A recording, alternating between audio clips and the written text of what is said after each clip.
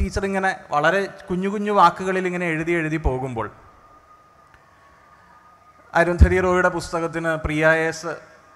മലയാള വിവർത്തനം നടത്തിയിട്ട് അതിന് ടൈറ്റിൽ കൊടുക്കുന്നത് കുഞ്ഞു കാര്യങ്ങളുടെ ഉടയതമ്പുരാൻ എന്നാണ് കുഞ്ഞു കാര്യങ്ങളുടെ ഉടയതമ്പുരാട്ടി എന്ന് വിളിക്കത്തക്ക വണ്ണം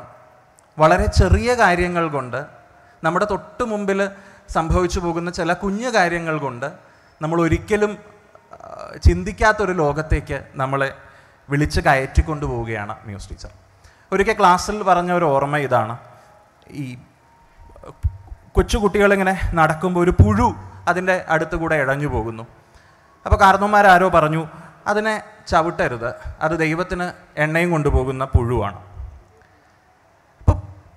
വളരെ രസമായിട്ട് ഇത് പറഞ്ഞു പോയി ഒരു കുഞ്ഞു കഥ പോലെ അല്ലെങ്കിൽ ഒരു ചെറിയ വർത്തമാനം പോലെ ഇത് നമ്മൾ കേട്ടു പക്ഷേ ഇതിൻ്റെ പിന്നിൽ വലിയൊരു ഒരു വലിയൊരു പരിസ്ഥിതി ബോധമുണ്ട് നമ്മുടെ നിലനിൽപ്പിൻ്റെ ചുറ്റുവട്ടത്ത് നിൽക്കുന്ന ഇത്തരം ചെറിയ ജീവികൾ പോലും നമ്മുടെ നിലനിൽപ്പിന് വേണ്ടി അതിനെക്കൊണ്ടാവുന്നത് ചെയ്യുന്നുണ്ടെന്ന വലിയൊരു പാരിസ്ഥിതിക ബോധത്തെ എത്ര അയക്നസുന്ദരമായാണ് മ്യൂസ് ടീച്ചർ ആ വാക്കുകളിൽ കൂടെ പറഞ്ഞു വയ്ക്കുന്നത് ഇതിൻ്റെ ഒരു തുടർച്ചയാണ് ഈ പുസ്തകം ഏറ്റവും കുഞ്ഞു കുഞ്ഞു കാര്യങ്ങൾ ഏറ്റവും ലളിതമായ ഭാഷയിൽ കവിത തുളുമ്പുന്ന ഭാഷയിൽ മ്യൂസ് ടീച്ചർ ഗദ്യം എഴുതിയാലും അത് അടിമുടി കവിതയാണ്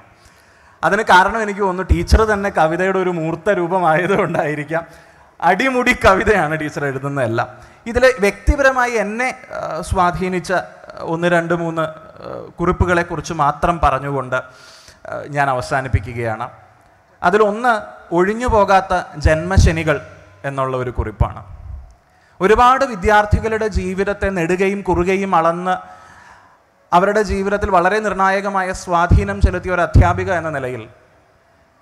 വിദ്യാർത്ഥികളുമായിട്ടുള്ള ഇടപെടലുകളെ കുറിച്ച് ടീച്ചർ പറയുന്നു അന്ധവിശ്വാസവും അല്ലെങ്കിൽ ചില എന്താ പറയുക അത്തരത്തിലുള്ള അനാചാരങ്ങളെല്ലാം നടമാടിക്കൊണ്ടിരിക്കുന്ന ഒരു സമൂഹത്തിൽ എങ്ങനെയാണ് ഇത്തരം ചില വിശ്വാസങ്ങൾ വളരെ കൃത്യമായും വീട്ടകങ്ങളിലെ സ്ത്രീ ജീവിതങ്ങളെ ദുസ്സഹമാക്കുന്നത് എന്നുള്ളതിൻ്റെ സ്പഷ്ടമായ നിരീക്ഷണമാണ് ആ ലേഖനം ഇരുപത്തി ഒന്നാം നൂറ്റാണ്ടിലും രണ്ടായിരത്തി ഇരുപത്തി മൂന്നിലും ശക്തമായ ഇത്തരം ചില എന്താ പറയുക നിലപാടുകൾ ക്ഷമിക്കണം ശക്തമായ ഇത്തരം ചില അപലപിക്കാൻ ശക്തമായി അപലപിക്കേണ്ടതായ ഇത്തരം ചില സംഭവങ്ങൾ നടക്കുന്നു അത് അഭ്യസ്ത വിദ്യരെന്ന് നമ്മൾ വിളിക്കുന്ന ആളുകൾക്കിടയിൽ നടക്കുന്നു അവരതിനെ വളരെ ക്രെഡിറ്റോടുകൂടി വളരെ അഭിമാനത്തോടുകൂടി കൊണ്ട് നടക്കുന്നു എന്നുള്ളതൊക്കെ വലിയ കാലുഷ്യങ്ങളൊന്നുമില്ലാതെ കലഹങ്ങളുടെ ഒരു ഒരു ഒരു ആന്തരികമായ ചില കലഹങ്ങളുടെ സ്വരത്തിൽ ടീച്ചർ പറഞ്ഞു വയ്ക്കുന്നുണ്ട് മറ്റൊന്ന് പത്തായം പെറില്ല ചക്കിമാർ നെല്ല് കുത്തില്ല എന്നാണ് നമ്മൾ നമുക്ക് എല്ലാവർക്കും പരിചയമുള്ള ഒരു ചൊല്ലാണ് പത്തായം പെറും ചക്കി കുത്തും എന്നുള്ളത് മനുഷ്യരുടെ അധ്വാനത്തെ റദ്ദ് ചെയ്യുന്ന ചില വ്യവസ്ഥിതികളെ കഠിനമായി വിമർശിക്കുന്ന ഒന്ന് വേറെ ചിലയിടങ്ങളിൽ ആഴമായ ദൈവശാസ്ത്ര ബോധങ്ങളിൽ നിന്നുകൊണ്ട് ടീച്ചർ സംസാരിക്കുന്നു വിശ്വാസത്തിൻ്റെ ഉടലനുഭവങ്ങളെക്കുറിച്ച് വാചാലയാകുന്നു മറ്റ് ചിലയിടങ്ങളിൽ മഴക്കാലത്തെക്കുറിച്ച് വിവിധ മാസങ്ങളിലെ മഴകളെക്കുറിച്ച് വിളകളെക്കുറിച്ച് ഫലങ്ങളെക്കുറിച്ച് മാമ്പഴങ്ങളെക്കുറിച്ച് എല്ലാം നമ്മുടെ ജീവിത പരിസരത്തിലെ കുഞ്ഞു കുഞ്ഞു കാര്യങ്ങളെക്കുറിച്ച് വീട്ടകങ്ങളിലെ നാട്ട് നാട്ടുമ്പുറങ്ങളിലെ വീട്ടുഭക്ഷണ രീതികളെക്കുറിച്ച് ഇങ്ങനെ ചുരുക്കി പറഞ്ഞാൽ മനുഷ്യൻ്റെ ജീവിതത്തിലെ നിസ്സാരമായ ചില കാര്യങ്ങളെക്കുറിച്ച് കൂടി ടീച്ചർ പറഞ്ഞു വെച്ച് പോവുകയാണ് ഈ പുസ്തകത്തെ ഏറ്റവും സ്നേഹത്തോടുകൂടി നിങ്ങളുടെ വായനകൾക്ക് വേണ്ടി പരിചയപ്പെടുത്തുകയാണ് ഏറ്റവും അഭിമാനത്തോടുകൂടി നന്ദിയോടും സ്നേഹത്തോടും കൂടി വിട വാങ്ങുന്നു താങ്ക് യു ആശംസയർപ്പിച്ച് സംസാരിക്കുന്നതിന് ബി വന്ദനയെ ക്ഷണിക്കുന്നു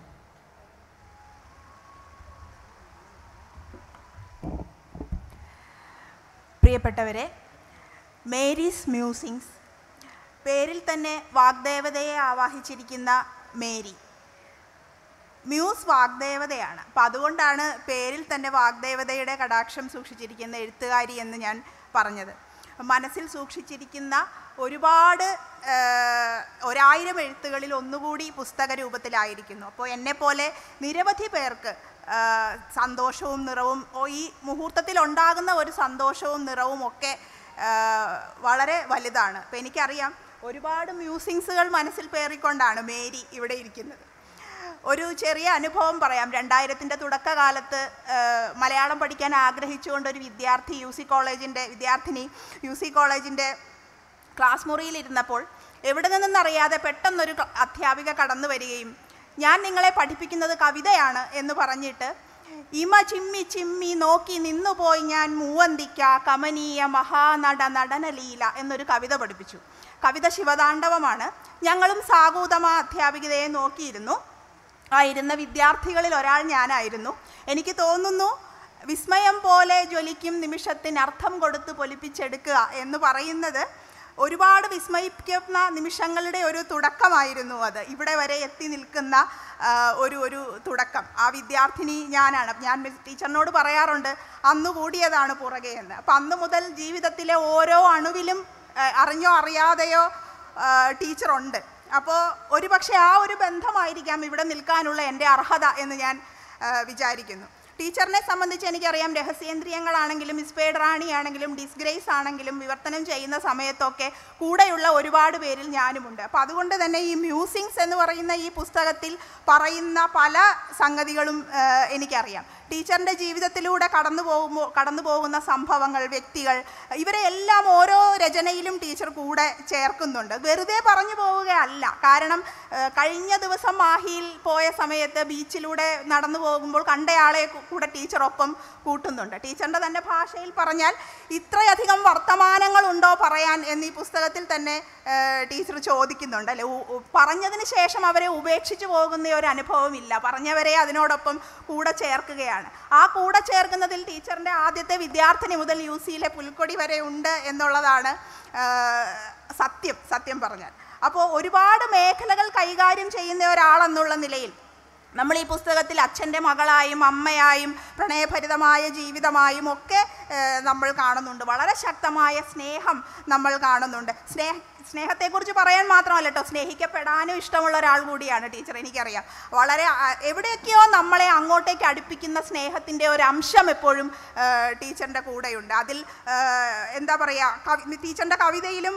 ഉണ്ട് എന്നോട് പറയാറുണ്ട് അടുക്കളയിൽ നിന്ന് ജോലി ചെയ്യുമ്പോഴും വാക്ക് വന്ന് മുട്ടാറുണ്ട് എന്ന് പറയാറുണ്ട് ഇത് പലപ്പോഴും ഈസ്റ്റ് ഹോസ്റ്റലിൻ്റെ ക്വാർട്ടേഴ്സിൽ താമസിക്കുന്ന സമയത്ത് ചില കവിതകൾ ഞാൻ പകർത്തി എഴുതിയിട്ടുണ്ട് കവിത എഴുതി മേശപ്പുറത്ത് വെച്ചിട്ട് നീ അതൊന്ന് പകർത്തിക്കേ എന്ന് പറഞ്ഞ് പൊതി അടുക്കളയിലേക്ക് ചോറ് പൊതി കെട്ടാൻ ഓടുന്ന ടീച്ചറെയും കണ്ടിട്ടുണ്ട് കാരണം ഇവിടെ ഈ പുസ്തകത്തിൽ തന്നെ പറയുന്നുണ്ട് പലപ്പോഴും പൂരപ്പറമ്പിലെ തിരക്കാണ് പലപ്പോഴും അമ്മച്ചിമാരെ കുറിച്ച് എഴുതുമ്പോൾ പക്ഷേ കല്ല് കെട്ടിയ മുറ്റത്തിനിടയിലൂടെ ഞെരുങ്ങി തലനീട്ടുന്ന പൂവാങ്കുറുന്നിലെ കാണുമ്പോഴും അതോടൊപ്പം ആകുലതയുടെ ഇൻറ്റൻസീവ് കെയർ യൂണിറ്റുകളും മൊലീന ടീച്ചർ പറഞ്ഞതുപോലെയുള്ള മുടികളും ഒന്നും കാണാതെ പോകുന്നില്ല പലപ്പോഴും ടീച്ചർ ജീവിച്ച നാട് നാട്ടുവഴികൾ അവിടെയുള്ള പാപ്പിയമ്മയെ പോലെ യമുനയെ പോലെയുള്ള മനുഷ്യർ ഇവരെല്ലാവരും ഇതിനകത്തുണ്ട് ദേവാലയങ്ങൾ പോലെ സാന്നിധ്യം അറിയിക്കുന്ന മനുഷ്യരുണ്ട് നിണമണിഞ്ഞ നിരത്തുകളെക്കുറിച്ചുള്ള ആകുലതകളുണ്ട് ഓണത്തെക്കുറിച്ചുള്ള മധുര സ്വപ്നങ്ങളുണ്ട് ഈ പുസ്തകത്തിൽ തന്നെ സുനിതാ വാസുദേവൻ പറയുന്നുണ്ട് നമ്മൾ പറയാൻ വിചാരിച്ചതുപോലുള്ള കാര്യങ്ങളാണ് ടീച്ചർ പറയുന്നതെന്ന് ഏതായാലും പേരിൽ തന്നെ വാക്കിനെ എഴുത്തിനെ ആവാഹിക്കുന്ന ടീച്ചറിൻ്റെ ഒരു ജീവിതയാത്ര എന്ന് പറയുന്നത് ഒരിക്കലും ഒരു നിസ്സാരമല്ല നമുക്കറിയാം കടന്നു കടന്നുപോയ വഴികളും പിന്നിട്ട പാതകളും അനുഭവങ്ങളും ഒക്കെ ചേർന്നാണ് മേരീസ് മ്യൂസിങ്സ് ഉണ്ടായിരിക്കുന്നത് അപ്പോൾ ടീച്ചറിൻ്റെ ഒരു ഈ ഒരു എഴുത്ത് എല്ലായിടത്തും ജ്ഞാനമായി അത് വെളിച്ചമായി നിറയട്ടെ ഇനിയും ഇനിയും ഒരുപാട് മ്യൂസിങ്സുകൾ ഉണ്ടാകട്ടെ അതുണ്ടാകും എന്ന് എനിക്കറിയാം ഏതായാലും ഈ പുസ്തകം അച്ചടിയിലേക്ക് എത്തിക്കാൻ ശ്രമിച്ച സൈഗതം ബുക്സിനും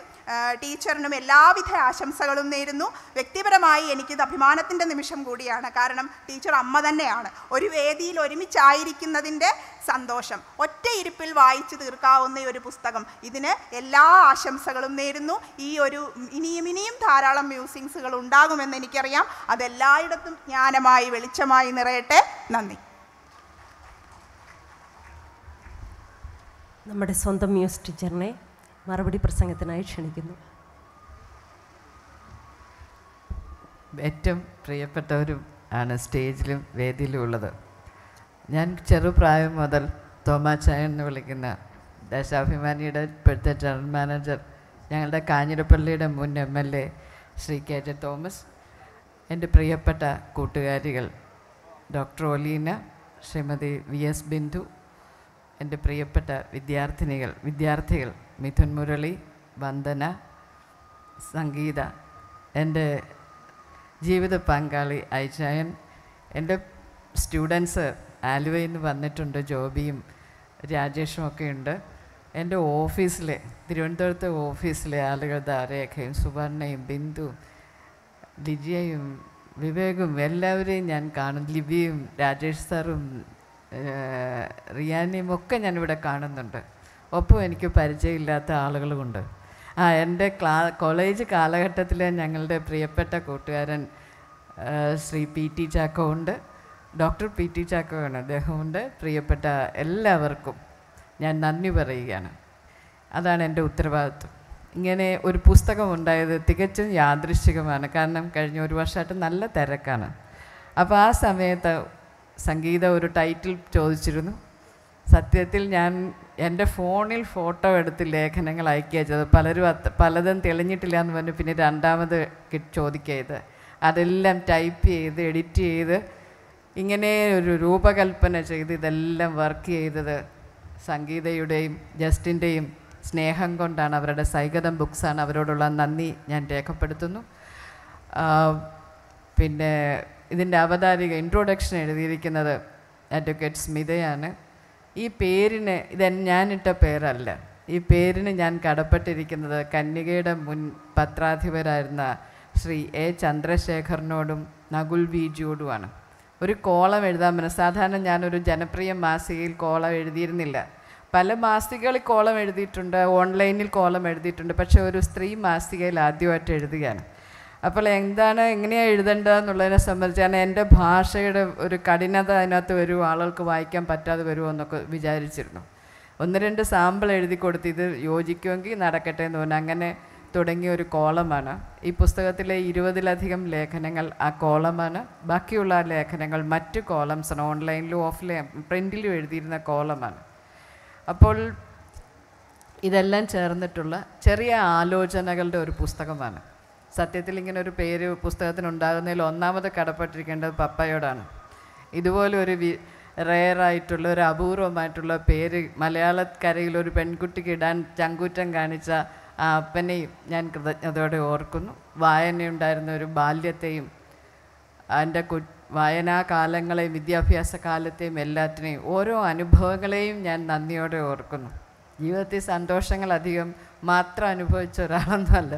ഒരുപാട് സന്തോഷങ്ങളും സങ്കടങ്ങളും ധാരാളം സങ്കടങ്ങളും വിഷമതകളും നിസ്സാഹ നിസ്സഹായതകളും രോഷങ്ങളും ഒക്കെയുള്ള ഒരാളാണ് അത്തരം ഒരു കുറിപ്പുകളാണ് ഇതിനകത്തുള്ളത്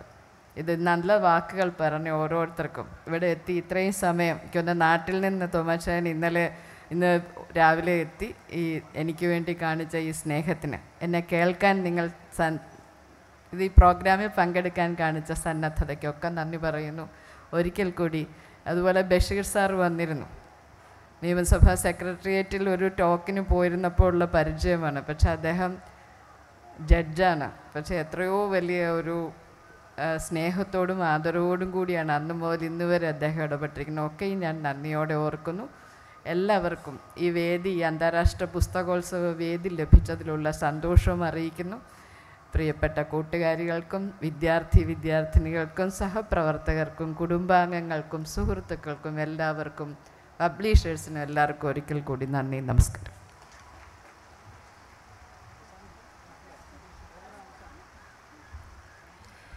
ഏറെ നന്ദി ഇവിടെ ഈ പരിപാടിയിൽ പങ്കെടുത്ത എല്ലാവർക്കും ഏറെ സ്നേഹത്തോടെ സൈഗതത്തിൻ്റെയും എൻ്റെയും നന്ദി അറിയിക്കുന്നു ഇന്ന് ഈ പരിപാടി സമാപിച്ചു ചടങ്ങിൽ പങ്കെടുത്ത ഏവർക്കും നന്ദി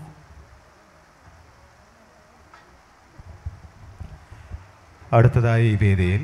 ശ്രീ ശ്രീകണ്ഠൻ കരിക്കൻ രചിച്ച സ്വച്ഛഭവനം എന്ന പുസ്തകത്തിൻ്റെ പ്രകാശനമാണ് പുസ്തകം പ്രകാശനം ചെയ്യുന്നത് പ്രൊഫസർ അലിയ പുസ്തകം സ്വീകരിക്കുന്നത് ഡോക്ടർ മിനി നായർ പ്രസാധകർ ഒലീവ് പബ്ലിക്കേഷൻസ് ഏവരെയും വേദിയിലേക്ക് സ്വാഗതം ചെയ്യുന്നു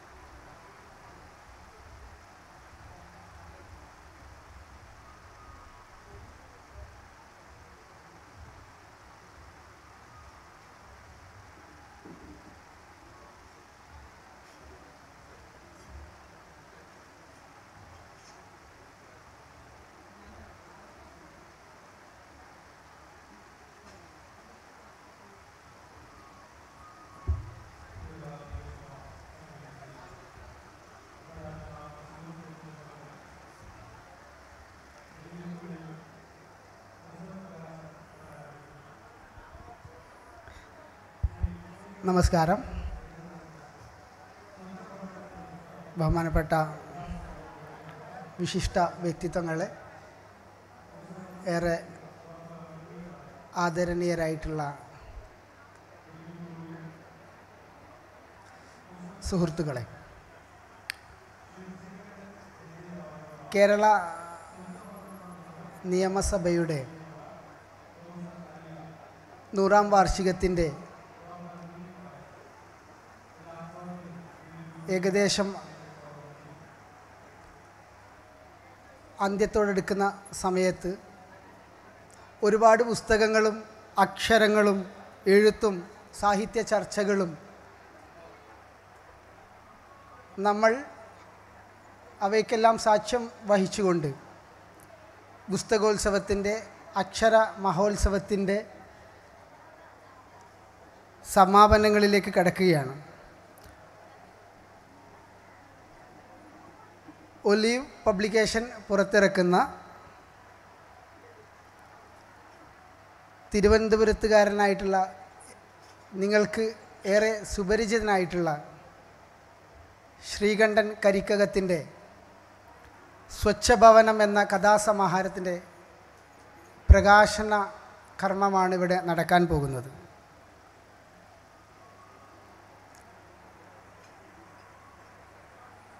സാഹിത്യ മേഖലയിൽ കഴിഞ്ഞ കുറേ വർഷങ്ങളായിട്ട് സ്ഥിര സാന്നിധ്യമായിട്ടുള്ള മാധ്യമ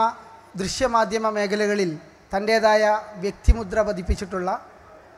ശ്രീകണ്ഠൻ കരിക്കകം ഒലീവ് അദ്ദേഹത്തിൻ്റെ ആദ്യത്തെ ഒലീവ് വഴി ഇറങ്ങുന്ന ആദ്യത്തെ പുസ്തകം എന്ന ഒരു സവിശേഷത ഈ ഒരു സ്വച്ഛഭവനം എന്ന കഥാസമാഹാരത്തിനുണ്ട് വ്യത്യസ്തങ്ങളായിട്ടുള്ള കഥകളുടെ വ്യത്യസ്തമായിട്ടുള്ള ആഖ്യാന രീതികളിലൂടെ വായനക്കാരൻ്റെ ഇടയിലേക്ക് ഇറങ്ങിച്ചെല്ലാനും സംവദിക്കാനും പ്രിയപ്പെട്ട എഴുത്തുകാരന് കഴിയട്ടെ എന്ന് ആശംസിക്കുന്നു ഈ പുസ്തകം അത്തരത്തിലുള്ളതാവട്ടെ എന്ന് ആദ്യമായിട്ട് ആശംസിക്കുകയാണ് ഞാൻ വളരെ ചുരുങ്ങിയ സമയമുള്ള സെഷനിൽ കൂടുതൽ നീട്ടുന്നില്ല എനിക്ക് ഏറ്റവും പ്രിയപ്പെട്ട ഇതിൻ്റെ പ്രകാശനകർമ്മം നിർവഹിക്കാൻ ഇവിടെ എത്തിയിട്ടുള്ള തിരുവനന്തപുരപുരത്തുകാർക്ക് ഒരിക്കലും വിശദീകരിക്കേണ്ട ആവശ്യമില്ലാത്ത പ്രൊഫസർ ആലിയ നമുക്കറിയാം കഴിഞ്ഞ നാൽപ്പത് വർഷമായിട്ട് മലയാള ചലച്ചിത്ര മേഖലയിൽ തിളങ്ങി നിൽക്കുന്ന അതിൻ്റെ പിന്നണിയിലും മുന്നണിയിലും ഒരുപോലെ തിളങ്ങി നിൽക്കുന്ന ഈ അടുത്ത കാലത്ത് ഇറങ്ങിയിട്ടുള്ള അല്ലെങ്കിൽ ഏറെ ചർച്ച ചെയ്യപ്പെട്ടിട്ടുള്ള മലയാള സിനിമകളിലൊക്കെ തൻ്റെ സാന്നിധ്യം കൊണ്ട് തൻ്റെ ഇടപെടൽ കൊണ്ട് ശ്രദ്ധേയനായിട്ടുള്ള പ്രൊഫസർ അലിയാറെ ഈ ഒരു പുസ്തക പ്രകാശന ചടങ്ങിന് കിട്ടിയത് നമ്മുടെയൊക്കെ ഭാഗ്യമാണ് അദ്ദേഹത്തെ ആദരവോടെ സ്നേഹത്തോടെ ഈ പ്രോഗ്രാമിന് വേണ്ടി സ്വാഗതം ചെയ്യുകയാണ് ഇത് ഏറ്റുവാങ്ങുന്നത് പുസ്തക നിരൂപക രംഗത്തും സാഹിത്യ സാംസ്കാരിക രംഗത്തും ഏറെ നിറഞ്ഞു നിൽക്കുന്ന അതിനപ്പുറം തിരുവനന്തപുരത്ത് തൻ്റേതായ പിടി വിദ്യാർത്ഥി സമൂഹത്തെ വാർത്തെടുത്തിട്ടുള്ള ഡോക്ടർ മിനി നായരാണ് അവരെ ഈ കുട്ടികൾക്ക് വേണ്ടിയിട്ടും ഈ സദസ്സിന് വേണ്ടിയിട്ടുമൊക്കെ ഞാൻ സ്വാഗതം ചെയ്യുന്നു അതോടൊപ്പം ഔപചാരികതയ്ക്ക് വേണ്ടിയിട്ട് ഈ പുസ്തകത്തിൻ്റെ രചയിതാവ് ശ്രീകണ്ഠൻ കരിക്കകത്തെയും ഈ പ്രോഗ്രാം ഇവിടെ ശ്രവിക്കാൻ എത്തിയിട്ടുള്ള എൻ്റെ പ്രിയപ്പെട്ട സുഹൃത്തുക്കൾ സഹോദരങ്ങൾ മറ്റ് വേദിയിലും പുറത്തുമൊക്കെ ആയിട്ട് ഉള്ള വിശിഷ്ട വ്യക്തിത്വങ്ങൾ എഴുത്തുകാർ സാഹിത്യ സാംസ്കാരിക മേഖലയിലെ തങ്ങളുടെ തങ്ങളുടേതായ നിറസാന്നിധ്യം നിർവഹിക്കുന്ന പ്രിയപ്പെട്ടവർ എല്ലാവരെയും ഈ ഒരു മഹനീയ വേളയിൽ സ്വാഗതം ചെയ്തുകൊണ്ട് ഇതിൻ്റെ പ്രകാശന കർമ്മത്തിന് പ്രൊഫസർ അലിയാർ സാറിനെ ക്ഷണിച്ചുകൊണ്ട് ഞാൻ നിർത്തട്ടെ നന്ദി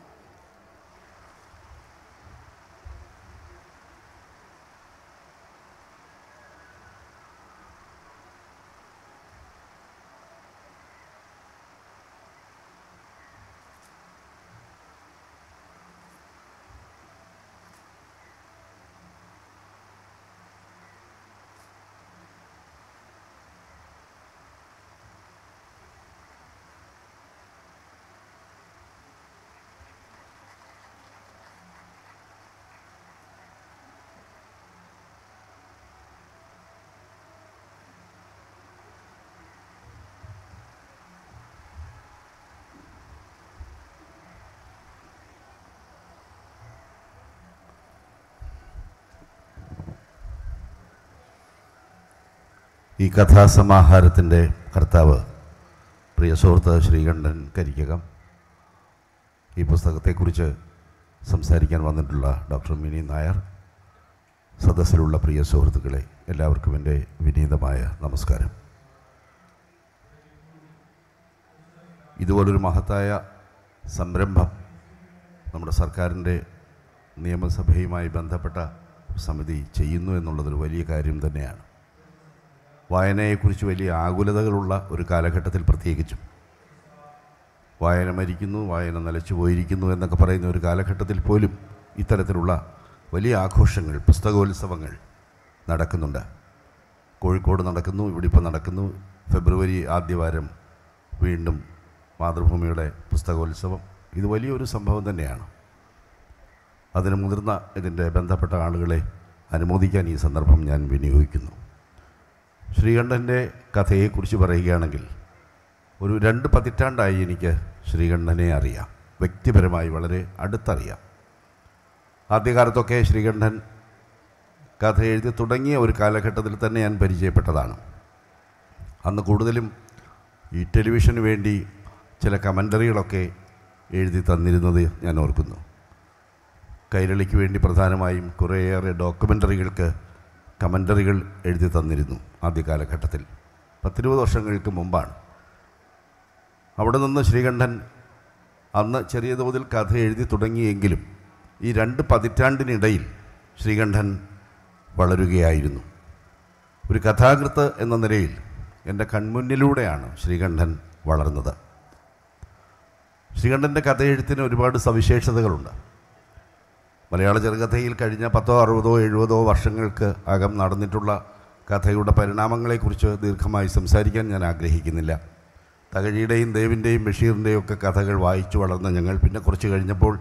കാക്കനാടൻ്റെയും മുകുന്ദൻ്റെയും അതുപോലുള്ള ആളുകളുടെയും ഒക്കെ കഥകൾ വായിച്ച് അമ്പരക്കുകയും ചെയ്തിട്ടുണ്ട് പക്ഷേ കഥ കഥാലോകം വികസിക്കുകയായിരുന്നു അന്ന് അങ്ങനെ ഒരു ഘട്ടത്തിലാണ് ശ്രീകണ്ഠൻ്റെ കഥകൾ വരുന്നത് ഈ കഥകളെക്കുറിച്ച് ദീർഘമായി ഞാൻ സംസാരിക്കുന്നില്ല പക്ഷേ ചില കാര്യങ്ങൾ നിങ്ങൾ ഓർക്കേണ്ടതുണ്ട് ശ്രീകണ്ഠൻ തനിക്ക് പരിചയമുള്ള തനിക്ക് ചിരപരിചിതമായ ഒരു മേഖലയിൽ നിന്നുകൊണ്ടാണ് കഥ പറയുന്നത് ശ്രീകണ്ഠൻ്റെ കഥയും കഥാപാത്രങ്ങളും തനിക്ക് ചുറ്റുമുള്ളവർ തന്നെയാണ് എന്നാൽ നഗരത്തിൻ്റെ തിരക്കുകളിൽപ്പെട്ട് ജീവിക്കുന്ന വലിയ മനുഷ്യരുടെ കഥകളല്ല ചെറിയ മനുഷ്യരുടെ വലിയ കഥകളാണ് ശ്രീകണ്ഠൻ പറയുന്നത് വളരെ പരിചിതരായ കഥാപാത്രങ്ങൾ ഒരുപക്ഷെ നാട്ടിൻ പുറത്ത് മാത്രം കാണാൻ കഴിയുന്ന തരത്തിലുള്ള കഥാപാത്രങ്ങളെ പോലും നിരവധിയായി നമുക്ക് ഈ ഈ സമാഹാരത്തിൽ കഥാസമാഹാരത്തിൽ കാണാൻ കഴിയും നേരിട്ട് കഥ പറയുകയാണ് അല്ലാതെ ഒരു പശ്ചാത്തല വിവരണത്തോടുകൂടിയൊന്നും അല്ല പലപ്പോഴും പല കഥകളും തുടങ്ങുന്നത് ഉദാഹരണത്തിന് ആദ്യ കഥ തുടങ്ങുന്നത് ഇങ്ങനെയാണ് ചാടിയറയിലുള്ള വിക്രമൻ ചെട്ടിയാരുടെ മരണത്തിനാണ് ചന്ദ്രമുഖി പിന്നീട് പോയത് നേരിട്ട് കഥയിലേക്ക് കടക്കുകയാണ് ഒരു ദീർഘമായ ഒരു ആമുഖമോ പരി ഒരു പരിസരങ്ങളെക്കുറിച്ചുള്ള ഒരു വർണ്ണനയോ ഒന്നുമില്ല മറ്റൊരു കഥ നോക്കുക പതിനെട്ടാമത്തെ വയസ്സിലും എൺപത്തി ഒന്നാമത്തെ വയസ്സിലും വീട്ടിലേക്കുള്ള വഴികൾ തിരയുന്ന രണ്ട് സ്ത്രീകളാണ് ഈ കഥയിലെ പ്രധാന കഥാപാത്രങ്ങൾ ഇങ്ങനെ കഥയിലേക്ക് നേരിട്ട് കടക്കുകയാണ് കഥ പറഞ്ഞു പോകുന്നു കഥ പറഞ്ഞു പോകുന്ന കൂട്ടത്തിൽ നാം അറിയാതെ തന്നെ കഥയുമായി ഇഴുകിച്ചേർന്ന് പോകുന്നു കഥാപാത്രങ്ങൾ നമ്മോടൊപ്പം സഞ്ചരിക്കുന്നു ഒരൊറ്റ വായനയിൽ തന്നെ നമുക്ക് കാര്യമായ ഒരു ആസ്വാദ്യത ലഭിക്കുന്ന അനുഭവവേദ്യമാകുന്ന കഥകളാണ് ശ്രീകണ്ഠൻ എഴുതിയിട്ടുള്ളത് അതുകൊണ്ട് തന്നെ സാധാരണ വായനക്കാർക്ക് ഒറ്റ ഇരിപ്പിലിരുന്ന് വായിച്ച് തീർക്കാവുന്ന കഥകളാണ് ഇതിൽ സാധാരണ മനുഷ്യരുടെ ആകുലതകളും വിഷമങ്ങളും സങ്കടങ്ങളും ദുഃഖങ്ങളും ജോലിക്ക് പോകുന്ന സ്ത്രീകളുടെ അങ്ങനെയൊക്കെയുള്ള ഒരുപാട് ഒരുപാട് മനുഷ്യരുടെ സാധാരണ മനുഷ്യരുടെ എന്നാൽ അസാധാരണമായ ജീവിത സന്ദർഭങ്ങളിലൂടെ കഥകൾ കഥകൾ കടന്നു പോകുന്നു ഇതിന് പേരിട്ടിരിക്കുന്നത് സ്വച്ഛ ഭവനം എന്നാണ് സ്വച്ഛ ഭാരത് എന്നുള്ളത് ഒരുപക്ഷെ നമ്മൾ കേട്ടിട്ടുണ്ടാകാം രസ വളരെ രസകരമായൊരു കഥയാണത് ആ കഥയെക്കുറിച്ചൊരു രണ്ട് വാക്യം മാത്രം ഞാൻ പറയുന്നുള്ളൂ വളരെ പ്രയാസപ്പെട്ട് ഒരു ഒരു വീട് വയ്ക്കുന്നു വീട്ടിനുള്ളിൽ കഴിയാൻ സാധാരണ നേരത്തെ താമസിച്ചിരുന്നതിൽ നിന്ന് വ്യത്യസ്തമായ ഒരു സാഹചര്യത്തിൽ ജീവിക്കേണ്ടി വരുമ്പോഴുണ്ടാകുന്ന വിഷമതകളാണ്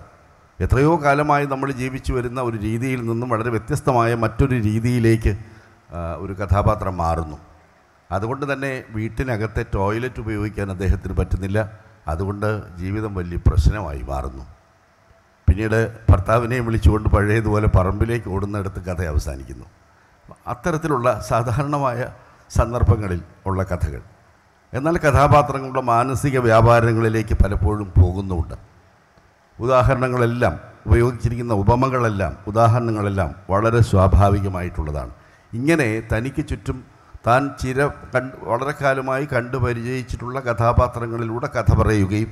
അവരുടെ ജീവിതത്തെ ഒരു കണ്ണാടിയിൽ എന്ന പോലെ നമ്മുടെ മുന്നിൽ പ്രദർശിപ്പിക്കുകയും ചെയ്യുന്ന സുന്ദരമായ കഥകളാണ് ഇതിലുള്ളത് തീർച്ചയായിട്ടും കഴിഞ്ഞ ഒരു ഇരുപത് വർഷത്തിനുള്ളിൽ കഥയുടെ കലാതന്ത്രം വളരെ നന്നായി മനസ്സിലാക്കിയിട്ടുള്ള അതിനനുസരിച്ച് വളരുവാൻ കഴിഞ്ഞിട്ടുള്ള കഥ പറച്ചിലിൻ്റെ കാര്യത്തിൽ വളരെയധികം വളരുകയും നിരവധി പുരസ്കാരങ്ങൾ നേടുകയും ചെയ്തിട്ടുണ്ട് ഈ കഥാകൃത്ത് അതുകൊണ്ട് തന്നെ നിശ്ചയമായും അടുത്ത ഒരു ഒരു പതിറ്റാണ്ടിനുള്ളിൽ കുറേ കൂടി വിപുലമായ ഒരു കഥാശേഖരം അദ്ദേഹത്തിൽ നിന്ന് നമുക്ക് പ്രതീക്ഷിക്കാം നോവലുകളുണ്ട് ഈ നോവലുകളും നിശ്ചയമായും നമ്മുടെ വായനയെ തൃപ്തിപ്പെടുത്തുന്നതായിരിക്കും ഇനിയും ഇനിയും നിരവധിയായ ലേഖനങ്ങൾ നിരവധിയായ കഥകളും നോവലുകളും ഈ കഥാകൃത്തിൽ നിന്ന് ഉണ്ടാകട്ടെ എന്ന് ആശംസിച്ചുകൊണ്ട് ഇതിൻ്റെ പ്രകാശന കർമ്മം നിർവഹിക്കുവാൻ അദ്ദേഹത്തിൻ്റെ ഒരു സുഹൃത്ത് എന്ന നിലയിൽ എന്നെ പരിഗണിച്ചതിലുള്ള സന്തോഷം അറിയിച്ചുകൊണ്ട് എല്ലാവിധ ആശംസകളും നേർന്നുകൊണ്ട് നിർത്തുന്നു നമസ്കാരം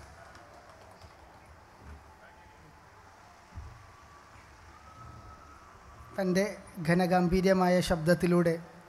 കഥയെ പറ കഥയെക്കുറിച്ചും കഥാകാരനെക്കുറിച്ചും വ്യക്തമായി വിശദീകരിച്ചു തന്നതിന് പ്രിയപ്പെട്ട അലിയാർ സാറിന് നന്ദി ഏറ്റുവാങ്ങിക്കൊണ്ട് സംസാരിക്കാൻ മുന്നി നായരെ ക്ഷണിക്കുന്നു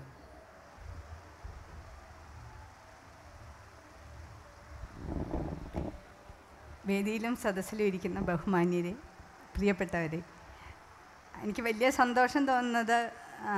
ഈ വേദിയിൽ വെച്ച് ഈ പുസ്തകം ഏറ്റുവാങ്ങാൻ കഴിഞ്ഞത് വലിയൊരു സന്തോഷമാണ്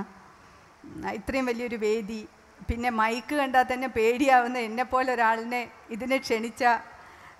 ശ്രീകണ്ഠൻ്റെ ധൈര്യത്തെ ആത്മവിശ്വാസത്തെ പ്രശംസിക്കാതെ ഒരു രക്ഷയില്ല ഇത്തരം വേദികളിൽ പ്രത്യക്ഷപ്പെടാൻ വല്ലാതെ ഭയപ്പെടുന്ന ഒരാളാണ് ഞാൻ പക്ഷേ ശ്രീകണ്ഠൻ അങ്ങനെ ഒരാളല്ലല്ലോ എനിക്ക് ശ്രീകണ്ഠൻ വിളിച്ചാൽ വരാതിരിക്കാൻ വയ്യാത്ത വിധം എത്രയോ കാലമായി അലിയാർ മാഷി പറഞ്ഞ പോലെ ഒരു സൗഹൃദം സൂക്ഷിക്കുന്ന ആളാണ് പിന്നെന്താണ് ശ്രീകണ്ഠൻ സഹോദരനാണ് അതാണല്ലോ സഹോദരന്മാർ വിളിച്ചാൽ നമ്മൾ വരാതിരിക്കാൻ പറ്റില്ലല്ലോ പിന്നെ ഇവിടെ വന്നപ്പോഴാണ് എനിക്ക് മനസ്സിലാവുന്നത് ഞാൻ അറിഞ്ഞോ അറിയാതെയോ ഒരു പത്തിരുപത്തഞ്ചോളം വിദ്യാർത്ഥികൾ ഇതിൻ്റെ ഇടയിൽ ഇരിപ്പുണ്ട് അപ്പോൾ എനിക്ക് അത്ഭുതമാണ് തോന്നുന്നത് എങ്ങനെയാണ് ഇവരിവിടെ എത്തിയെന്ന് എനിക്കറിയില്ല അപ്പോൾ അതും ഒരു സന്തോഷമാണ് പിന്നെ ഇത് സ്വച്ഛഭവനം എന്ന പുസ്തകം ഇതിവിടെ സ്വീകരിക്കാൻ പറ്റിയത് എനിക്ക് സന്തോഷം ഈ പുസ്തകം പത്ത് കഥകളുടെ സമാഹാരമാണ് അലിയാൻ മാഷി പറഞ്ഞ പോലെ ഈ പുസ്തകത്തെക്കുറിച്ച് ഇദ്ദേഹം പറഞ്ഞ പോലെ എനിക്ക് പുസ്തകത്തെക്കുറിച്ച് വളരെ വിശദമായിട്ട് പറയാൻ വേണ്ടിയിട്ടുള്ള ജ്ഞാനമൊന്നും വലുതായിട്ടില്ല വലിയ ചെറിയ ജ്ഞാനമുള്ള ആളാണ് ഒരു പുസ്തകത്തെയും കഥയും ഒക്കെ അവലോകനം ചെയ്യാനൊക്കെ എനിക്ക് പറ്റും എന്ന തരത്തിലേക്കൊന്നും ഞാൻ വളർന്നിട്ടില്ല പിന്നെ ക്ലാസ്സിൽ പഠിപ്പിക്കുന്നൊരു രീതിയുണ്ടല്ലോ ഉണ്ടല്ലോ മാത്രമേ എനിക്ക് പരിചയമായിട്ടുള്ളൂ ഒരു പുസ്തകത്തെ നമ്മൾ വായിക്കുമ്പോൾ നമ്മൾ എങ്ങനെയാണ് ആ പുസ്തകത്തെ മനസ്സിലാക്കുന്നതെന്ന് പറഞ്ഞുതരാൻ മാത്രമേ എനിക്കറിയൂ അതിൻ്റെ പകുതി ഭാഗത്തോളം അരിയാർ മാഷ് പറഞ്ഞു കഴിഞ്ഞു അതിൻ്റെ ആഖ്യാന രീതിയെക്കുറിച്ച് അതിൻ്റെ രസങ്ങളെക്കുറിച്ചൊക്കെ എങ്കിലും ഞാൻ വായിച്ച കുറച്ച് കാര്യങ്ങൾ നിങ്ങളോട് പങ്കുവയ്ക്കാൻ ഞാൻ ആഗ്രഹിക്കുന്നു ഞാൻ വായിച്ച കാര്യങ്ങളെന്ന് പറഞ്ഞാൽ നമ്മൾ ഒരു എഴുത്ത് വായിക്കുമ്പോൾ ഒരിക്കലും ഒരു എഴുത്തുകാരനെ വായിക്കരുത് എന്നാണ് പൊതുവെ പറഞ്ഞു കേൾക്കുന്നത് പ്രത്യേകിച്ച് നമ്മുടെ മാധവക്കുട്ടി പറഞ്ഞിട്ടുണ്ട് എന്നെ വായിക്കുമ്പോൾ നിങ്ങൾ എന്നെ മാത്രം എൻ്റെ എഴുത്തിനെ മാത്രം വായിക്കുക എന്നെ വായിക്കാൻ മെനക്കെടരുത് എന്നാണ് അപ്പോൾ പക്ഷേ ശ്രീകണ്ഠൻ്റെ പുസ്തകം നമ്മൾ വായിക്കുമ്പോൾ ഒരിക്കലും നമുക്ക് ശ്രീകണ്ഠനെ ഒഴിവാക്കിക്കൊണ്ട് ഈ പുസ്തക വായന സാധ്യമല്ല ശ്രീകണ്ഠനെ ഒഴിവാക്കിക്കൊണ്ടെന്ന് മാത്രമല്ല ഞങ്ങളുടെ തലമുറയിൽപ്പെട്ട ആരെയും ഒഴിവാക്കിക്കൊണ്ട് ഈ പുസ്തകം വായിക്കുക സാധ്യമല്ല നിങ്ങൾക്കറിയാമോ എന്നറിയില്ല ഞങ്ങൾ വളരെ സങ്കീർണമായ ഒരു കാലഘട്ടത്തിലൂടെ കടന്നു പോകുന്ന ആൾക്കാരാണ് ഞങ്ങളുടെ തലമുറ അതായത് ഇരുപതാം നൂറ്റാണ്ടിൻ്റെ പകുതിയോടടുപ്പിച്ച് ജനിക്കുകയും ഇരുപത്തൊന്നാം നൂറ്റാണ്ടിലേക്ക് വലിച്ചെറിയപ്പെടുകയും ചെയ്ത പാവപ്പെട്ട മനുഷ്യർ അതിനുശേഷം വന്ന തലമുറയ്ക്ക് ഞങ്ങളുടെ മുന്നിൽ പോയവർക്കറിയാം അതിൻ്റെ വ്യാകുലതകൾ ഞങ്ങളുടെ പിന്നാലെ വന്നവർക്ക് പ്രത്യേകിച്ച് എൻ്റെ കുട്ടികൾക്ക് അറിയാമോ എന്ന് എനിക്കറിയില്ല അതിൻ്റെ വ്യാകുലതകൾ എത്രത്തോളം ശക്തമാണെന്ന് ഞങ്ങൾ അനുഭവിക്കുന്ന ഗൃഹാതുരത ഞങ്ങളുടെ വേവലാതികൾ ഞങ്ങൾക്ക് നഷ്ടപ്പെട്ടു പോയ സംഭവങ്ങൾ ശ്രീകണ്ഠൻ്റെ തന്നെ ഒരു കഥയിൽ പറയുന്നുണ്ട് ഒരാൾ നിരന്തരം നടന്നുകൊണ്ടിരുന്ന വഴികൾ അയാൾ നിരന്തരം ഉടു അയാൾ നിരന്തരം ധരിച്ചിരുന്ന നിറങ്ങൾ ഒക്കെ നഷ്ടപ്പെട്ടു പോകുന്നവൻ്റെ ആകുലതകളെക്കുറിച്ച് നിങ്ങൾക്കറിയാമോ എന്ന് എനിക്കറിയില്ല പുതിയ കുട്ടികൾക്ക് പ്രത്യേകിച്ച് അപ്പം ഞങ്ങൾ അത്തരം ഒരു ആകുലതയിൽ ജീവിക്കുന്ന ആൾക്കാരാണ് അപ്പോൾ ഒരു പക്ഷേ നിങ്ങൾക്കറിയാം ഈ കോവളം ബൈപ്പാസ് വരുന്നതിന് മുമ്പ് ഞങ്ങൾക്കവിടെ ഒരു ചതുപ്പുണ്ടായിരുന്നു ഒരു പക്ഷേ കണ്ടൽക്കാടുകളെന്നും ശ്രീകണ്ഠന് വളരെ സുപരിചിതമായ സ്ഥലമാണ് അതുകൊണ്ട് തന്നെ ആയിരിക്കും കഥയിൽ ഇത് ശക്തമായിട്ട് ജീവനായിട്ട് അങ്ങനെ നിൽക്കുകയാണ് കണ്ടൽക്കാടുകൾ നിറഞ്ഞ വഴിയെന്ന് വേണമെങ്കിൽ പറയാവുന്ന ഒരു വഴിയുള്ള ഒരു സ്ഥലം അതുവഴി പോകാൻ തന്നെ ഞങ്ങൾക്ക് പണ്ടൊക്കെ പേടിയായിരുന്നു അത്രയും ഇരുട്ട് നിറഞ്ഞ അത്രയും വിജനമായ ഒരു സ്ഥലം പക്ഷേ അവിടെ ചതുപ്പായിരുന്നു ആ ചതുപ്പിലൂടെ ഞങ്ങൾ സന്തോഷത്തോടു കൂടി അവിടെ ഒരു വലിയ ആവാസ വ്യവസ്ഥ സൃഷ്ടിച്ച് ജീവിച്ച ഒരു കൂട്ടം ജീവജാലങ്ങളും പാവപ്പെട്ട മനുഷ്യരും ഉണ്ടായിരുന്നു അലിയാർ മാഷി പറഞ്ഞ പോലെ ഇത് വലിയ ആൾക്കാരുടെ നഗരവൽക്കരണത്തിൻ്റെ കഥയല്ല ഇത് പാവപ്പെട്ടവരനുഭവിക്കുന്ന നിരന്തരമായ ആകുലതകളെയും അവൻ്റെ നഷ്ടപ്പെടലുകളെയും ഓർമ്മിപ്പിക്കുന്ന കഥകളാണ് അപ്പോൾ അവിടെ ഒരു ചന്ദ്രികയുണ്ട് ചന്ദ്രിക ചന്ദ്രികയുടെ ആവാസ വ്യവസ്ഥ അല്ലെങ്കിൽ ആവാസ സ്ഥാനം നഷ്ടപ്പെട്ട് അന്യവൽക്കരിക്കപ്പെട്ടു പോയ ഒരാളാണ് അങ്ങനെ അന്യവൽക്കരിക്കപ്പെട്ട എത്രയോ മനുഷ്യർ ആ സ്ഥലങ്ങളിൽ ഇപ്പോഴും ഉണ്ടായിരിക്കും വരത്തരായി മാറുന്ന ആൾക്കാർ അവിടെ ഉണ്ടായിരുന്നിട്ട് പോലും സ്വയം വരത്തിയാണ് എന്ന് തോന്നുന്ന ഒരാൾ അങ്ങനെയുള്ള ആൾക്കാരുണ്ടായിരിക്കാം അവരവരുടെ ചെറിയ കൂടിലെ കൂരയ്ക്കകത്ത് എവിടെങ്കിലും ഒളിഞ്ഞിരുന്ന് അപകർഷതാബോധത്തോടുകൂടി തൻ്റെ തൊട്ടടുത്ത് പൊങ്ങുന്ന പതിനഞ്ച് നിലയുള്ള ഫ്ലാറ്റിനെ ഒളിഞ്ഞു നോക്കുന്നുണ്ടായിരിക്കാം കാരണം അവർക്ക് നേരിട്ട് നോക്കാൻ അവരുടെ അപകർഷതാബോധം അവർ അനുവദിക്കുന്നുണ്ടായിരിക്കില്ല കാരണം ഈ ഈ കുടിലെത്താൻ ഒരു വരത്തിയാണ് എന്നാണ് അവർ കരുതുന്നത് വയലെന്ന് പറയുന്നത് ഇത് വരത്തി എന്ന കഥയെക്കുറിച്ചാണ് ഞാൻ പറയുന്നത് വയലെന്ന് പറഞ്ഞ മറ്റൊരു കഥയുണ്ട് ഇതിനോട് ചേർത്ത് വെച്ച് വായിക്കാവുന്ന ഒരു കഥയാണ് നിങ്ങൾക്കറിയാമല്ലോ ഇരുപതാം നൂറ്റാണ്ട് ഇതിഹാസം എന്ന് പറയുന്ന കവിതയിൽ അക്കിത്തം പറയുന്നുണ്ട് നിരത്തിൽ കാക്ക കൊത്തുന്നു ചത്ത പെണ്ണിൻ്റെ കണ്ണുകൾ മുല ചപ്പി വലിക്കുന്നു നരവർഗ നവാതിഥി ഉപഭോഗ സംസ്കാരത്തെക്കുറിച്ച് ഇത്ര ഭംഗിയായിട്ട് അവതരിപ്പിച്ച ഒരു കവിതയും ഉണ്ടായിരിക്കത്തില്ല ഇരുപതാം നൂറ്റാണ്ടിലായ ഇരുപതാം നൂറ്റാണ്ടിനെ കുറിച്ചാണ് അക്കിത്തം അങ്ങനെ പറഞ്ഞത് നമ്മൾ ജീവിക്കുന്ന ഇരുപത്തൊന്നാം നൂറ്റാണ്ടിലാണ് ഭയപ്പെടാതെ ഒരു വഴിയുമില്ല എന്ന് ഓർമ്മിപ്പിക്കുന്ന ഒരുപാട് പാഠങ്ങളാണ് ഇരുപത്തൊന്നാം നൂറ്റാണ്ട് നമുക്ക് തരുന്നത് ഒരു മനുഷ്യൻ അയാൾ വീട് വയ്ക്കുകയാണ് വയലെന്ന കഥയെക്കുറിച്ചാണ് ഞാൻ പറയുന്നത് വീട് വയ്ക്കുകയാണ് വീട് വയ്ക്കുമ്പോൾ അയാൾ അയാളുടെ മുറ്റം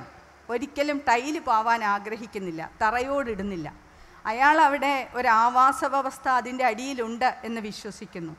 ഒരു സുപ്രഭാതത്തിൽ അയാൾ കാണുന്ന ഒരു ഞണ്ട് വളരെ തന്ത്രപൂർവ്വം അയാളുടെ മതിലിൻ്റെ അരികിലൂടെ ഇങ്ങനെ തുളഞ്ഞു വരികയാണ് ചുവന്ന തോടുള്ള ഒരു ഞണ്ട് അയാൾ മാത്രമാണ് അതിൽ സന്തോഷിക്കുന്നത് ബാക്കി എല്ലാവരും അത്ഭുതപ്പെടുകയോ ഭയപ്പെടുകയോ ചെയ്യുകയാണ്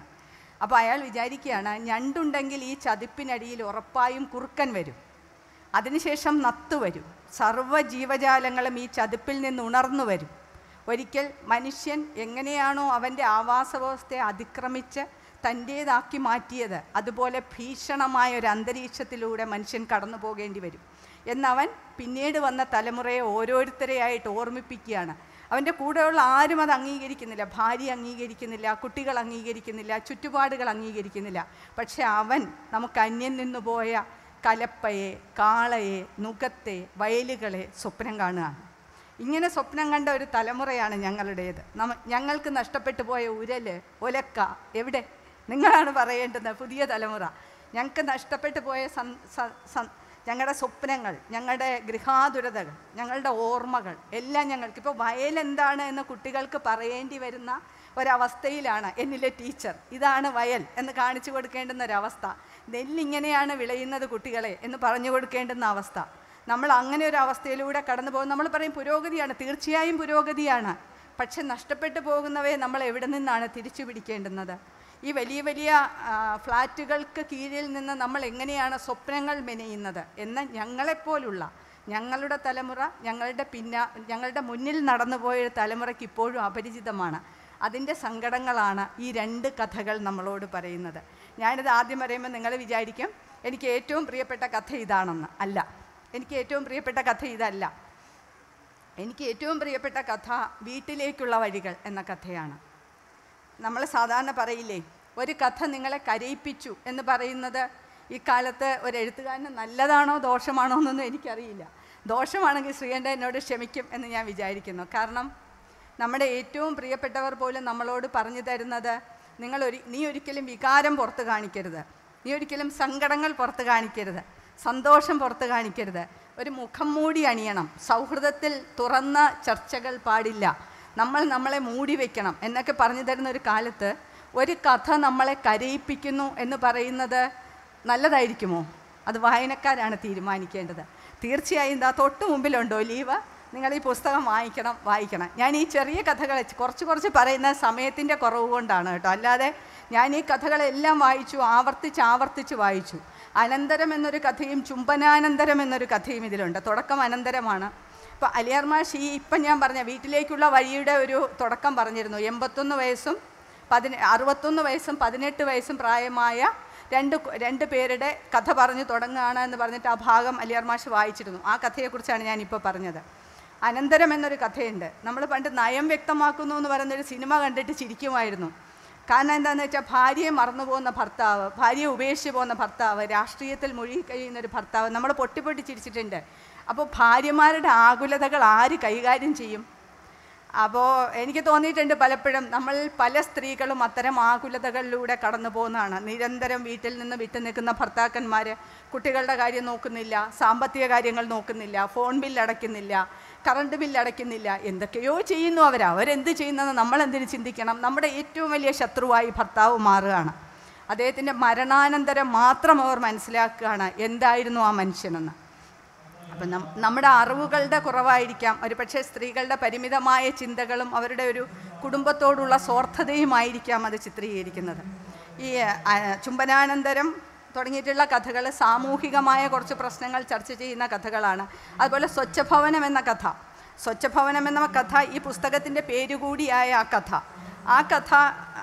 വളരെ രസകരമായൊരു കഥയാണ് ഒരു സാധാരണ മനുഷ്യൻ്റെ ജീവിതം എങ്ങനെയാണ്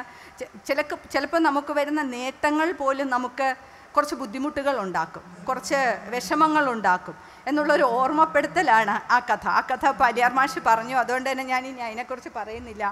സമയവും വളരെ പരിമിതമാണ് നമ്മൾ എന്നെ എന്തായാലും ഇവിടെ പിടിച്ചു നിർത്തിയ ശ്രീകണ്ഠന് ഒരു നന്ദി പറയാനുള്ള അവസരം നമ്മൾ കൊടുക്കണമല്ലോ നിങ്ങളെല്ലാവരും ഈ പുസ്തകം വായിക്കണം ഈ ഒരു ഉപഭോഗ സംസ്കാരത്തിൽ ഇത്രയും കൂടെ ഞാൻ പറയട്ടെ നൂറ്റമ്പത് രൂപ ഇതിന് വിലയുള്ളൂ ഒലിവ് പബ്ലിക്കേഷനാണ് പ്രസിദ്ധീകരിക്കുന്ന നല്ല ഒന്നാന്തരം പുസ്തകമാണ് നിങ്ങൾക്ക് ഈ നൂറ്റമ്പത് രൂപ നിങ്ങൾക്ക് പ്രയോജനപ്പെടും അതാണല്ലോ പറയേണ്ടുന്നത് അല്ലേ വെറുതെ ആയി എന്ന് നിങ്ങൾക്ക് ഒരിക്കലും തോന്നില്ല നിങ്ങൾ തീർച്ചയായിട്ടും ഈ പുസ്തകം വായിക്കണം ശ്രീകണ്ഠനെ പോലെ ഒരു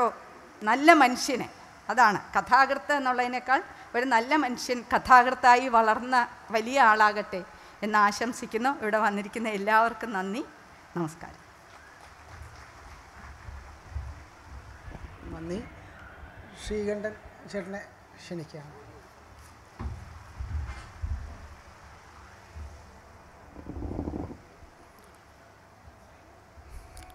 ഒരുപാട് സന്തോഷമുള്ള നിമിഷമാണ് കടന്നു പോകുന്നത് ചേർന്ന് ഒരുപാട് ഒരുപാട് ചേർന്ന് നിൽക്കുന്നവർ എൻ്റെ ഒരു പുസ്തകം ആരാർക്ക് കൊടുത്ത് പ്രകാശിപ്പിക്കണം എന്നെ ഒലിവിന്ന് വിളിച്ചു പറയുന്നു ഈ പുസ്തകത്തിന് ഒരു പ്രകാശനമൊന്നും ഉണ്ടാകും എന്നൊന്നും വിചാരിച്ചിരുന്ന ഒരാളല്ല ഇത്തരമൊരു വേദി ഇങ്ങനെ ഒരുങ്ങി വന്നപ്പോൾ ആര് വെറുതെ വരിക വേറെ എന്തെങ്കിലും കാര്യങ്ങൾ പറയുക പുസ്തകം വായിച്ചില്ല എന്ന് പറയുക ഇതൊക്കെ ഇങ്ങനെ നമ്മൾ നിരന്തരം കണ്ടുകൊണ്ടേയിരിക്കുന്ന പുസ്തക പ്രകാശന ചടങ്ങുകളാണ് അപ്പോൾ അങ്ങനെയല്ലാതെ എന്നെ അറിയുന്ന എൻ്റെ എഴുത്തിനെ അറിയുന്ന രണ്ടുപേരായിരിക്കണം എന്ന് ചിന്തിച്ചപ്പോഴാണ് എൻ്റെ അക്ഷരത്തെറ്റുകൾ ഞാൻ എഴുതുന്നതിലെ അക്ഷരത്തെറ്റുകൾ ആദ്യം എൻ്റെ ചെവിയിൽ പിടിച്ചുകൊണ്ട് കൈരളി ടി വിയുടെ ചെറിയ കൺസോളിനകത്ത് ഈ വോയിസ് റെക്കോർഡ് ചെയ്യുന്ന എഡിറ്റ് ചെയ്യുന്നതിനകത്തിരുന്നു കൊണ്ട് എന്നെ പറഞ്ഞിട്ടുള്ള ഭാഷ എന്ന് പറയുമ്പോൾ ഷാ മതി ഇക്ഷ വേണ്ട എന്നും അതുപോലെ നിരവധി തെറ്റുകൾ വിസർഗം അങ്ങനെ അവിടെ വരാൻ പാടില്ല ഇങ്ങനെ ഒരു അലിയാർ സാറിന് എഴുതി കൊടുക്കുന്ന ഒരു സ്ക്രിപ്റ്റ് വായിച്ചു കഴിയുമ്പോൾ സാർ അതിൽ ഇങ്ങനെ തിരുത്തി തരും ഞാനത് വീട്ടിൽ കൊണ്ടുവന്ന് എൻ്റെ ഒരു പേഴ്സണൽ ബുക്കിനകത്ത് ഇങ്ങനെ എഴുതിയിടും കാരണം ആ തെറ്റ് വീണ്ടും വരരുത് വീണ്ടും വന്ന സാറ് വീണ്ടും ഇതേ സമയം അപ്പോൾ മിക്കവാറും ആ ചാനലിലെ പ്രൊഡ്യൂസർ അടുത്ത് കാണും അല്ലെങ്കിൽ വേറെ ഏതെങ്കിലും പ്രമുഖ വ്യക്തികൾ കാണും സാർ അതൊന്നും അപ്പോഴും നോക്കില്ല സാർ ആ സമയത്ത് എന്നെ വഴക്ക് പറയും അപ്പോൾ അങ്ങനെ ഞാനൊരു ഭയപ്പാടോടുകൂടി സാറിന് സ്ക്രിപ്റ്റ് എഴുതുമ്പോൾ അക്ഷരത്തെറ്റ് എന്നൊക്കെ കരുതി അത്രമേൽ അടുപ്പത്തിൽ നിന്നുള്ളൊരു ബന്ധമാണ് സാറിനോട് അപ്പോൾ സാറാകുമ്പോൾ ഉള്ളത് പറയും അതുപോലെയാണ് എനിക്ക് മിൻ ടീച്ചറും കൈരളിയിൽ ഇതുപോലെ പ്രോഗ്രാമൊക്കെ ചെയ്തുകൊണ്ട് അങ്ങനെ പോകുന്ന ഒരു സമയത്ത് എൻ്റെ ഒരു പുസ്തകം പ്രസിദ്ധീകരിക്കുന്ന ഒരു നോവൽ എനിക്ക് അന്നും ഈ പറഞ്ഞതുപോലെയാണ് നമ്മുടെ ഒരു പുസ്തകം വരുന്നു നൂറുകണക്കിന് പുസ്തകങ്ങളിലൊന്ന് അപ്പോൾ യാദൃച്ഛികമായി ഈ ഈ പുസ്തകം കൈരളിയിൽ ഇങ്ങനെ ഒരു പുസ്തകം വായിക്കുന്ന പുസ്തകങ്ങളെ പരിചയപ്പെടുത്തുന്ന ഒരു പങ്ക്തി ടീച്ചർ നടത്തുകയാണ് ഞാൻ അങ്ങനെ യാദൃച്ഛികമായ ഒരു പുസ്തകം അവിടെ ഏൽപ്പിച്ചു ഒരു ദിവസം എന്നെ വിളിച്ചിട്ട് പറഞ്ഞു ശ്രീകണ്ഠൻ്റെ പുസ്തകം അടുത്ത ആഴ്ച നമ്മൾ ചെയ്യുന്നു ഈ മസ്കറ്റ് ഹോട്ടലിൻ്റെ ചെറിയ പുൽത്തകിടിയിൽ വെച്ച് ആ പുസ്തകം വളരെ ഗൗരവമായിട്ട് വായിച്ച് ഒരു അരമണിക്കൂറോളം ഒരു ഇൻ്റർവ്യൂ നടത്തി അന്ന് ഈ നൂറുകണക്കിന് ചാനലുകൾ ഇല്ലാത്ത ഒരു സമയം ആ ഇൻ്റർവ്യൂ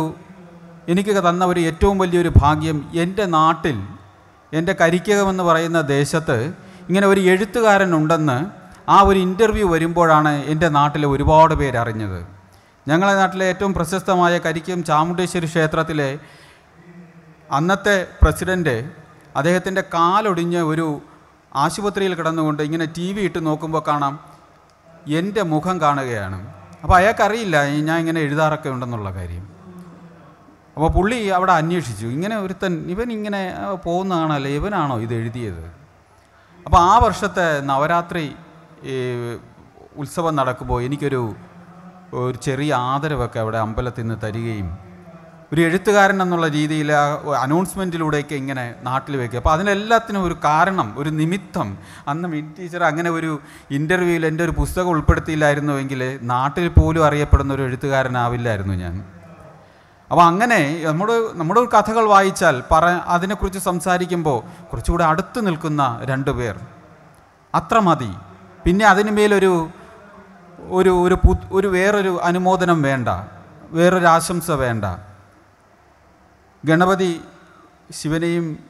പാർവതിയും ചുറ്റിയതുപോലെ ആ രണ്ടുപേരും മതി അത്രയേ ഉള്ളൂ സ്നേഹം നന്ദി സമയം ഇവിടെ അവസാനിക്കുകയാണ് ചെറിയ മനുഷ്യരുടെ വലിയ ജീവിതങ്ങൾ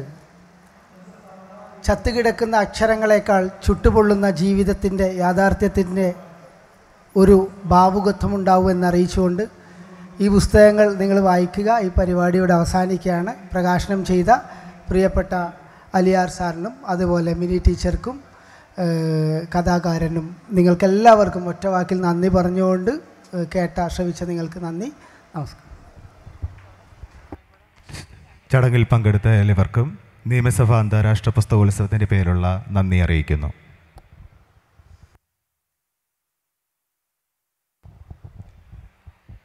അടുത്തതായി ഈ വേദിയിൽ പ്രശസ്ത മറാത്തി എഴുത്തുകാരനായ ശ്രീ ശരൺകുമാർ ലിംബാളയുമായി ശ്രീ എസ് കുഞ്ഞികൃഷ്ണൻ സംസാരിക്കുന്നു മീറ്റ് ദ ഓദർ എന്ന ഈ പ്രോഗ്രാമിലേക്ക് ഏവരെയും സ്വാഗതം ചെയ്യുന്നു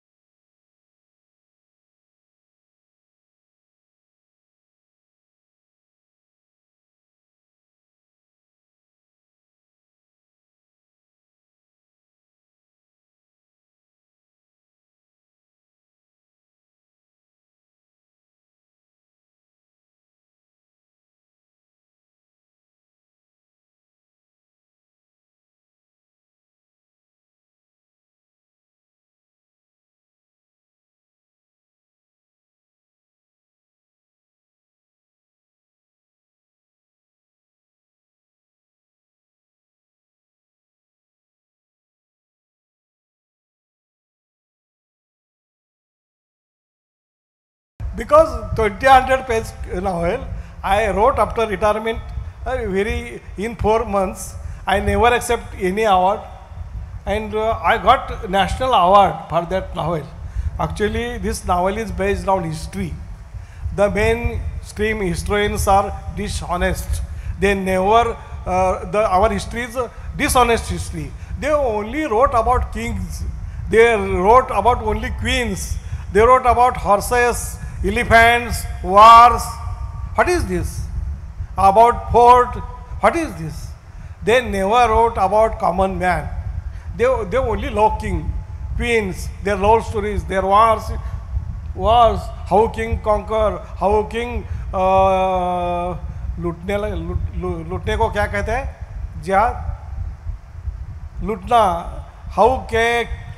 how king attack attacking how king He is killing the person, how he is brave. This type of history we are reading. Is this history? I hate this history. I want to tell real history, how uh, common man is living in this, in this, uh, in India. So I read, I wrote Sanatan novel. In Sanatan,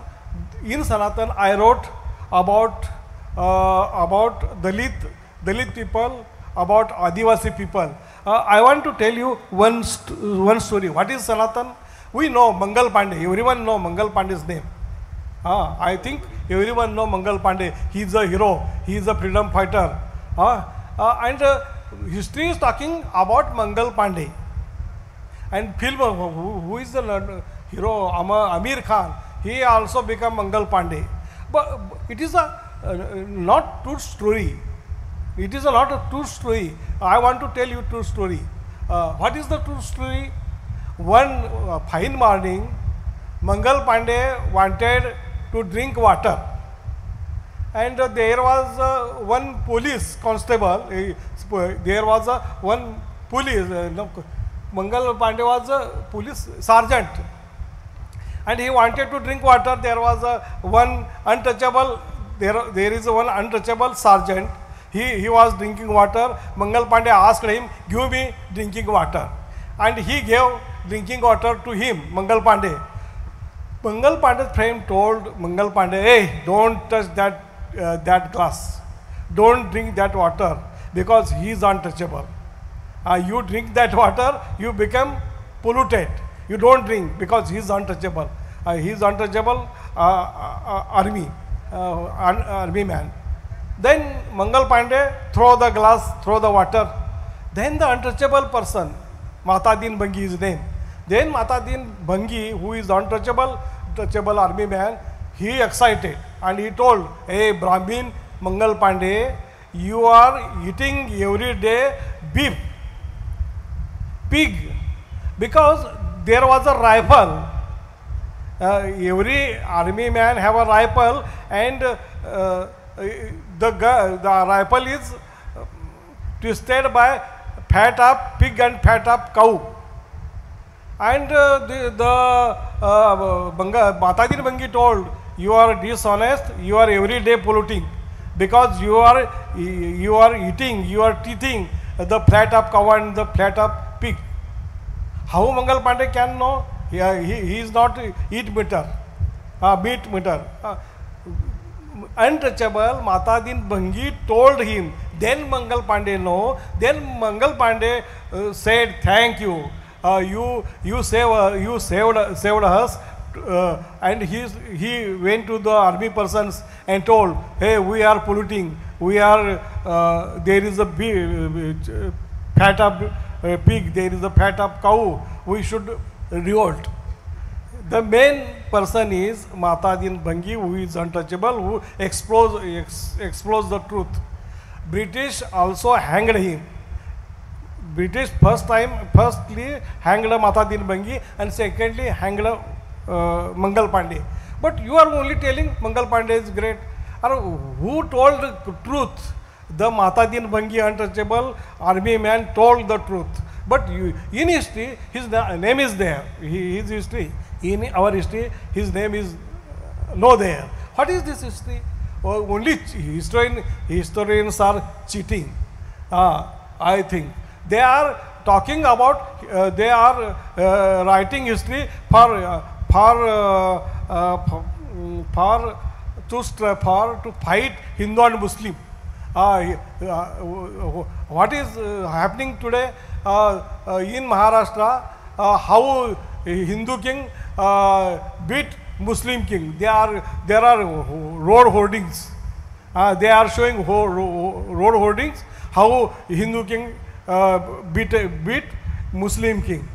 It is history. We should uh, why we, we, we, people are twisting this history. Uh, this history is dishonest. They are kings. Now the king, kingdom is over. Now we are living in democratic, democratic, democratic country. We will, we should thought about beautiful nation. We should thought about beautiful humanity. Uh, we are, we should not, uh, मुझे अंग्रेजी divide हाँ we should not divide people मुझे अंग्रेजी में नहीं बोलने आता है मैं तो क्या करूँ बोलिए you have return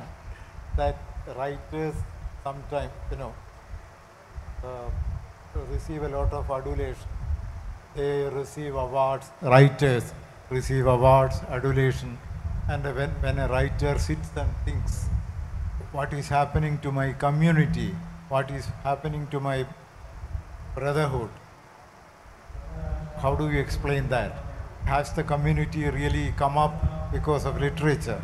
Does literature have any influence on society? because Maratha Dalit literature is very powerful thanks to you and people like that. I believe, I believe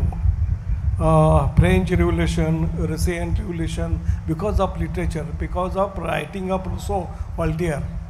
In India, there is no Voltaire. In India, there is no Rousseau. But we have, but there are great revolutions. You know, French Revolution, you know recent revolutions. You know China revolution. Mao, Mao is there. There Voltaire is there. Rousseau is there. And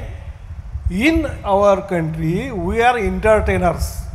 I am not entertainer. I am inspiring people to change the world. And my literature definitely, definitely, decidedly uh, inspire the people. In Maharashtra, uh, we, we started movement, authors started movement, poets started movement against injustice. Uh, it helps movement. Literature helps movement and movement helps authors to write. Uh, you have also written that the organizations are, div are a divided lot. They have split into various splinter groups. How do you have written no, your own see, novel? No, no. Uh, uh, yes, Dalits are divided. Many time people criticizing, hey, you are divided. But uh, I never see, saw uh, division, division in my community because of freedom, because of education, because of law, because of elections, because of science. People are learning. And because of democracy, everyone is, everyone is uniting and it is everyone's right to unite and to fight. I cannot ask, hey, don't go there and you come only uh, under my leadership and we will become one group and we will fight. There is, there is a need of, uh, need of society to, uh, to fight against injustice. There is a need, 100 groups, not one group. I, I say, I want to say, no one caste, no one group, no one party can change this country because this is this country is a very big country and thousand and this in this tradition of is from thousands of years. We want to change the society and we want to see beautiful India. We we we want hundred groups of people, not only one group. You are talking why there are groups Yes, there are groups because they are aware. And uh, I welcome the groups. If there, are, if there are many groups, they can fight. Only one group cannot fight. So I welcome. This is a sign of awareness. This is a, this is a sign, sign of awareness. Everyone is uh, aware of injustice and uniting uniting in his way. Your novel also says that people should get education. In fact, one of the one of the, one of the best novels I have read is about a teacher. Ultimately, he had to face a cruel death, but it uh, raises the question of people getting educated. He was a great teacher. He is accepted by everybody, including the management, because he brought social reforms. Anand, I'm talking about that character, and that I think is one of the best novels I have recently read how do you explain that education? The second point is you are also very sympathetic to women. In fact, I would rate, rate you more than a Dalit writer. You would be a feminist writer because your sympathies uh, for women are very patent in your works. Who influenced you? Which women influenced you? You oh, know, uh, see, injustice Hindi में बोलू क्या अन्याय कहा कहीं पर भी हो अन्याय कहीं पर भी हो उसके खिलाफ बोलना चाहिए अन्याय मेरे जाति पर हो, हो होगा तो ही मैं बोलूँगा ये गलत है injustice it may be with Brahmin justice with may be क्षेत्रीय injustice may be with woman I I should talk I will not check the women is Brahmin और दलित हाँ Ah, this is not. We, we are against injustice. We cannot check the what is his caste. Uh, the person, uh, the person, if, if he is harassing, then we should talk. We should agitate. We should struggle and we give moral support, support to, to that person. This is the our aim. Uh, I am Dalit. I, and I am not writing only for Dalit. I am writing for nation. I want, I want to build a beautiful nation. I want to see a beautiful uh, society. I, I, I give more importance. I give importance uh, more than God to the man. Man is uh, God maker, and I love God. Ga- God is super than God, and a man is super than God. And I love God. I worship God. And sorry, मेरी अंग्रेजी में गलत होता है मैं गलत बोल रहा हूँ ना मैं मैं इंसान को महत्व देता हूँ इंसान man is in centre point of my think man is in centre point हाँ I can not ignore man I can not ignore woman man means man and woman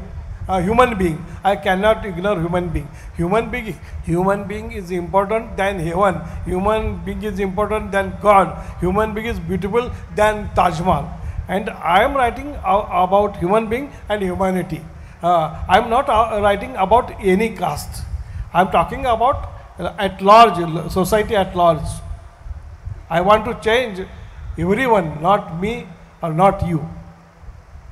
You I have limitations, uh, you know, I can't talk very well, so but well, I'm trying. You are really talking very well. Whatever points I ask, you are doing very, very, very well. Please don't say you are not, okay. you have no inhibitions to talk. Thank that you. itself is a great point. You also worked with a minister in Maharashtra, and that is reflected in your work, where you strongly say that officials should properly control the politicians, ministers. Any wrong order issued by or to be issued by a minister should be stopped by a proper, I use the most uh, often used word, bureaucrat.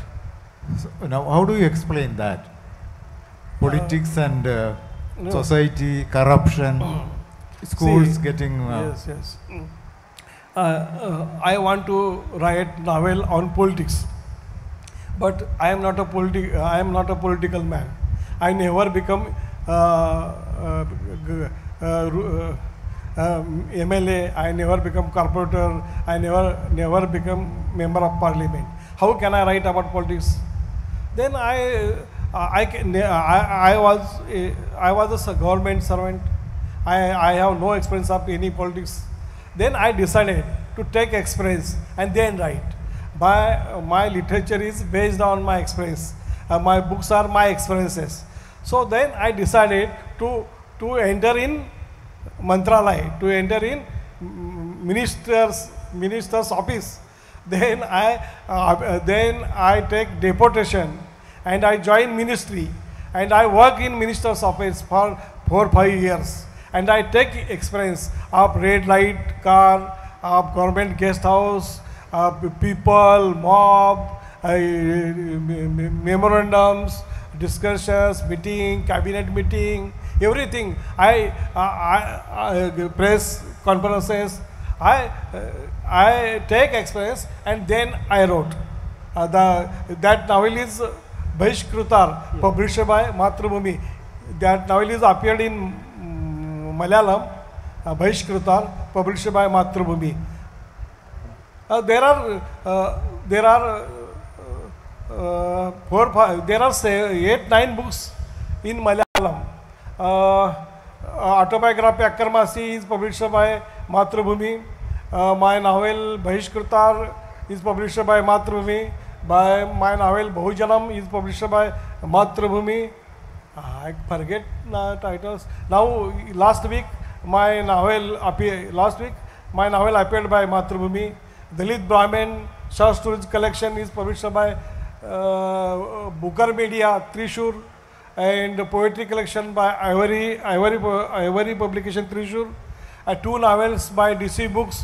and there are three, four books are coming to in two, three months, in, in two, three years in Malayalam. in Marathi, 44 books. And uh, in every language, in every language, my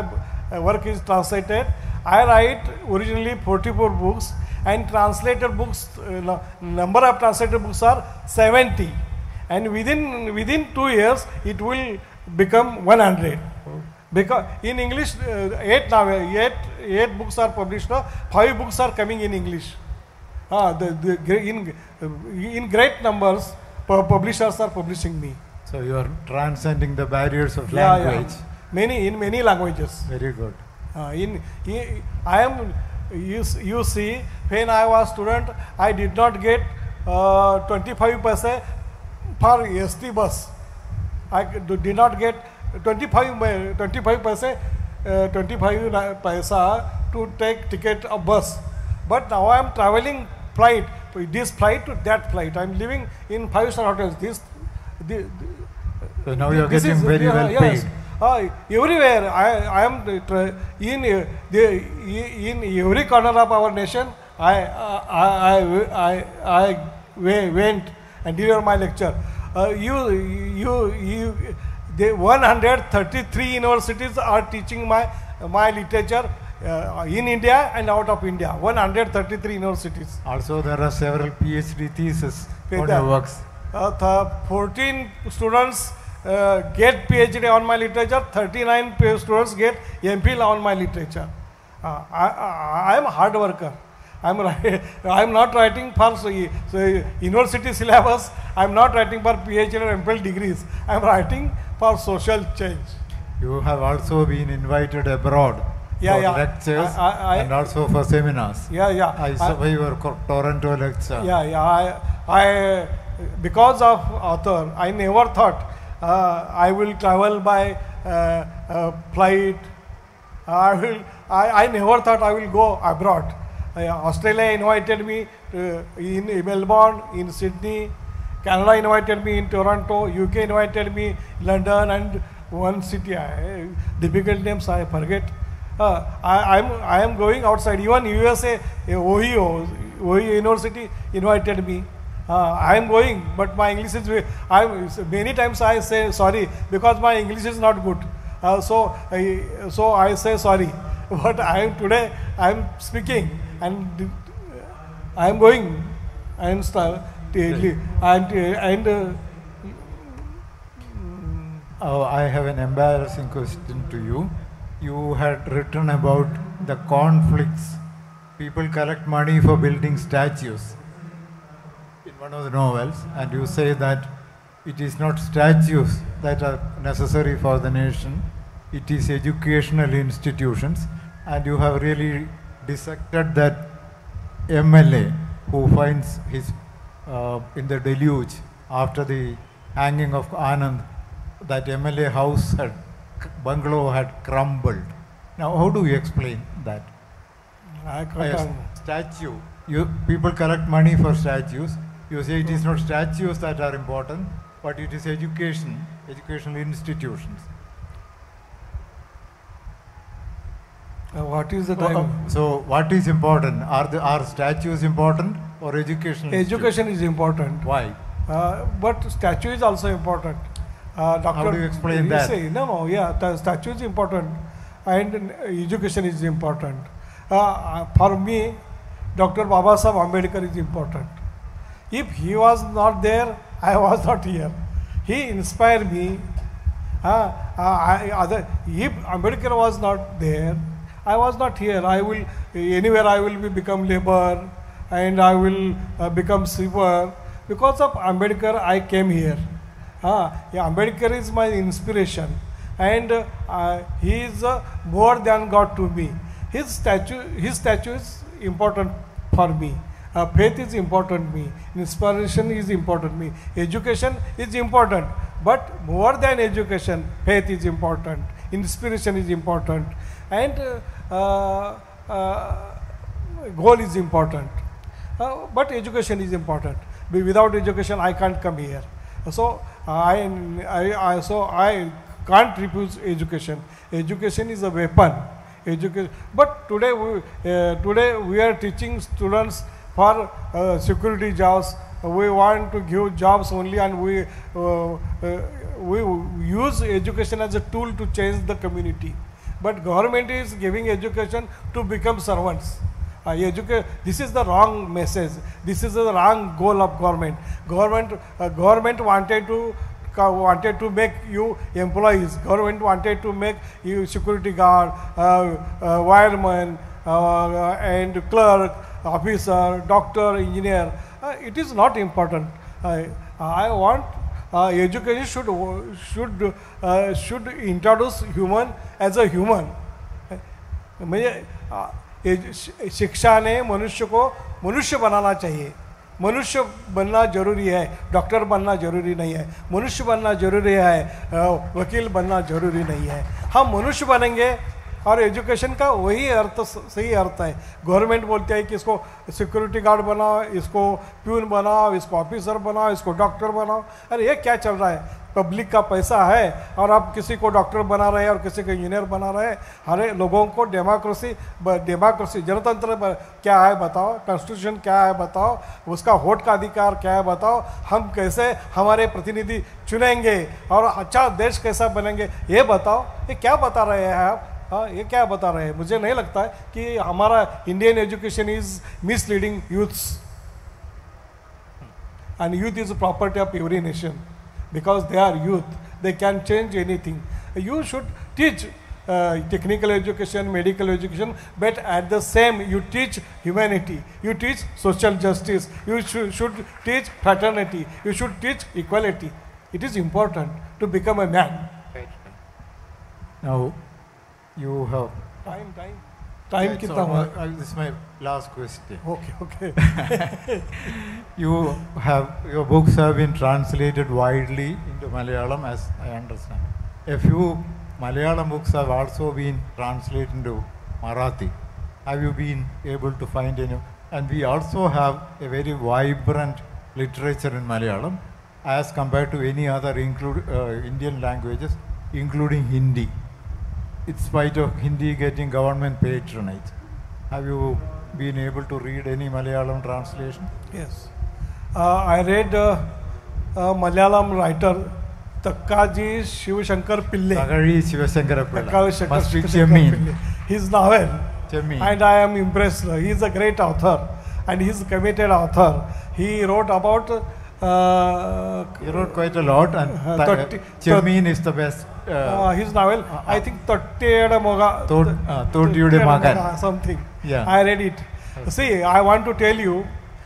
when I am a student of high school, at that time, Marathi author get Jnanpit Award. in my high school age, Marathi author get Jnanpit Award. This is the first award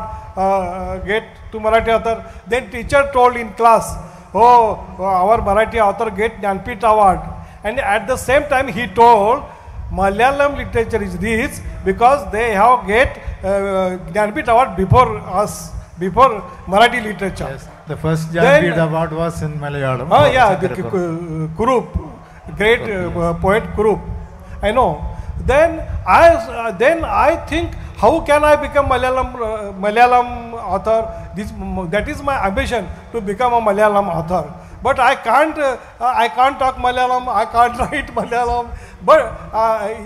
then I, decided in my student age to come in Kerala and stay here. I, in, work as a waiter in hotel and learn Malayalam and write Malayalam.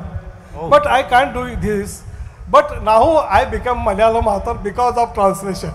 Uh, you are reading me. Now I am Malayalam author. And I am very happy. I love Malayalam.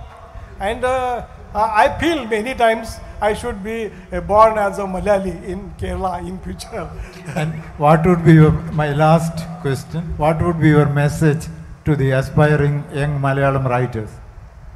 You see, Malayalam writers are progressive writers Kerala state is a progressive state. Uh, when I am student, I, I, read newspapers.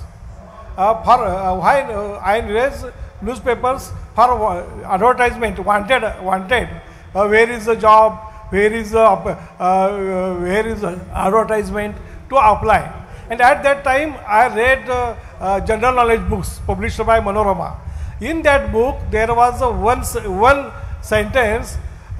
which state is the littlest state in India? Uh, there was answer, Kerala state is the littlest state in India. From that time, I, I was very eagerly to, uh, to know Kerala. And uh, uh now I am uh, wandering in Kerala. Last, month, last two months, I, I, I, I visited three, four states, three, four cities, three, four festivals. Now I am, I think I am now popular in Malayalam than my Marathi. And uh, I, this is a very good sign. Uh, and uh, definitely in coming days I will learn Malayalam. And uh, you asked me uh, what about Malayalam uh, literature? Malayalam literature, progressive liter- literature, because here is a secularism, because here is a left left government. Ah, in everywhere there they, there are Hindu go BJP governments. One Kerala protect left government, left left movement and secular uh, spirit. This makes every Malayali people and every Malayali uh, author progressive. You you are uh, uh I salute you people because you are you are depending and you are um, आप लोग हिंदुस्तान को बचा रहे हैं आप हिंदुस्तान की secularism को बचा रहे हैं आ, आ, आ, आपके हाथों में हिंदुस्तान की तकदीर है आप लोगों ने इसको आप लोग इसको बचाए रखना यही मेरा मैसेज है Thank you very much, Ms. Thank you sir meet the other പരിപാടിയിൽ പങ്കെടുത്ത പ്രശസ്ത മറാത്തി എഴുത്തുകാരൻ ശ്രീ ശരൺകുമാർ ലിംബാലേക്കും ഈ പരിപാടിയിൽ വളരെ രസകരമായി സംഭാഷണം മുന്നോട്ട് കൊണ്ടുപോയ ശ്രീ കുഞ്ഞികൃഷ്ണൻ അവർകൾക്കും കേരള നിയമസഭയുടെ സ്നേഹാദരങ്ങൾ നൽകുന്നതിനായി ബഹുമാനപ്പെട്ട നിയമസഭാ സെക്രട്ടറിയെ വേദിയിലേക്ക് ബഹുമാനപൂർവ്വം ക്ഷണിക്കുന്നു On behalf of Kerala Legislative Assembly, the Honorable Secretary will honor our chief guest by presenting him with a memento. One, one minute. Oh, hey, oh, okay.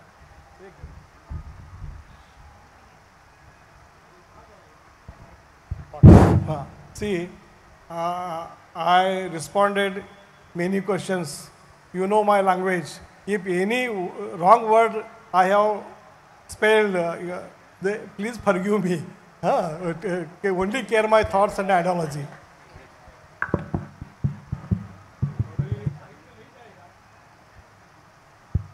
Honorable Secretary is presenting a memento to Sri Sharan Kumar Limbale. Thank you so much. Now the Honorable Secretary will also present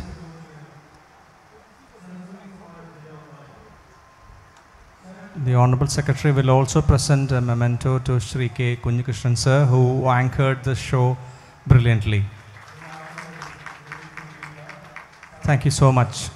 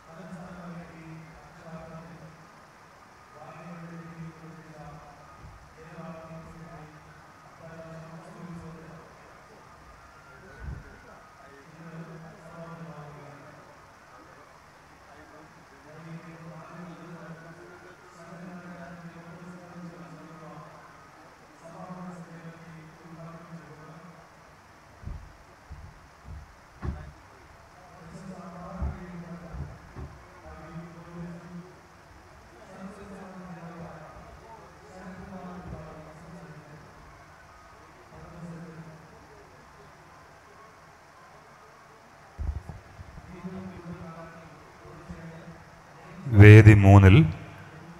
book സൈനിങ്ങിനായി ശ്രീ ശരൺകുമാർ ലിംബാളെ എത്തിച്ചേരുന്നു താല്പര്യമുള്ളവർ വേദി മൂന്നിൽ എത്തിച്ചേരേണ്ടതാണ് book സൈനിങ്ങിന് വേണ്ടി പ്രശസ്ത മറാഠി എഴുത്തുകാരൻ ശരൺകുമാർ ലിംബാളെ എത്തിച്ചേരുന്നു താല്പര്യമുള്ളവർ വേദി മൂന്നിലേക്ക് എത്തിച്ചേരണമെന്ന് അഭ്യർത്ഥിക്കുന്നു ഈ വേദിയിൽ അടുത്തതായി മാതൃഭൂമി ബുക്സ് പ്രസിദ്ധീകരിക്കുന്ന ശ്രീ ജി ആർ ഇന്ദുഗോപൻ രചിച്ച വാട്ടർ ബോഡി എന്ന പുസ്തകത്തിൻ്റെ പ്രകാശനമാണ്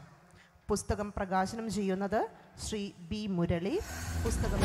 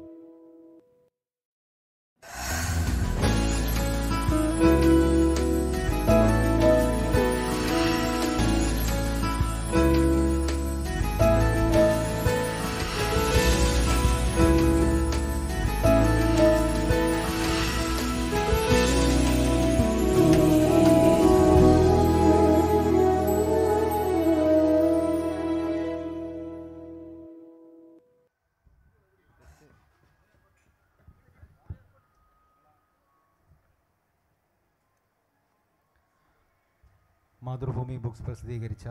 ജി ആർ ഇന്ദുഗോപൻ്റെ മണൽ ജീവികൾ വാട്ടർ ബോഡി എന്നീ രണ്ട് രണ്ട് പുസ്തകങ്ങളുടെ പ്രകാശനമാണ് ഇന്നിവിടെ നടക്കുന്നത് ഇന്ന് ഈ ചടങ്ങിൽ പുസ്തകം പ്രകാശനം ചെയ്യുന്നത് ബി മുരളി സാറാണ് ബി മുരളി നിങ്ങൾക്കാർക്കും പ്രത്യേകം പരിചയപ്പെടുത്തി തരേണ്ട ആവശ്യമില്ല മാതൃഭൂമി ബുക്സിൻ്റെ പേരിലും നിങ്ങളുടെ ഓരോരുത്തരുടെ പേരിലും ചടങ്ങിലേക്ക് സ്വാഗതം ചെയ്യുന്നു പുസ്തകം സ്വീകരിക്കുന്നത് എസ് ആർ ലാലാണ് എഴുത്തുകാരനായ എസ് ആർ നിങ്ങൾക്ക് പ്രത്യേകം പരിചയപ്പെടുത്തി തരേണ്ട ആവശ്യമില്ല മാധുരി ബുക്സിൻ്റെ പേരിലും നിങ്ങളുടെ ഓരോരുത്തരുടെ പേരിലും സ്വാഗതം ചെയ്തുകൊണ്ട് എഴുത്തുകാരൻ ഇന്ദുഗോപനുമുണ്ട് ഇന്ദുഗോപൻ ചേട്ടനെയും മാധുരി ബുക്സിൻ്റെ പേരിൽ സ്വാഗതം ചെയ്തുകൊണ്ട് ചടങ്ങുകൾ ആരംഭിക്കുകയാണ് പുസ്തകം പ്രകാശനം ചെയ്യുന്നതിലേക്കായി ബി മുരളി സാറിനെ സ്വീകരിക്കുന്നതിലേക്കായി എസ് ആർ ലാലേട്ടനെ ക്ഷണിക്കുന്നു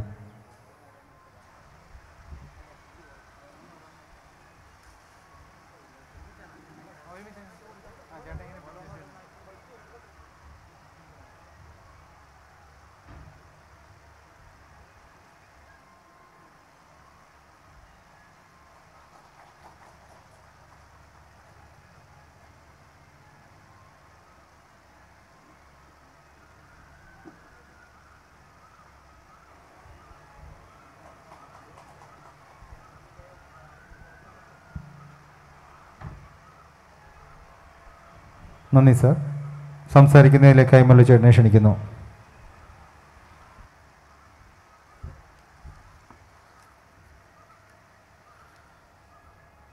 പ്രിയപ്പെട്ട ഇന്ദുഗോപൻ പ്രിയപ്പെട്ട ലാൽ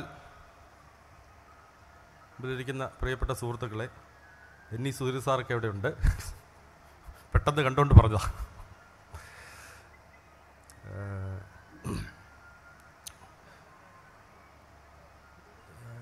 ഇവിടെ വളരെ ജനകീയമായ ഒരു പുസ്തകോത്സവം നടക്കുന്നു എന്ന് ഞാൻ അറിഞ്ഞായിരുന്നു ഇന്ദുഭവൻ ഈ പുസ്തക പ്രകാശനത്തിൽ ക്ഷണിച്ചതിനാൽ അതിൽ പങ്കെടുക്കാൻ പറ്റിയതിൻ്റെ സന്തോഷം കൂടെ ഞാൻ അറിയിക്കുകയാണ് ഇന്ദുഭവൻ്റെ ഈ രണ്ട് പുസ്തകങ്ങളും ഇരുപത് വർഷം മുമ്പ് എത്ര എത്രയും രണ്ട് പതിറ്റാണ്ടുകൾക്ക് മുമ്പ് നമ്മുടെ ഒരു പ്രമുഖ പ്രസാധകർ തന്നെ ഇറക്കിയ രണ്ട് പുസ്തകങ്ങളാണ് ഒന്ന് വാ ആദ്യത്തത് മണൽജീവികൾ എന്നുള്ള പുസ്തകം ഇത് കലാകൗമുദിയിൽ അല്ലേ കലാകൗമുദിയിൽ ഇത് N R S Babu sir എഡിറ്ററായിരുന്ന സമയത്ത് സീരിയലൈസ് ചെയ്ത് വന്ന പുസ്തകമാണ് വാട്ടർ ബോഡി എന്ന് പറയുന്ന പുസ്തകവും അതിനുശേഷം പിന്നീട് വന്ന പുസ്തകങ്ങളാണ് വലിയ സന്തോഷം എന്ന് പറയുന്നത് എനിക്ക് തോന്നുന്നത് ഇന്ദുവൻ്റെ ഈ പുസ്തകം ഇരുപത് വർഷത്തിന് ശേഷം വീണ്ടും വളരെ സന്തോഷപൂർവ്വം മറ്റൊരു പ്രസാധകർ പുറത്തിറക്കുന്നു എന്നുള്ളതാണ് കാരണം വായന ഏതൊക്കെയോ ചില കെണികളിൽ നിന്ന് രക്ഷപ്പെട്ടിരിക്കുന്നു എന്നാണ് എനിക്ക് തോന്നുന്നത് കാരണം ഏതൊക്കെയോ ചില നിർവചനങ്ങളിൽപ്പെട്ട് അല്ലെങ്കിൽ ഏതൊക്കെയോ ചില നിലപാടുകളിൽപ്പെട്ട് നമ്മുടെ വായന ഏത് പുസ്തകം പ്രശസ്തമാകണം ഏത് പുസ്തകം വായിക്കപ്പെടണം എന്നുള്ളൊരു വലിയൊരു വലിയൊരു ഒരു ഒരു ക്യാമ്പയിനോ അജണ്ടയോ ഹൈപ്പോ ഒക്കെ അതിപ്പോഴും മാറിയിട്ടില്ല ഒരു സെറ്റ് ചെയ്ത് വെച്ചിരിക്കുന്ന ഒരു അവസ്ഥ യഥാർത്ഥത്തിൽ മലയാളത്തിലുണ്ടായിരുന്നു അത് ഞാൻ വെറുതെ പറഞ്ഞു പറയുകയാണെന്നുണ്ടെങ്കിൽ അത് ഒരു പ്രസ്താവനയായിട്ട് അങ്ങ് പോകും എന്ന് വിചാരിക്കാം പക്ഷേ അതിൻ്റെ ഏറ്റവും വലിയ തെളിവാണ് മണൽ ജീവികൾ എന്ന് പറയുന്നുള്ള ആ ഉഗ്രൻ പുസ്തകം ഒന്നാന്തര പുസ്തകം ഇരുപത് വർഷത്തോളം നമ്മുടെ ചർച്ചകളിൽ നിന്ന് മാറി നിന്ന് പോയി എന്നുള്ളത് ചർച്ചകളിൽ മാറി നിന്നു എന്ന് ഞാൻ പറയുന്നത് സാധാരണ രീതിയിലുള്ള അല്ലെങ്കിൽ ഒരു നല്ല പുസ്തകം ഏത് രീതിയിൽ മലയാളത്തിൽ ചർച്ച ചെയ്യപ്പെടണം എന്നുള്ള സാധനത്തിൽ നിന്നും അത് മാറ്റി നിർത്തപ്പെട്ടു എന്നുള്ളതാണ് പ്രശ്നം വീണ്ടും ഇത് എന്തുകൊണ്ട് തിരിച്ചു വരുന്നു എന്നുള്ളതുകൊണ്ട് തിരിച്ചു വരുന്നുകൊണ്ട് ആലോചിക്കുമ്പോൾ എനിക്ക് തോന്നുന്ന ഒരു കാര്യം ഇത് പ്രസാധകൻ്റെ മിടുക്കല്ല ഇത് ഹൈപ്പ് നിർമ്മാതാക്കളുടെ മിടുക്കല്ല യഥാർത്ഥത്തിൽ വായനക്കാരൻ യഥാർത്ഥ സാഹിത്യം കണ്ടെത്തുന്നു എന്നുള്ളതിൻ്റെ പ്രധാനപ്പെട്ട ഒരു സാധനമാണ് വായന കൂടുതൽ ജനകീയമായി വരുന്ന ഒരു കാലത്തിൻ്റെ ഒരു സംഭവമാണ്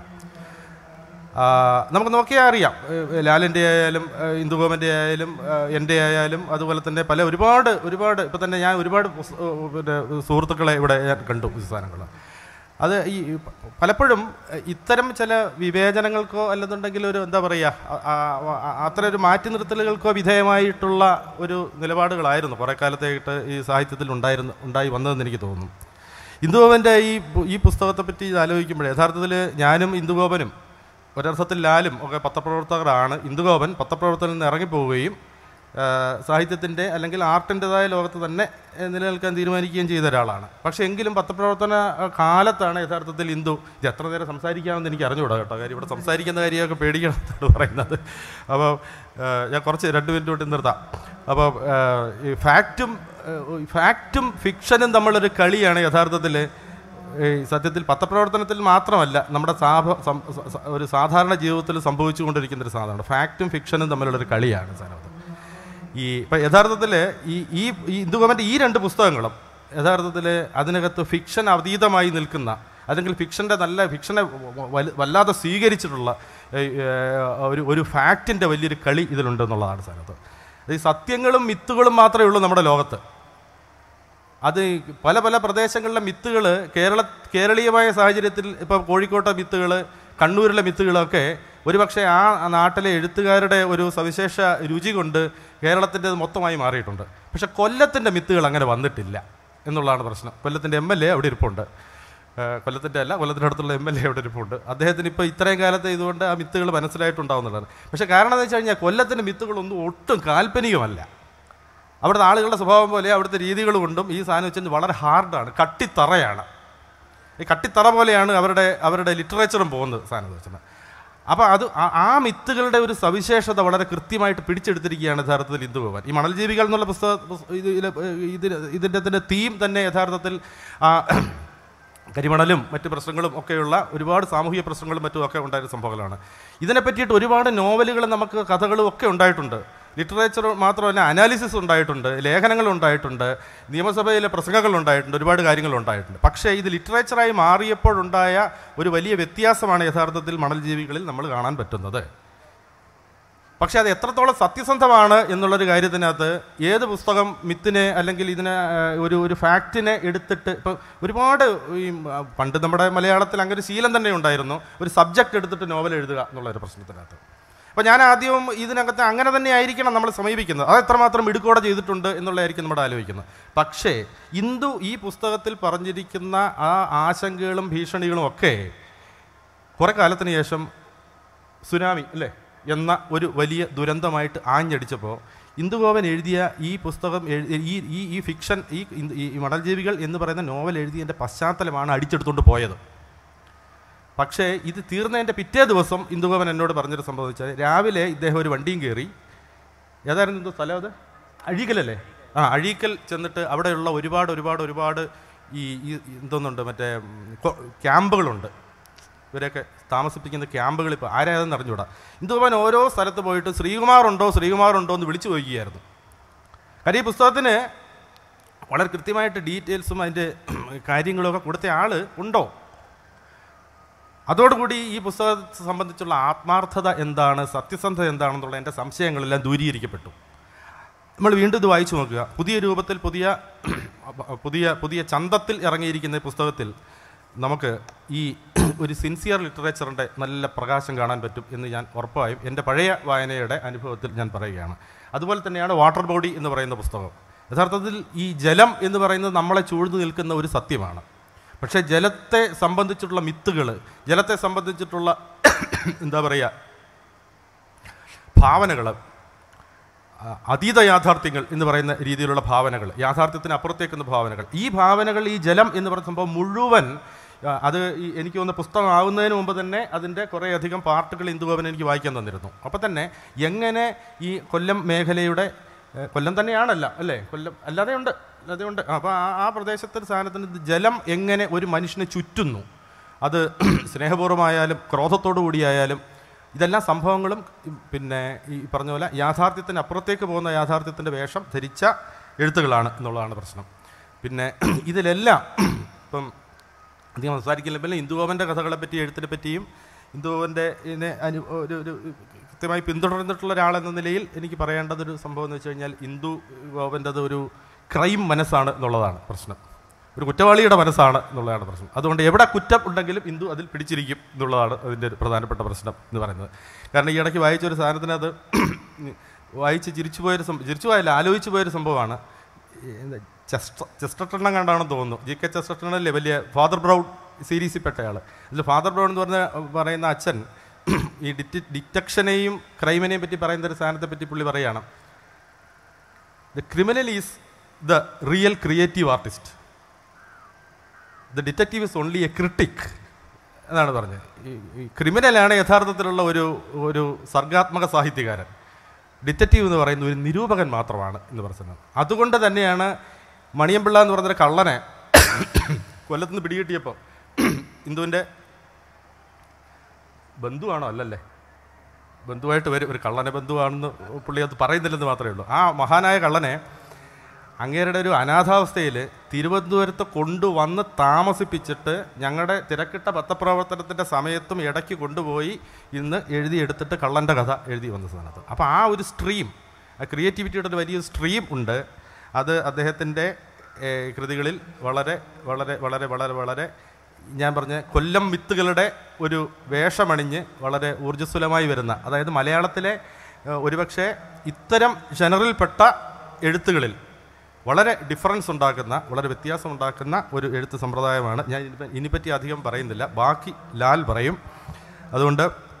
എൻ്റെ സുഹൃത്തിൻ്റെ ഈ പുസ്തകം എൻ്റെ കയ്യിൽ കിട്ടിയതും എൻ്റെ സന്തോഷവും മാത്രമല്ല ഇരുപത് വർഷത്തിന് ശേഷം അപ്രത്യക്ഷമാകേണ്ടെന്നൊരു പുസ്തകം പുതിയ രൂപത്തിൽ പുറത്തു വരികയും പുതിയ സാഹചര്യത്തിൽ അത് പുതിയ രീതിയിൽ വായിക്കപ്പെടുകയും ചെയ്യുന്നുള്ള സന്തോഷം കൂടി അറിയിച്ചുകൊണ്ട് നിർത്തുന്നു നമസ്കാരം അടുത്തതായി സംസാരിക്കുന്നതിനായി എസ് ആർ ലാലിനെ ക്ഷണിക്കുന്നു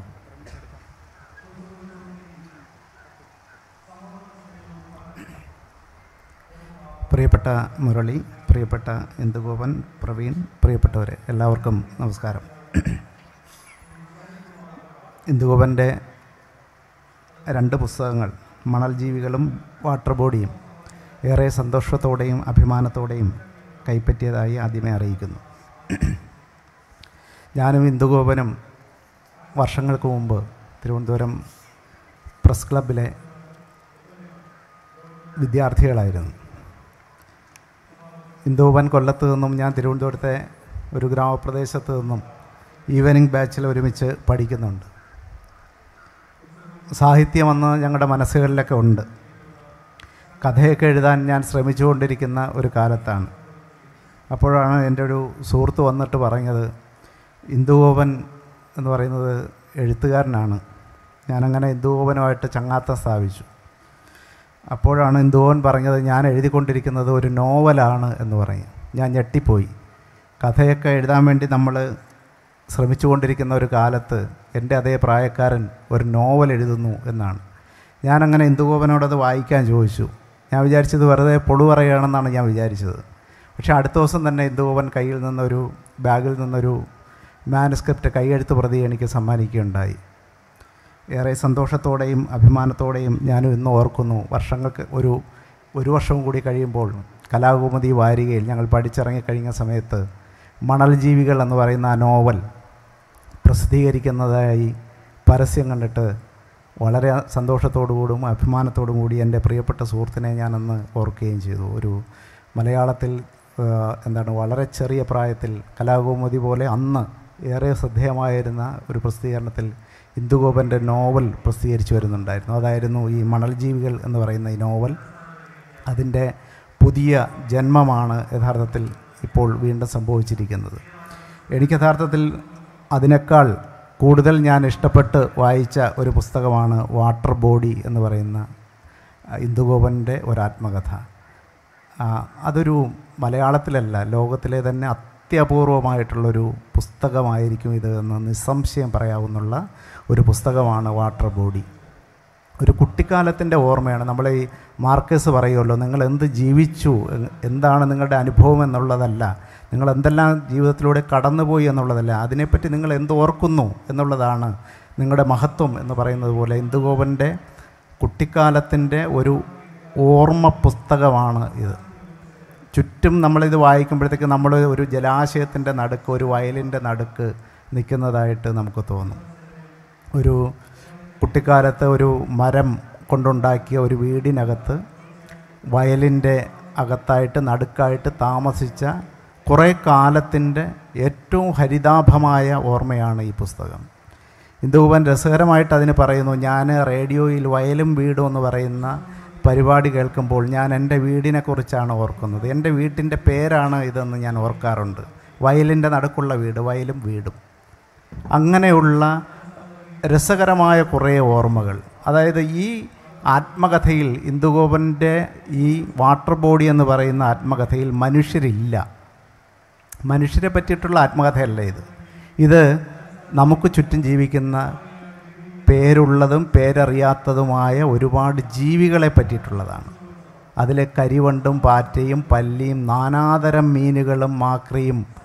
പാമ്പുമെല്ലാം ചേർന്ന വിചിത്രമായൊരു ലോകത്തെക്കുറിച്ചാണ് ഇന്ദുഗോപൻ ഇതിനകത്ത് പറഞ്ഞു തരുന്നത് അകത്ത് ഹോച്ചിമിൻ എന്ന് പറയുന്ന രാഷ്ട്രീയ നേതാവ് ഇന്ദുഗോപൻ്റെ ജീവിതത്തിന് കടന്നു വരുന്ന ഒരു സന്ദർഭമുണ്ട് ഹോച്ചിമിൻ എങ്ങനെയാണ് ഈ കൊല്ലത്തുകാരനായിട്ടുള്ള ഒരു ഒരു പയ്യൻ ആറോ ഏഴോ വയസ്സുള്ള എട്ടോ വയസ്സുള്ള ഒരു പയ്യൻ്റെ ജീവിതത്തിലേക്ക് കടന്നു വരുന്നതെന്ന് ചോദിച്ചു കഴിഞ്ഞാൽ ഈ അച്ഛനും അമ്മയും ജോലിക്കാരായിട്ടുള്ള ഈ വയലിൻ്റെ നടുക്ക് ഒരു ഒരു ചെറിയൊരു വീട്ടിൽ താമസിക്കുന്ന ഒരു പയ്യൻ അവൻ്റെ വീട് കാണാനായിട്ട് കുറേ വിദ്യാർത്ഥികൾ വരുന്നുണ്ട് അവന് വലിയ നാണക്കേടായിപ്പോയി അങ്ങനെയാണ് അച്ഛനോട് പറയുന്നത് ഒരു പുതിയ വീട് വയ്ക്കണമെന്ന് പറയുമ്പോഴത്തേക്ക് അച്ഛൻ പറഞ്ഞു കൊടുക്കുന്നത് ഈ ചുറ്റുമുള്ള മനുഷ്യരെക്കുറിച്ചാണ് നീ തൊട്ടപ്പുറത്തുള്ള വീട്ടിൽ ആറ് മക്കളുമായിട്ട് കഴിയുന്ന ഒരു സ്ത്രീയുടെ വീട് ഒറ്റ മുറിയുള്ള വീടാണ് അത് നീ കാണുന്നുണ്ടോ എന്ന് അച്ഛൻ ചോദിക്കുന്നുണ്ട് എന്നിട്ട് അച്ഛൻ പറഞ്ഞു കൊടുക്കും ഹോച്ചിമിൻ എന്ന് പറയുന്ന രാഷ്ട്രീയ നേതാവ് അമേരിക്കയെ വിറപ്പിച്ച രാഷ്ട്രീയ നേതാവ്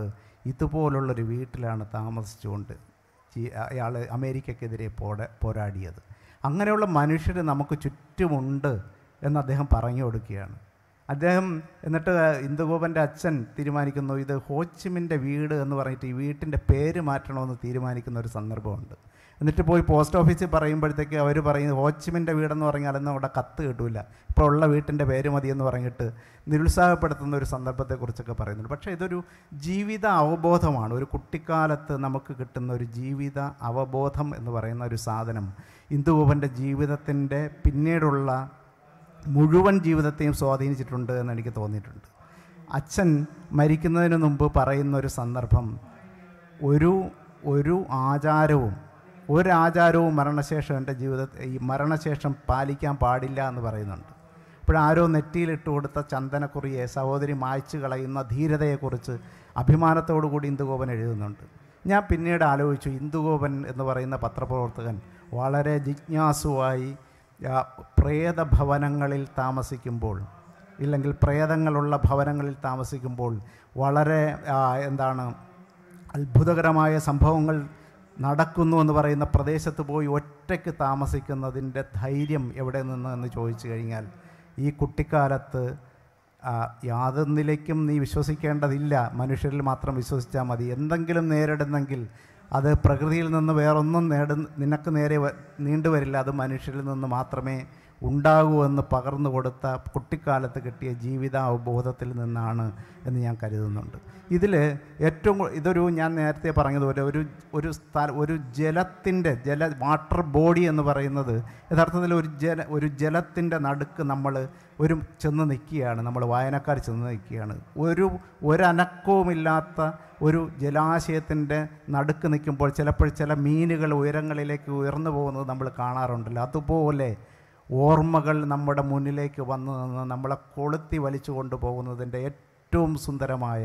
അക്ഷരരൂപങ്ങളാണ് യഥാർത്ഥത്തിൽ ഈ വാട്ടർ ബോഡി എന്ന് പറയുന്ന ഈ പുസ്തകം മലയാളത്തിൽ അത്യപൂർവമായിട്ടുള്ളൊരു പുസ്തകം ഒരു ഒരു മനുഷ്യൻ തൻ്റെ കുട്ടിക്കാലത്തെ ഏറ്റവും ഹൃദ്യമായി തന്നെക്കുറിച്ചൊന്നും പറയാതെ തൻ്റെ ചുറ്റും കണ്ട കാഴ്ചകളെക്കുറിച്ച് ഒരു ബസ് ഒരു ഒരു ഒളിപ്പിച്ചുകൊണ്ട് ആ നാട്ടുപാതയിൽ ആദ്യമായി ബസ് വരുന്നതിനെക്കുറിച്ച് എന്തുപോകാൻ പറയുന്ന ഒരു ദൃശ്യമുണ്ട് ഒരു ബിന്ദുഗോപൻ്റെ തന്നെ ഒരു ബന്ധു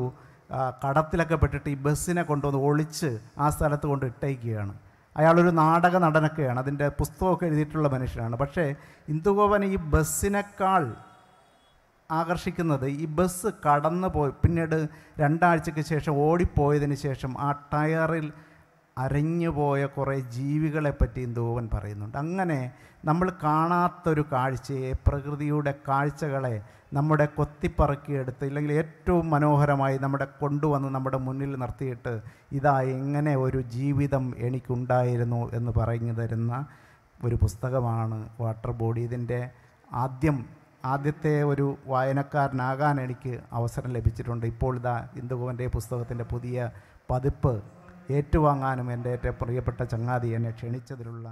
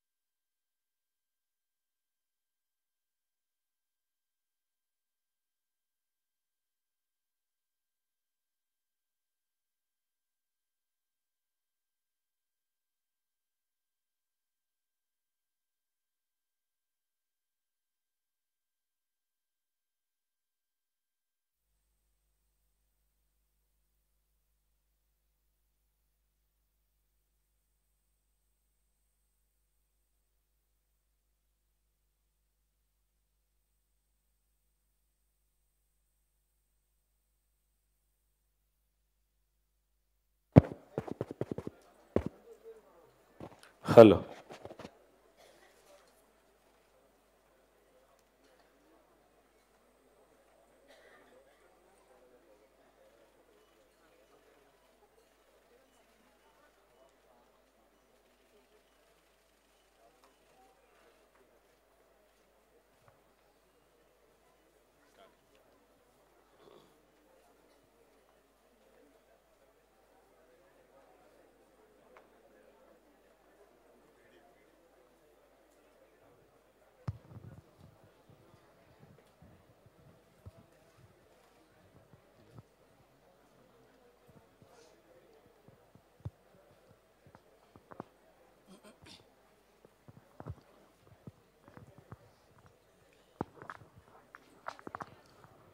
ബഹുമാന്യരെ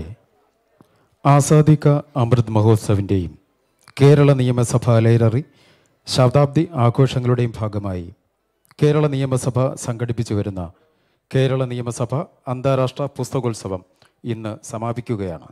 സമാപന സമ്മേളനം ആരംഭിക്കുന്നു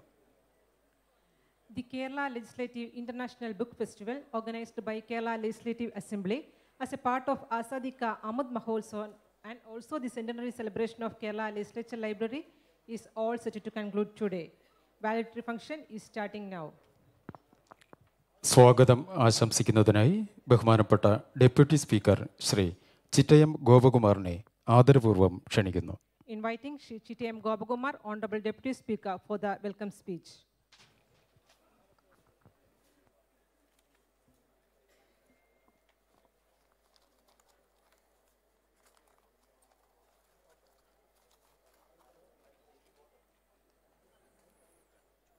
ഈ ചടങ്ങിൻ്റെ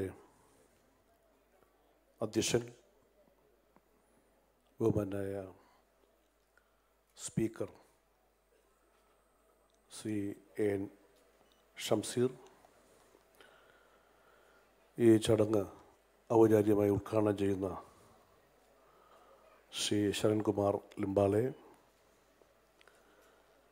വേദിയിലിരിക്കുന്ന ഏറ്റവും പ്രിയങ്കരനായിട്ടുള്ള മുൻ മുഖ്യമന്ത്രി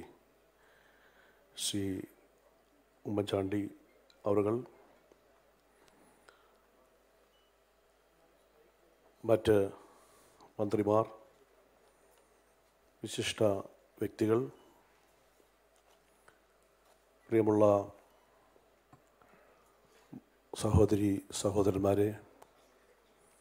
മാധ്യമ പ്രവർത്തകരെ കേരള നിയമസഭയുടെ ഏറ്റവും അഭിമാനകരമായിട്ടുള്ള ഒരു പരിപാടിയുടെ സമാപന സമ്മേളനമാണ് ഇവിടെ നടക്കുന്നത് ഏകദേശം നൂറ്റി ഇരുപത്തി അഞ്ചിൽ പരം പ്രസാധകർ പങ്കെടുത്ത ഒരു പുസ്തകോത്സവം അനന്തപുരിക്ക് തന്നെ അഭിമാനകരമായിട്ടുള്ള ഒരു പരിപാടിയായി മാറി എന്ന് ഞാൻ പറയാൻ ആഗ്രഹിക്കുകയാണ് ഇത്രയധികം വിദ്യാർത്ഥികളും യുവജനങ്ങളും ബഹുജനങ്ങളും പങ്കെടുത്ത ഒരു പുസ്തകോത്സവം കേരളത്തിൽ ആദ്യമായിട്ടാണ് നടക്കുന്നത് നിയമസഭാ ലൈബ്രറിയുടെ ശതാബ്ദി ആഘോഷത്തിൻ്റെ ഭാഗമായിട്ടാണ് ഈ പുസ്തകോത്സവം ഇവിടെ സംഘടിപ്പിച്ചിട്ടുള്ളത് ആദ്യം ഏകദേശം നൂറ്റി ഇരുപത്തി മൂന്ന് സ്കൂളിൽ നിന്നായി പതിമൂവായിരം വിദ്യാർത്ഥികളാണ് ഇവിടെ രജിസ്റ്റർ ചെയ്തത് എന്നാൽ പിന്നീട് ഓരോ ദിവസവും എണ്ണം കൂടിക്കൊണ്ടേയിരുന്നു ഏതാണ്ട് ഇരുന്നൂറ്റി അൻപത്തി ഒൻപത് സ്കൂളുകൾ പിന്നീട് രജിസ്റ്റർ ചെയ്തു പിന്നീട് സ്പോട്ട് അഡ്മിഷൻ വഴി ഓരോ ദിവസവും സ്കൂളുകളുടെ രജിസ്ട്രേഷൻ കൂടിക്കൊണ്ടേയിരുന്നു അതെല്ലാം തന്നെ നമുക്ക് ഏറ്റവും അഭിമാനിക്കാവുന്ന ഒരു കാര്യമാണ് ഏറ്റവും പ്രധാനമായി ഉണ്ടായ ഒന്ന് ഷാർജ ബുക്ക് ഫെസ്റ്റിവലിൽ പ്രകാശനം ചെയ്ത ബുക്കുകളുടെ ഓഡിയോ ബുക്സ് ഈ നിയമസഭ അന്താരാഷ്ട്ര പുസ്തകോത്സവ വേദിയിലാണ് പ്രകാശനം ചെയ്യപ്പെട്ടത് ബുക്കർ പ്രൈസ് ജേതാവും ശ്രീലങ്കൻ എഴുത്തുകാരനുമായ ഷഹാൻ കരണാതിലകെ ഉൾപ്പെടെ അന്തർദേശീയ തലത്തിലുള്ള പ്രതിഭകളുടെ പങ്കാളിത്തവും ഈ പുസ്തകോത്സവത്തിൻ്റെ പ്രത്യേകതയായിരുന്നു കേരളത്തിലെ ലഹരി വിരുദ്ധ പ്രചാരണത്തിന് ഐക്യദാർഢ്യം പകർന്നുകൊണ്ടാണ് വായനയാണ് ലഹരി എന്ന സന്ദേശം ഉയർത്തിക്കൊണ്ട് ഈ പുസ്തകമേള ഇവിടെ സംഘടിപ്പിച്ചിട്ടുള്ളത് സമൂഹത്തിൻ്റെ എല്ലാ മേഖലകളിലും പ്രവർത്തിക്കുന്നവരുടെ സർഗാത്മകത നമ്മുടെ കേരളത്തിൻ്റെ സവിശേഷതയാണ് നമ്മുടെ ജനപ്രതിനിധികൾ തന്നെ നിരവധി അംഗങ്ങൾ എഴുത്തുകാരായിട്ടുണ്ട് എന്നുള്ളതും പ്രത്യേകതയാണ് അവരെല്ലാം തന്നെ അവരുടെ എല്ലാം നിരവധി പുസ്തകങ്ങൾ ഈ പുസ്തകോത്സവ വേദിയിൽ വെച്ച് തന്നെ പ്രകാശനം ചെയ്യപ്പെട്ടു ഏകദേശം പതിനഞ്ച് പുസ്തകങ്ങളാണ് പുതിയ എഴുത്തുകാരുടെ നമുക്കിവിടെ പ്രകാശനം ചെയ്യാൻ കഴിഞ്ഞത് ഈ പുസ്തകോത്സവത്തിൻ്റെ ഏറ്റവും പ്രധാനപ്പെട്ട പ്രത്യേകത എന്താണെന്ന് വെച്ച് കഴിഞ്ഞാൽ പ്രഗത്ഭരായ എഴുത്തുകാരുടെ പുസ്തകങ്ങൾക്കൊപ്പം പുതിയതായി കടന്നു വരുന്ന ഈ മേഖലയിൽ എഴുത്തുകാരായി കടന്നു വരുന്ന ആളുകളുടെ പുസ്തകങ്ങൾ നമുക്കിവിടെ പ്രകാശനം ചെയ്യപ്പെടാൻ കഴിഞ്ഞു എം എൽ എമാർ നമ്മുടെ ചീഫ് വിപ്പ് നിയമസഭാ സെക്രട്ടറി അടക്കമുള്ള നിരവധി ഉദ്യോഗസ്ഥർ അവരുടെ എല്ലാ പുസ്തകങ്ങളും നമുക്കിവിടെ ഈ അന്താരാഷ്ട്ര പുസ്തകോത്സവവുമായി ബന്ധപ്പെട്ട് പ്രകാശനം ചെയ്യാൻ കഴിഞ്ഞു എന്നുള്ളതും ഒരു പ്രത്യേകതയാണ് അതുപോലെ നാട്ടിൻപുറങ്ങളിലും തൊഴിലിടങ്ങളിലും സാധാരണക്കാരിലും എല്ലാം വായനയുടെ ഈ എഴുത്തിൻ്റെയും കൂട്ടായ്മകൾ നമുക്ക് കാണാൻ കഴിയും നഗരങ്ങളിലും ഗ്രാമങ്ങളിൽ മാത്രമല്ല സന്മാർഗ സന്മാർഗ സംവാദമുണ്ടാകുന്നത് തീർച്ചയായും നമ്മുടെ നാടിൻ്റെ പുരോഗതിക്ക് മുന്നോട്ടുള്ള വളർച്ചയ്ക്ക് പ്രയാണത്തിന് അക്ഷരമാണ് മുതൽക്കൂട്ടായത് ആ അക്ഷരമാണ് നമ്മളെ മുന്നോട്ട് നയിച്ചത്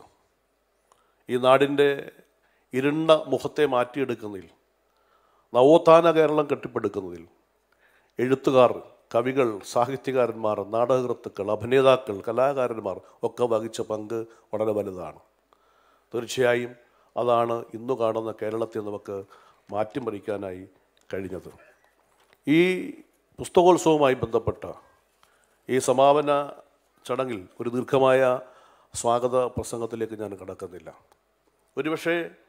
ഇന്ത്യയിൽ ആദ്യമായി വേണമെന്ന് പറയാം ഒരു നിയമസഭയുടെ മുൻകൈയിൽ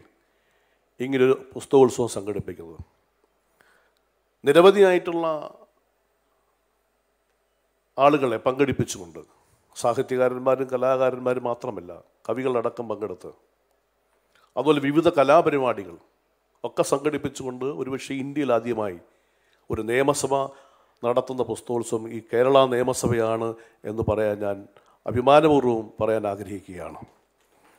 തീർച്ചയായും അതിന് നേതൃത്വം കൊടുത്തത് നമ്മുടെ നിയമസഭാ സ്പീക്കർ അദ്ദേഹത്തിൻ്റെ മനസ്സിലുണ്ടായിരുന്ന ആശയം അത് പ്രാവർത്തികമാക്കാൻ നിയമസഭാ സെക്രട്ടറി അടക്കം നിയമസഭാ ജീവനക്കാർ ഒരുമിച്ച് ആത്മാർത്ഥതയോടെ ത്യാഗപൂർവമായി പ്രവർത്തിച്ചതിൻ്റെ ഫലമാണ് ഇന്ന് ഈ അന്താരാഷ്ട്ര പുസ്തകോത്സവത്തിൻ്റെ വിജയം എന്നുകൂടി ഞാൻ പറയാൻ ആഗ്രഹിക്കുന്നു ആ ഉദ്യോഗസ്ഥരെല്ലാം സെക്രട്ടറി അടക്കമുള്ള ഉദ്യോഗസ്ഥരെല്ലാം ഞാൻ പ്രത്യേകമായി അഭിനന്ദിക്കുകയാണ് അതുപോലെ മീഡിയാസ്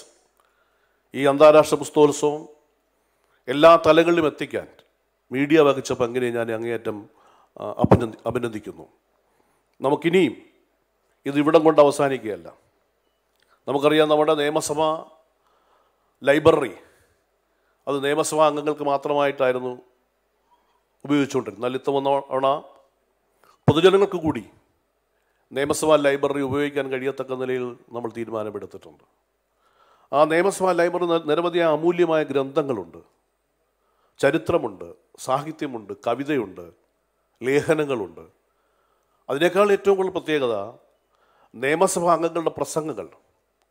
ആ പ്രസംഗങ്ങളെടുത്ത് പരിശോധിച്ചാൽ അതിൽ സാഹിത്യമുണ്ട് കവിതയുണ്ട് കഥയുണ്ട് ഒരുപക്ഷെ ഗവേഷണ വിദ്യാർത്ഥികൾക്ക് അതുമാത്രമായൊരു പ്രത്യേക വിഷയമെടുത്ത് എന്താണ് പ്രബന്ധം അവതരിപ്പിക്കാൻ കഴിയത്തക്ക നിലയിലുള്ള നിരവധിയായിട്ടുള്ള പ്രസംഗങ്ങൾ ഉണ്ടവിടെ ഇതെല്ലാം തീർച്ചയും നമുക്ക് വീണ്ടും ജനങ്ങൾക്ക് ഉപയോഗിക്കാൻ കഴിയത്തക്ക നിലയിൽ ഈ ആദ്യമായി നടന്ന അന്താരാഷ്ട്ര പുസ്തകോത്സവം ഇതിൻ്റെ അടുത്ത രണ്ടാം ഘട്ടം എന്നുള്ള നിലയിൽ വീണ്ടും നടത്താൻ വേണ്ടിയുള്ള ആലോചന ഉള്ള വിവരം കൂടി നിങ്ങളെ ഞാൻ അറിയിക്കുകയാണ് നമ്മുടെ നാടിന് അഭിമാനകരമായ നിലയിൽ മുന്നോട്ട് പോകാൻ എടുത്ത ഈ പുസ്തകോത്സവവുമായി ബന്ധപ്പെട്ട് നടന്ന എല്ലാ ചടങ്ങുകളിലും പങ്കെടുത്ത മുഴുവൻ പേരെയും അഭിനന്ദിച്ചുകൊണ്ട് ഞാൻ എൻ്റെ കടമയിലേക്ക് കടക്കുകയാണ് അതോടൊപ്പം തന്നെ ഒരു കാര്യം കൂടെ പറയാൻ വേണ്ടി പോയി ഇതിലേറ്റവും വലിയ പ്രത്യേകത എന്താണെന്ന് വെച്ച് കഴിഞ്ഞാൽ നമ്മുടെ പല പ്രസാധകരോടും ഞാൻ അന്വേഷിച്ചപ്പം ഒരുപാട് പുസ്തകങ്ങൾ വിറ്റഴിക്കാനുണ്ട് അല്ലെങ്കിൽ വാങ്ങിക്കാൻ പറ്റുന്നില്ല അവർക്ക് ഇത്തരം വേദികൾ കിട്ടുന്നില്ല എന്ന് പറഞ്ഞു ഗവൺമെൻറ് എം എൽ എമാരുടെ ആസ്തി വികസന ഫണ്ട് ഒരു എം എൽ എക്ക് മൂന്ന് ലക്ഷം രൂപ വീതം ഉപയോഗിച്ചുകൊണ്ട് പുസ്തകവും വാങ്ങിക്കാൻ വേണ്ടിയുള്ള തീരുമാനം ഗവൺമെൻറ് എടുത്തിരുന്നു അതിൻ്റെ ഫലമായി നൂറ്റി നാൽപ്പത് എം എൽ എമാരും മൂന്ന് ലക്ഷം രൂപ ഉപയോഗിച്ച് നൂറ്റി നാൽപ്പത് മണ്ഡലത്തിലെയും തിരഞ്ഞെടുക്കപ്പെട്ട ലൈബ്രറികൾക്കും സ്കൂളുകൾക്കും പുസ്തകം വാങ്ങിച്ചു കൊടുത്തു എന്നുള്ളതും ഈ പുസ്തകോത്സവത്തിൻ്റെ ഏറ്റവും വലിയ പ്രത്യേകതയാണ് തീർച്ചയായും അതിന് അനുകൂലമായ തീരുമാനമെടുത്ത ഗവൺമെൻറ്റിനെയും പ്രത്യേകമായി ഞാൻ അഭിനന്ദിക്കുന്നു ഈ സമാപന സമ്മേളനത്തിൽ അധ്യക്ഷത വഹിക്കുന്നത് പ്രിയങ്കരനായ നിയമസഭാ സ്പീക്കറാണ് ഈ അന്താരാഷ്ട്ര പുസ്തകോത്സവവുമായി ബന്ധപ്പെട്ട് ഇവിടെ കേന്ദ്രീകരിച്ച് നിന്നുകൊണ്ട് നേതൃത്വം കൊടുത്തുകൊണ്ട് വിജയകരമായി സമാപനത്തിലേക്ക് എത്തിച്ച അതിന് നേതൃത്വം കൊടുത്ത ബഹുമാനായ നിയമസഭാ സ്പീക്കർ ശ്രീ എ എൻ ഷംസീറിനെ നിങ്ങളുടെ എല്ലാം പേരിൽ ഞാൻ അഭിനന്ദനം അറിയിച്ചുകൊണ്ട് സ്വാഗതം ആശംസിക്കുകയാണ്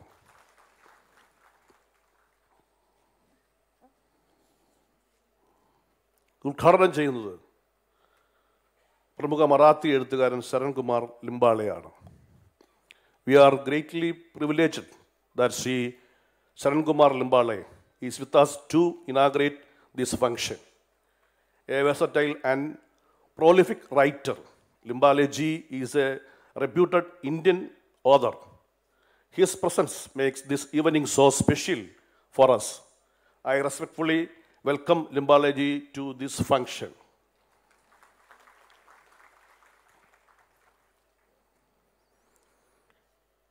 ഇന്നിവിടെ ആദരവേറ്റവും അങ്ങനെ എത്തിയിരിക്കുന്ന ഏറ്റവും കൂടുതൽ കാലം തുടർച്ചയായി കേരള നിയമസഭാ സാമാജികനായി ഏറ്റവും കൂടുതൽ കാലം തിളങ്ങി നിന്ന നമ്മുടെ എല്ലാം പ്രിയങ്കനായ മുൻ മുഖ്യമന്ത്രി ശ്രീ ഉമ്മൻചാണ്ടി സാറാണ് അദ്ദേഹം ഒരുപക്ഷെ കേരളത്തിൻ്റെ രാഷ്ട്രീയ ചരിത്രത്തിൽ ഏറ്റവും തിളങ്ങി നിൽക്കുന്ന ഒരിക്കലും ആരുടെയും മനസ്സിൽ നിന്ന് മായ്ക്കാൻ കഴിയാത്ത ആ മഹനീയ വ്യക്തിത്വം അദ്ദേഹം ഇന്ന് നമുക്കറിയാം ചികിത്സ കഴിഞ്ഞ് വിശ്രമത്തിലായിരുന്നു ഈ ചടങ്ങിന് വേണ്ടി മാത്രമാണ് അദ്ദേഹം എത്തിയിട്ടുള്ളത് ആ പ്രിയ നേതാവിനെ മുൻ മുഖ്യമന്ത്രിയെ നമ്മുടെ എല്ലാം പ്രിയങ്കരനായിട്ടുള്ള ശ്രീ ഉമ്മൻചാണ്ടി സാറിനെ നിങ്ങളുടെ എല്ലാം പേരും ഞാൻ ആദർവൂരും സ്വാഗതം ആശംസിക്കുന്നു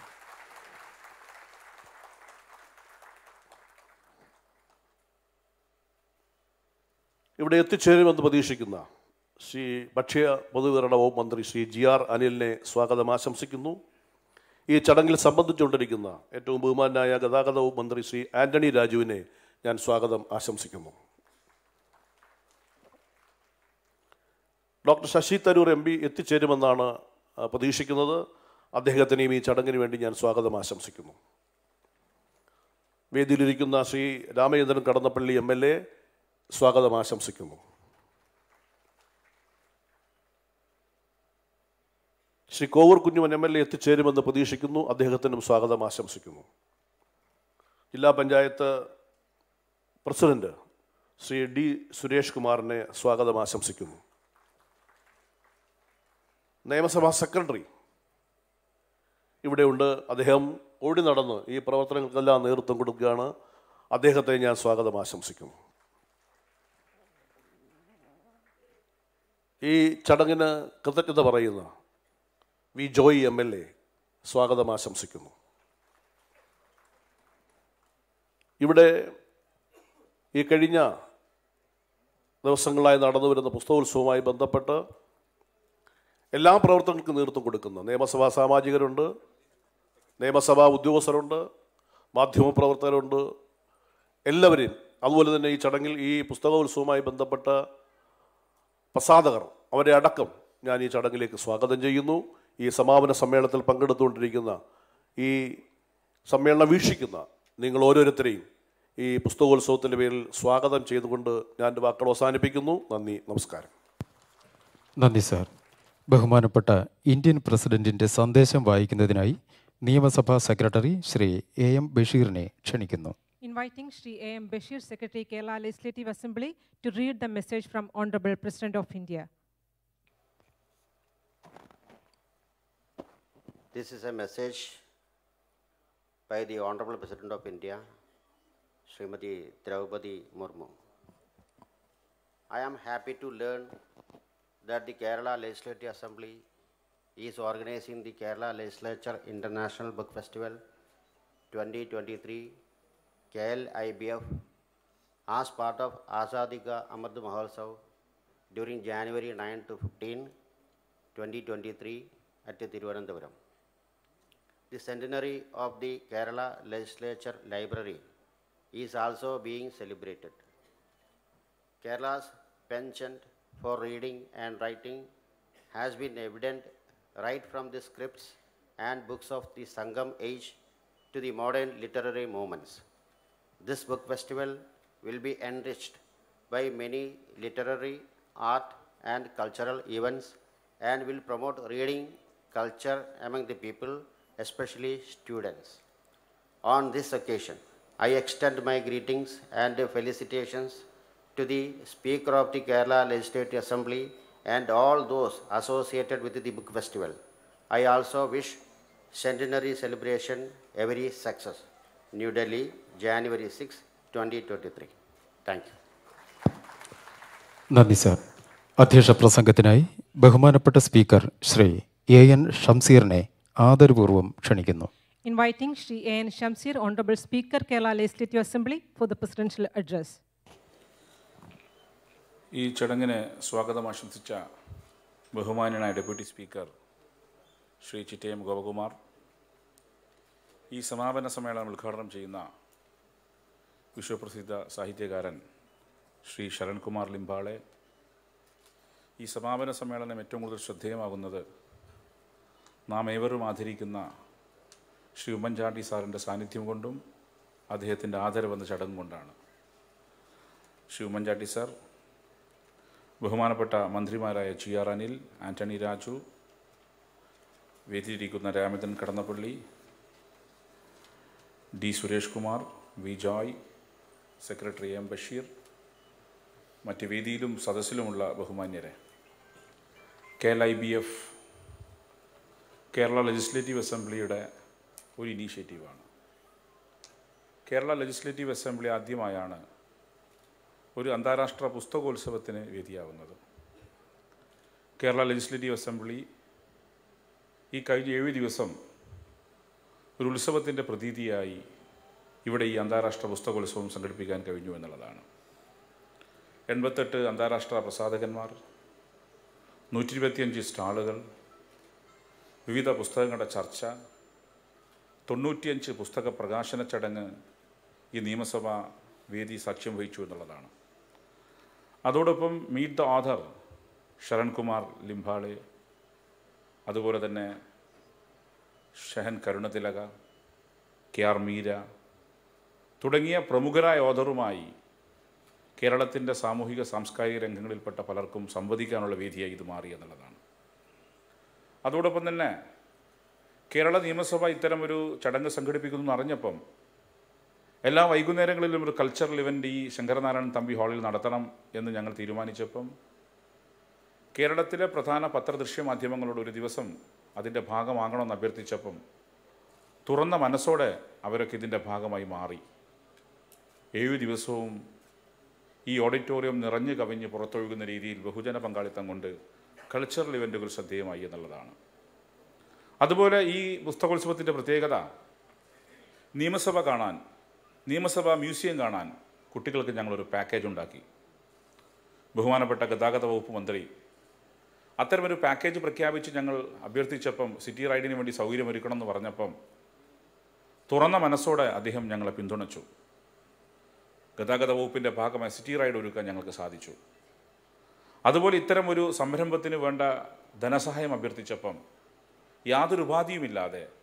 ബഹുമാനപ്പെട്ട ധനകാര്യമന്ത്രി ശ്രീ കെ എൻ ബാലഗോപാൽ ഞങ്ങൾക്ക് എല്ലാ പിന്തുണയും നൽകി ഇത്തരം ഒരു പുസ്തകോത്സവത്തെക്കുറിച്ച് ഞങ്ങൾ ആലോചിച്ചപ്പം കക്ഷി നേതാക്കളെ വിളിച്ചപ്പം കക്ഷി നേതാക്കന്മാരെല്ലാം ഞങ്ങളുമായി സഹകരിച്ചു ബഹുമാനപ്പെട്ട മുഖ്യമന്ത്രിയും മുഖ്യമന്ത്രിയുടെ ഓഫീസും അകമൊഴിഞ്ഞ പിന്തുണ ഞങ്ങൾക്ക് നൽകിയെന്നുള്ളതാണ് അങ്ങനെ കേരള ചരിത്രത്തിൽ അല്ലെങ്കിൽ ഇന്ത്യയുടെ ചരിത്രത്തിൽ ഇതപര്യന്തമായി ഒരു നിയമസഭയ്ക്ക് ഇത്തരം ഒരു പുസ്തകോത്സവം സംഘടിപ്പിക്കാൻ കഴിഞ്ഞു എന്നുള്ളത് അഭിമാനത്തോടെ ഞങ്ങൾ പറയാൻ ആഗ്രഹിക്കുകയാണ് പുസ്തകോത്സവത്തിൻ്റെ ഭാഗമായി വ്യത്യസ്ത ദിവസങ്ങളിലായി ഞങ്ങൾ പ്രതീക്ഷിച്ച് ഏതാണ്ട് രണ്ട് ലക്ഷത്തോളം കുട്ടികളും മുതിർന്നവരും ഈ നിയമസഭ കണ്ടു പുസ്തകോത്സവം കണ്ടു പുസ്തകം വാങ്ങിച്ചു പോയി എന്നുള്ളതാണ് പ്രസാധകന്മാരെ സംബന്ധിച്ചിടത്തോളം നമുക്ക് വൻകിട പ്രസാധകന്മാർക്ക് മാത്രമേ പലപ്പോഴും പുസ്തകം വിറ്റഴിക്കാൻ സാധിക്കുന്നു എന്ന ഒരു സാഹചര്യമുണ്ടായിരുന്നു അതിന് പരിഹാരമുണ്ടാക്കാൻ ഞങ്ങൾക്ക് സാധിച്ചു ഞങ്ങൾ എം എൽ എമാരോട് പറഞ്ഞു എം എൽ എമാരുടെ സ്പെഷ്യൽ ഡെവലപ്മെൻറ്റ് ഫണ്ടിൽ നിന്നും മൂന്ന് ലക്ഷം രൂപ വരെ പുസ്തകം വാങ്ങിക്കാൻ ആവശ്യമായ ധനകാര്യ വകുപ്പിൻ്റെ സഹായം ഞങ്ങൾക്ക് ലഭിച്ചു എം എൽ എമാർ ഞങ്ങളുമായി സഹകരിച്ചു അതിൻ്റെ ഭാഗമായി ഞങ്ങൾ പ്രതീക്ഷിക്കുന്നത് നാല് കോടിയിൽ പരം രൂപയുടെ പുസ്തകം ഇതിലൂടെ വിറ്റഴിക്കാൻ സാധിക്കും എന്നുള്ളതാണ് അതുപോലെ സി എസ് ആർ ഫണ്ടിൻ്റെ ഭാഗമായി വിവിധ സ്ഥാപനങ്ങൾ ഇരുപത് ലക്ഷത്തോളം രൂപ കുട്ടികൾക്ക് പുസ്തകത്തിന് വേണ്ടി കൂപ്പണായി ഞങ്ങൾക്ക് നൽകാൻ മുന്നോട്ട് വന്നു എന്നുള്ളതാണ് ഇങ്ങനെ കേരള ലെജിസ്ലേറ്റീവ് അസംബ്ലി വായനയാണ് ലഹരി എന്ന ക്യാമ്പയിൻ സംസ്ഥാന സർക്കാരിൻ്റെ ലഹരിക്കെതിരായ ക്യാമ്പയിൻ്റെ ഭാഗമായി ഐക്യദാർഢ്യം പ്രഖ്യാപിച്ചപ്പം അത് പൂർണ്ണമായും വിജയിപ്പിക്കാൻ എല്ലാ വിഭാഗത്തിൽപ്പെട്ടവരും തയ്യാറായി എന്നുള്ളതാണ് ഇത് വൻ വിജയമായി മാറി എന്നാണ് ഞങ്ങൾ പ്രതീക്ഷിക്കുന്നത് കേരള ലെജിസ്ലേറ്റീവ് അസംബ്ലിയുടെ കേരള ഐ ബി എഫ് വിജയിച്ചുവെങ്കിൽ അത് പൂർണ്ണമായും അതിൻ്റെ ക്രെഡിറ്റ് ലെജിസ്ലേറ്റീവ് സെക്രട്ടേറിയറ്റിനും ലെജിസ്ലേറ്റീവ് സെക്രട്ടറിക്കും നിയമസഭാ ജീവനക്കാർക്കും തന്നെയാണ് രാഷ്ട്രീയ പ്രവർത്തകന്മാരാണ് ഏറ്റവും മികച്ച സംഘാടകർ എന്നായിരുന്നു ഞങ്ങൾ വിശ്വസിച്ചത് ഞങ്ങളുടെ ധാരണ ഞങ്ങളാണ് മികച്ച സംഘാടകർ പക്ഷേ ഞങ്ങളുടെ ധാരണയെ അസ്ഥാനത്താക്കിക്കൊണ്ട് ഞങ്ങളോടൊപ്പം മത്സരിക്കാനും ഞങ്ങളെ കടത്തിവിട്ടാനും ശേഷിയുള്ള നിരവധി ജീവനക്കാർ ലെജിസ്ലേറ്റീവ് സെക്രട്ടേറിയറ്റിനകത്തുണ്ട് എന്ന് ഈ ദിവസങ്ങളിൽ എനിക്ക് മനസ്സിലാക്കാൻ കഴിഞ്ഞു എന്നുള്ളതാണ് സംഘാടകന്മാർ മാത്രമല്ല സാഹിത്യരംഗത്തും അവർക്ക് കഴിവുണ്ട് ലിറ്റററി സ്കിൽ ചിലർ ബഹുഭാഷ പണ്ഡിതന്മാരായിരുന്നു ചിലർക്ക് നന്നായി എഴുതാൻ ശേഷിയുണ്ടായിരുന്നു ചിലർക്ക് നന്നായി സംഘടിപ്പിക്കാൻ ശേഷിയുണ്ടായിരുന്നു കലോത്സവങ്ങൾ സംഘടിപ്പിച്ച അനുഭവമുള്ളവരാണ് ഞങ്ങൾ പക്ഷേ കലോത്സവം ഞങ്ങൾ സംഘടിപ്പിക്കുമ്പോൾ ഞങ്ങൾ പിന്നീട് അത് പരിശോധനയ്ക്ക് വിധേയമാക്കുമ്പം ചില ന്യൂനതകൾ ഞങ്ങൾ കാണാറുണ്ട് ഇവിടെ അത്തരത്തിൽ ന്യൂനതകളൊന്നും തന്നെ ഞങ്ങൾക്ക് ചൂണ്ടിക്കാണിക്കാൻ കഴിഞ്ഞില്ല എല്ലാ ന്യൂനതകളും പരിഹരിച്ച് പഴുതടച്ച് ഇത് വിജയിപ്പിക്കാൻ സാധിച്ചുവെങ്കിൽ അത് പൂർണ്ണമായും ലെജിസ്ലേറ്റീവ് സെക്രട്ടേറിയറ്റിനും ലെജിസ്ലേറ്റീവ് സെക്രട്ടറിക്കും അവകാശപ്പെട്ടതാണ് എന്ന് വീതിയിൽ പ്രഖ്യാപിക്കാൻ എനിക്കൊരു മടിയുമില്ല എന്ന് ഞാൻ ആത്മാർത്ഥമായി പറയുകയാണ് അതോടൊപ്പം രാഷ്ട്രീയത്തിനപ്പുറത്ത് സാധാരണ നമുക്കറിയാം ഇവിടെ വരുമ്പോഴും രാഷ്ട്രീയം കടന്നു വരും പക്ഷേ നിയമസഭാ സെക്രട്ടേറിയറ്റിനകത്ത് ഒരു രാഷ്ട്രീയവും ആരും കാണിച്ചില്ല ഈ പുസ്തകോത്സവം വിജയിപ്പിക്കാൻ തുറന്ന മനസ്സോടെ എല്ലാവരും തയ്യാറായി എന്നുള്ളതാണ് ഇതിൻ്റെ പ്രത്യേകത അതുകൊണ്ട് ഇതൊരു വൻ വിജയമായി ഇത് ടീം ലെജിസ്ലേറ്റീവ് സെക്രട്ടേറിയറ്റിൻ്റെ വിജയമാണ് എന്ന് ഞാൻ പറയാൻ ആഗ്രഹിക്കുകയാണ് തൊള്ളായിരത്തി അൻപത്തി മൂന്നിൽ വേൾഡ് കപ്പ് നേടിയപ്പം കപിൽ ദേവിൻ്റെ പേര് പറയും ധോണിയുടെ പേര് പറയും ഒരുപക്ഷെ യാദർച്ഛികമായി സ്പീക്കർ ഞാനായതുകൊണ്ട് എൻ്റെ പേര് പറയുന്നതിനപ്പുറത്തേക്ക് ഇതൊരു ടീം വർക്കിൻ്റെ വിഷയമാണ് ടീമിൻ്റെ വിഷയമാണ് എന്ന് ഉറപ്പിച്ചു പറയാൻ ഞാൻ ആഗ്രഹിക്കുകയാണ് അതോടൊപ്പം തന്നെ ഈ ചടങ്ങിൻ്റെ പ്രത്യേകത ഇവിടെ ചടങ്ങുമായി ബന്ധപ്പെട്ട ചില പ്രശ്നങ്ങൾ ഉയർന്നു വന്നിട്ടുണ്ട് സാധാരണ ഒരു കുഞ്ഞ് പറന്നു വീണാൽ ക്രീ ആദ്യം ക്രോൾ ചെയ്യും പിന്നെ ക്രീപ്പ് ചെയ്യും പിന്നെ നടക്കും നടക്കുമ്പോൾ വീഴും പക്ഷെ അഭിമാനത്തോടെ ഞങ്ങൾക്ക് പറയാം യാതൊരു അനുഭവ സമ്പത്തും ഇല്ലാത്ത ഞങ്ങൾ ഒരു പുസ്തകോത്സവം സംഘടിപ്പിക്കാൻ ഇറങ്ങിയപ്പം ഈ പിറന്നു വീണ കുഞ്ഞ് പിറന്നു വീണപ്പോൾ തന്നെ നടന്നു എന്നുള്ളതാണ് ചില പോരായ്മകൾ ഞങ്ങൾക്ക് ഓടാൻ കഴിഞ്ഞില്ല ഞങ്ങൾക്ക് ചില പോരായ്മകൾ ഉണ്ടെങ്കിൽ ചില വിമർശനങ്ങൾ ഉയർന്നു വന്നു വിമർശനങ്ങളെ തുറന്ന മനസ്സോടെ സ്വീകരിക്കുന്നു ആർക്കെങ്കിലും എന്തെങ്കിലും വ്യക്തിപരമായ പ്രയാസങ്ങൾ ഉണ്ടായിട്ടുണ്ടെങ്കിൽ ആ പ്രയാസങ്ങൾ കൂടി പരിഹരിച്ചുകൊണ്ടായിരിക്കും കെ എൽ ഐ ബി എഫിൻ്റെ സെക്കൻഡ് എഡിഷൻ രണ്ടായിരത്തി ഇരുപത്തിനാല് ജനുവരി മാസം ഞങ്ങൾ സംഘടിപ്പിക്കാൻ പോകുന്നത് എന്ന അഭിമാനത്തോടെ ഞങ്ങൾ പ്രഖ്യാപിക്കാൻ ആഗ്രഹിക്കുകയാണ് സുദീർഘമായൊരു പ്രസംഗത്തിനോട് പ്രസക്തിയില്ല ഈ ചടങ്ങിൻ്റെ ഏറ്റവും അട്രാക്ഷൻ പ്രത്യേകത ബഹുമാന്യനായ ശ്രീ ഉമ്മൻചാണ്ടി സാറിൻ്റെ ആദരവാണ് ആരോഗ്യ പ്രശ്നങ്ങൾ അദ്ദേഹത്തിനുണ്ട് പക്ഷേ അദ്ദേഹത്തോട് ഞങ്ങൾ നിർബന്ധിച്ചു ഞാൻ അദ്ദേഹത്തെ കണ്ടപ്പോൾ പറഞ്ഞു ഞാൻ ജനിക്കുന്നതിനേക്കാൾ മുമ്പ് സഭയിലുള്ള ആളാണ് നിങ്ങൾ നിയമസഭാ സാമാജികനെ സെക്രട്ടറി സ്പീക്കറായി തിരഞ്ഞെടുക്കപ്പെട്ടപ്പം മാധ്യമങ്ങൾ ചോദിച്ചു എന്തുണ്ട് നിങ്ങൾക്ക് പറയാൻ ഞാൻ അവരോട് പറഞ്ഞ കാര്യം കേരളത്തിൽ ഇന്ന് നിയമസഭയിൽ ഞാൻ ജനിക്കുന്നതിനേക്കാൾ മുമ്പ് നിയമസഭാ സാമാജികന്മാരായ മൂന്ന് പേരിരിക്കുന്ന സഭയുടെ സമാധാ സഭാനാഥനാവാൻ സാധിച്ചത് രാഷ്ട്രീയ ജീവിതത്തിൽ എനിക്ക് ലഭിച്ച ഏറ്റവും വലിയ അംഗീകാരമാണ് ബഹുമാനപ്പെട്ട കേരളത്തിൻ്റെ മുഖ്യമന്ത്രി Shri Pinarayi Vijayan Shri Oommen Chandy sir Shri P J Joseph ഈ മൂന്ന് പേരിരിക്കുന്ന സഭയുടെ സമാധാനാവാൻ സാധിച്ചു എന്നുള്ളത് നമുക്ക് രാഷ്ട്രീയ പ്രവർത്തകർക്ക് നൊബേൽ സമ്മാനമില്ല രാഷ്ട്രീയ പ്രവർത്തകർക്ക് ഓസ്കാറില്ല രാഷ്ട്രീയ പ്രവർത്തകർക്ക് കിട്ടുന്ന അപൂർവ ബഹുമതി അവർ ജനിക്കുന്നതിനേക്കാൾ മുമ്പ് ജനിച്ച സാമാജികന്മാരുടെ കൂടെ സഭാനാഥനായിരിക്കാൻ സാധിച്ചു എന്ന അപൂർവമായ ഭാഗ്യം ലഭിച്ച ഒരു പൊതുപ്രവർത്തകനാണ് എന്ന് എവിടെയും അഭിമാനത്തോടെ പറയാൻ ഞാൻ ആഗ്രഹിക്കുകയാണ് അദ്ദേഹം അൻപത് വർഷം ഇനിയൊരു ഉമ്മൻചാണ്ടി സാർ ഉണ്ടാകുമോ ഒരു സംശയം വേണ്ട ഞാൻ പെസിമിസ്റ്റായി സംസാരിക്കുന്നതല്ല അൻപത് വർഷം ഒരു അസംബ്ലി സെഗ്മെൻറ്റിൽ നിന്നും ജനം തുടർച്ചയായി ഒരാളെ തിരഞ്ഞെടുക്കുന്നു അദ്ദേഹം ഇരിക്കുന്ന വേദിയിൽ വെച്ച് പറയാം രണ്ടായിരത്തി ആറിൽ അദ്ദേഹത്തെ തോൽപ്പിക്കാൻ ഞാനും സ്വരാജുമെല്ലാം അദ്ദേഹത്തിൻ്റെ മണ്ഡലത്തിൻ്റെ മുക്കിലും മൂലയിലും പോയി പ്രസംഗിച്ചതാണ് പക്ഷേ ഭൂരിപക്ഷം വർദ്ധിച്ചു എന്നല്ലാതെ ഞങ്ങളുടെ അതരവ്യായമായി മാറി എന്നുള്ളതാണ് അപ്പോൾ ജനങ്ങൾ അദ്ദേഹത്തെ സ്നേഹിക്കുന്നു അൻപത് വർഷം ഒരു മനുഷ്യന് ഒരു മണ്ഡലത്തിൽ നിന്നും തുടർച്ചയായി കേരള നിയമസഭയ്ക്ക് തിരിക്കാൻ സാധിച്ചു എന്ന അപൂർവ ഭാഗ്യം ലഭിച്ച ഒരു പൊതുപ്രവർത്തകനെ ആദരിക്കേണ്ടത് കേരള നിയമസഭയുടെ ഉത്തരവാദിത്വമാണ് ആ ഉത്തരവാദിത്വം ഞങ്ങൾ നിർവഹിക്കാൻ തീരുമാനിച്ചപ്പം അദ്ദേഹവും അദ്ദേഹത്തിൻ്റെ കുടുംബവുമായി സംസാരിച്ചപ്പം അസൗകര്യങ്ങളുണ്ടെങ്കിലും തുറന്ന മനസ്സ് അദ്ദേഹത്തിൻ്റെ മകൾ കൂടി ചടങ്ങിൽ പങ്കെടുക്കുന്നുണ്ട് അവർ വരാൻ തയ്യാറായി എന്നുള്ളത് അങ്ങനെ തയ്യാറായതിന് കേരള നിയമസഭയുടെ നന്ദി പ്രത്യേകം ഈ ഘട്ടത്തിൽ അറിയിച്ചുകൊണ്ട് മറ്റു കൂടുതൽ കാര്യങ്ങൾക്കൊന്നും ഇവിടെ പ്രസംഗത്തിന് പ്രസക്തിയില്ല കാരണം നിയമസഭയുടെ പ്രത്യേകത എത്ര മികച്ച പ്രാസംഗികന്മാർക്കും സമയമുണ്ട് ആ സമയം കൊണ്ട് നിയന്ത്രിക്കുന്ന ആളാണ് ഞാൻ ഞാൻ തന്നെ അത് ബ്രേക്ക് ചെയ്താൽ സമയം നീണ്ടുപോകുമെന്നുള്ളത് കൊണ്ട് മറ്റു കൂടുതൽ കാര്യങ്ങളിലേക്കൊന്നും കടന്നു പോവാതെ കേരള നിയമസഭയുടെ പുസ്തകോത്സവത്തിൻ്റെ സമാപന ചടങ്ങ് ഉദ്ഘാടനം ചെയ്യുന്നത് ശരൺകുമാർ ലിംബാള എന്ന മറാത്ത റൈറ്ററാണ് അദ്ദേഹം വളരെ കഷ്ടപ്പെട്ടാണ് ഇവിടെ എത്തിയത് ഞങ്ങൾ അദ്ദേഹത്തിനോടുള്ള നന്ദി കിടത്തിൽ അറിയിക്കുകയാണ് അദ്ദേഹം മലയാളത്തിന് അദ്ദേഹത്തിന് മനസ്സിലാവില്ലെന്ന പൂർണ്ണ ബോധ്യമുണ്ട് we express our sincere gratitude to Shri Sharankumar Limbale for coming here we are the first assembly conducting this type of literary festival we are very proud that Kerala is Kerala assembly is a model we can proudly say we the opposition and the treasury bench will quarrel each other after few minutes at the time of zero hour we will fight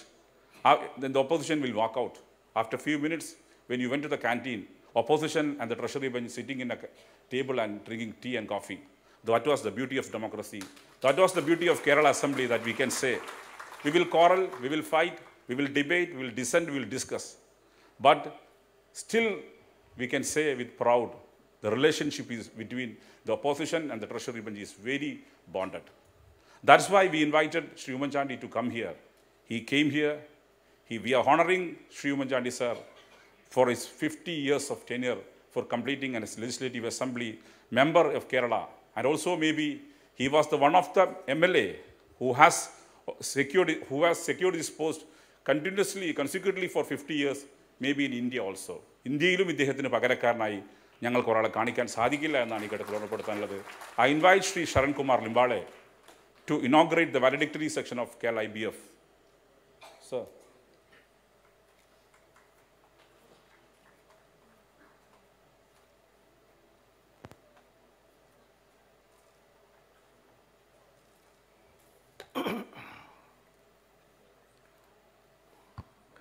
I declare,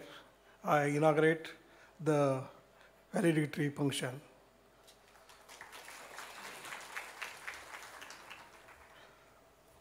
Honorable Speaker Shri A.N. Shamshirji, Kerala Legislative Assembly, Honorable Deputy Speaker Chittiam Gopal Kumar, Uh, Honorable Minister for Food and Civil Supplies, Shri G.R. Anilji, Honorable Minister for Tourism, uh, Transport, Shri Anthony Raju, Shri Ramachandran Kadanpalli, MLA, Shri Kohur Kanjuman, MLA, Shri D. Suresh Kumar, President, District Panchayat, Thiruvananthapuram, Shri V. Jog, MLA. I am Marathi person. These are difficult names. Uh, forgive me if any mistake. I want to thank Honorable Speaker A.N. Shamshirji, who invited me here. Uh, I am really overwhelmed. This is a great experience for me. Secretary Samshir, Secretary Bashir, and uh, Sec Special Secretary Kavita Unnithan, they talked to me many times and helped to come here. We know other state assemblies how, how are working. Uh, the other state assemblies working within the walls between the walls. But Kerala Legis Legislative Assembly working out of the wall. And they, Kerala Assembly wanted to participate in the people. Kerala Legislative Assembly wanted to, wanted to give message of humanity. They wanted to give book in the hand of people, not Trishul in the hand of, in the hand of people. This is the great message. Thank you, sir. You united me.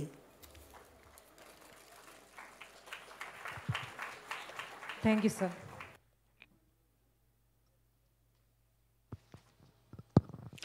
അടുത്തതായി ഏറ്റവും കൂടുതൽ കാലം തുടർച്ചയായി കേരള നിയമസഭ സാമാജികനായ മുൻ മുഖ്യമന്ത്രി Shri Oommen Chandy M L A ആദരിക്കുകയാണ് ആദരിക്കുന്നതിനായി ബഹുമാനപ്പെട്ട സ്പീക്കറെയും ആദരവ് സ്വീകരിക്കുന്നതിന് വേണ്ടി ശ്രീ ഉമ്മൻചാണ്ടി എം എൽ എയെയും ആദരപൂർവ്വം ക്ഷണിക്കുന്നു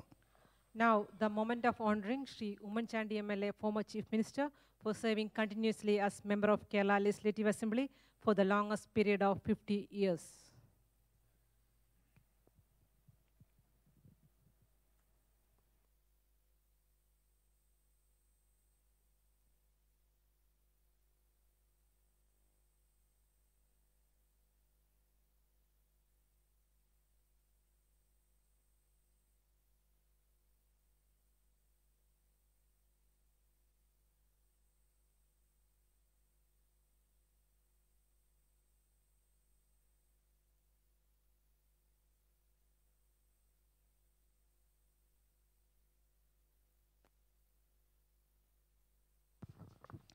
Kerala നിയമസഭ അന്താരാഷ്ട്ര പുസ്തകോത്സവം K L I B F two രണ്ടായിരത്തി ഇരുപത്തിനാല് ജനുവരി എട്ട് മുതൽ പതിനാല് വരെ സംഘടിപ്പിക്കുന്നതാണ് ഇതിൻ്റെ ലോഗോ പ്രകാശനം നിർവഹിക്കുന്നതിനായി ശ്രീ ഉമ്മൻചാണ്ടി എം എൽ എയെ ആദരപൂർവ്വം ക്ഷണിക്കുന്നു ഒപ്പം മറ്റ് വിശിഷ്ട വ്യക്തികളെയും Inviting Sri Umanchandi MLA for the logo presentation of Kerala Legislative International Book Festival KLIBF2. Also inviting Honorable Speaker and all dignitaries on stage.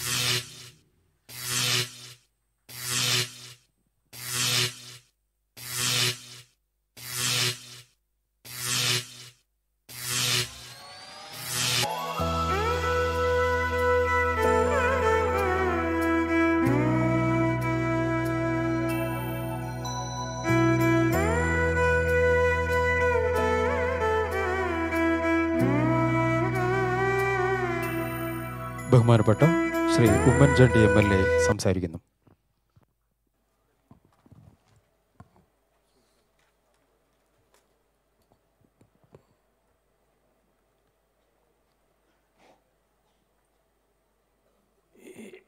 സമ്മേളനത്തിൻ്റെ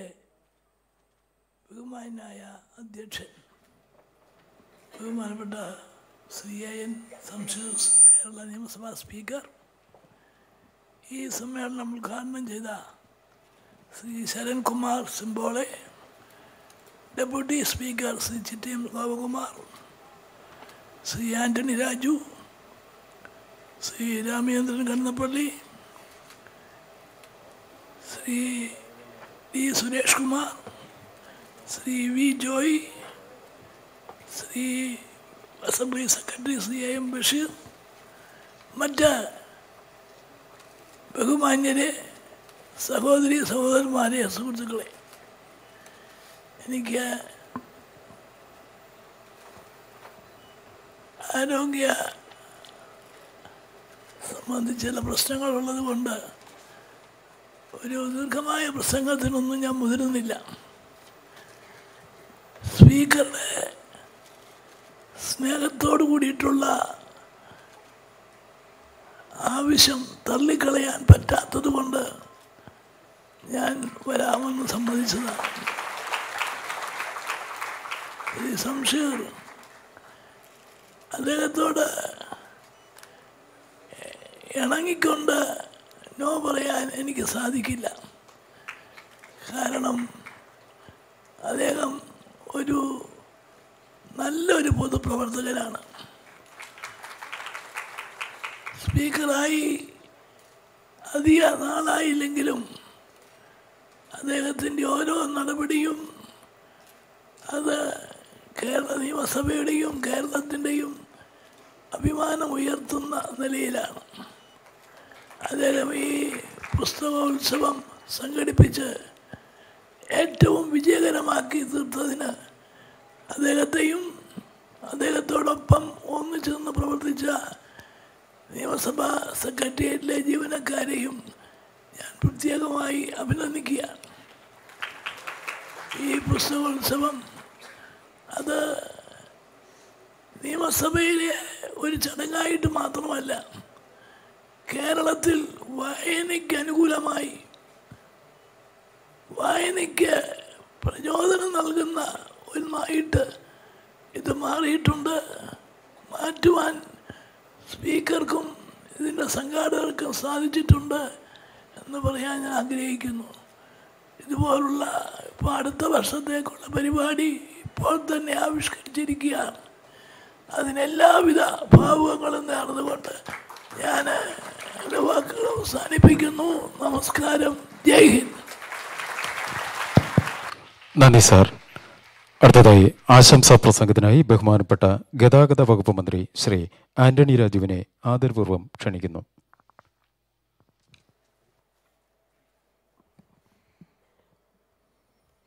അന്താരാഷ്ട്ര പുസ്തകോത്സവത്തിന്റെ സമാപന സമ്മേളനത്തിൽ അധ്യക്ഷത വഹിക്കുന്ന കേരളത്തിൻ്റെ പ്രിയങ്കരനായ സ്പീക്കർ ശ്രീ എൻ ഷംസീർ മുഖവര ആവശ്യമില്ലാത്ത കേരള രാഷ്ട്രീയത്തിൽ പുതിയ ചരിത്രം രചിച്ച നമ്മുടെ എല്ലാം പ്രിയങ്കരനായ മുൻ മുഖ്യമന്ത്രി ഉമ്മൻചാണ്ടി സാർ ഈ വേദിയിൽ സന്നിഹിതരായിരിക്കുന്ന ഡെപ്യൂട്ടി സ്പീക്കർ ആദരണീയനായ Shri Chittayam Gopakumar Shri Ramachandran Kadannappally M L A Shri D Suresh Kumar ജില്ലാ പഞ്ചായത്ത് അധ്യക്ഷൻ പ്രിയങ്കരനായ Shri V Joy M L A നിയമസഭാ secretary Shri M Basheer Kerala legislative secretariat അംഗങ്ങളെ M L A Shri Vishnunath പ്രിയമുള്ള സഹോദരി സഹോദരന്മാരെ സുഹൃത്തുക്കളെ ഇവിടെ ഉദ്ഘാടന കർമ്മം നിർവഹിച്ച ശ്രീ ശരൺകുമാർ ലിംബാലെ ഉൾപ്പെടെയുള്ള പ്രമുഖരായ അറിയപ്പെടുന്ന എഴുത്തുകാരുടെ സാന്നിധ്യം കൊണ്ട് ശ്രദ്ധേയമായ അന്താരാഷ്ട്ര പുത്സ പുസ്തകോത്സവത്തിനാണ് നാം എല്ലാം സാക്ഷ്യം വഹിക്കുന്നത് ഇവിടെ സൂചിപ്പിച്ചതുപോലെ കേരളത്തിൻ്റെ നിയമസഭാ ചരിത്രത്തിൽ മാത്രമല്ല ഇന്ത്യയുടെ നിയമസഭാ ചരിത്രത്തിൽ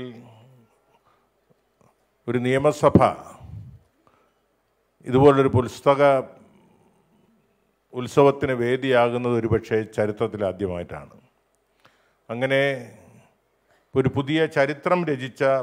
പുസ്തകോത്സവത്തിനാണ് നാം എല്ലാം സാക്ഷ്യം വഹിക്കുന്നത് ഏറ്റവും മികച്ച സംഘാടനം കൊണ്ട് ശ്രദ്ധേയമായ ഒരു പുസ്തകോത്സവം കൂടിയാണ് നാം ഇന്ന് ഈ സമാപന സമ്മേളനത്തിന് സാക്ഷ്യം വഹിക്കുമ്പോൾ നമ്മുടെ മനസ്സിലൂടെ കടന്നു പോകുന്നത് ഈ പുസ്തകോത്സവത്തെ ഒരു പുസ്തകം പരിചയപ്പെടുത്തുക എന്നുള്ളതിനപ്പുറത്തേക്ക് ഒരു ജനകീയോത്സവമായി മാറ്റുവാൻ കഴിഞ്ഞു എന്നുള്ളതാണ് ഏറ്റവും പ്രത്യേകത രണ്ട് ലക്ഷത്തിൽ പരം വിദ്യാർത്ഥികളെ കഴിഞ്ഞ ഒരാഴ്ചയ്ക്കുള്ളിൽ ഈ വേദിയിൽ അണിനിരത്തുവാൻ കഴിഞ്ഞു എന്നുള്ളത് ഈ സ്റ്റാളുകളുടെ മുമ്പിലൂടെ മുമ്പിൽ കടന്നു വരുവാൻ ഒരുക്കി എന്നുള്ളത് ഒരു ചെറിയ കാര്യമല്ല എനിക്ക് ഈ പുസ്തകോത്സവത്തിനോടനുബന്ധിച്ച് ഏറ്റവും ശ്രദ്ധേയമായി തോന്നിയത് ഈ വേദിയുടെ ഇരുവശങ്ങളിലുമുള്ള ബാനറിൽ പ്രത്യക്ഷപ്പെടുന്ന വായനയാണ് ലഹരി എന്ന കാലഘട്ടത്തിൻ്റെ ഏറ്റവും അനുയോജ്യമായ മുദ്രാവാക്യം ലഹരിക്കെതിരെയുള്ള പോരാട്ടത്തിന് പുതിയ തലമുറയെ ആഹ്വാനം ചെയ്യുന്ന ഒരു മുദ്രാവാക്യം വായനയുടെ ലോകത്തേക്ക് പുതിയ തലമുറയെ കൈപിടിച്ച് കൊണ്ടുവരുവാനുള്ള ഒരു വളരെ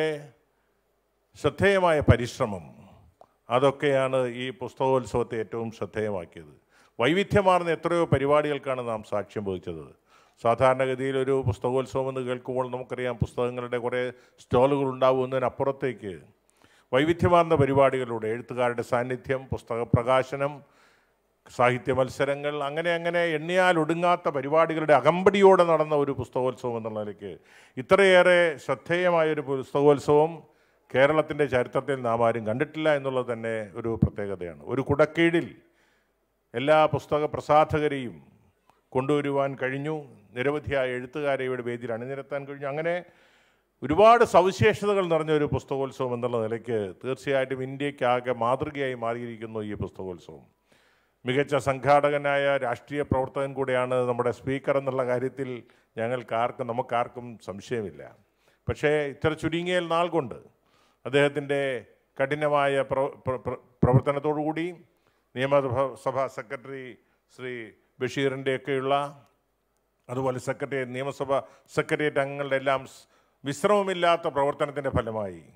ഈ അന്താരാഷ്ട്ര പുസ്തകോത്സവം ഒരു വലിയ മഹാ ഉത്സവമായി മാറിയിരിക്കുന്നു ജനകീയ പുസ്തകോത്സവമായി മാറിയിരിക്കുന്നു ഇത് സംഘടിപ്പിക്കുവാൻ നേതൃത്വം കൊടുത്ത ബഹുമാനപ്പെട്ട സ്പീക്കർ ഡെപ്യൂട്ടി സ്പീക്കർ സെക്രട്ടറി മറ്റ് നിയമസഭാ സെക്രട്ടേറിയറ്റ് അംഗങ്ങൾ എല്ലാവരെയും പ്രത്യേകമായി അഭിനന്ദിച്ചുകൊണ്ട് രണ്ടാമത്തെ പുസ്തകോത്സവത്തിനുള്ള ഒരുക്കം ഇന്ന് തന്നെ ആരംഭിക്കുന്നു എന്നുള്ളത് ഒരു സവിശേഷമായ പ്രത്യേകതയാണ് ഏതായാലും ദീർഘവീക്ഷണത്തോടുകൂടി കേരളത്തിൻ്റെ ഒരു സാമൂഹ്യ ചരിത്രത്തിൽ ഇടം നേടാൻ പോകുന്ന ഒരു വലിയ ഉത്സവമായി മാറാൻ പോകുന്ന ഒരു സംഭവ പരമ്പരയ്ക്കാണ് ഇവിടെ നാം സാക്ഷ്യം വഹിക്കുന്നു എന്നുള്ളത് വളരെ പ്രത്യേകത കൂടിയുണ്ട് ഞാൻ ഈ പുസ്ത അന്താരാഷ്ട്ര പുസ്തകോത്സവം രണ്ടായിരത്തി ഇരുപത്തി മൂന്ന് കേരള നിയമസഭയുടെ അന്താരാഷ്ട്ര പുസ്തകോത്സവം രണ്ടായിരത്തി ഇരുപത്തി മൂന്നിൽ പങ്കാളിയാകാൻ കഴിഞ്ഞതിലുള്ള സന്തോഷം കൂടി രേഖപ്പെടുത്തിക്കൊണ്ട് ഇതിൻ്റെ പിന്നിൽ പ്രവർത്തിച്ച എല്ലാവർക്കും നന്ദിയും അഭിവാദ്യങ്ങളും അർപ്പിച്ചുകൊണ്ട് എൻ്റെ എളിയവാക്കൾ ഉപസംഹരിക്കുന്നു നന്ദി നന്ദി സാർ ആശംസാ പ്രസംഗത്തിനായി ശ്രീ രാമചന്ദ്രൻ കടന്നപ്പള്ളി എം എൽ എയെ ആദരപൂർവ്വം ക്ഷണിക്കുന്നു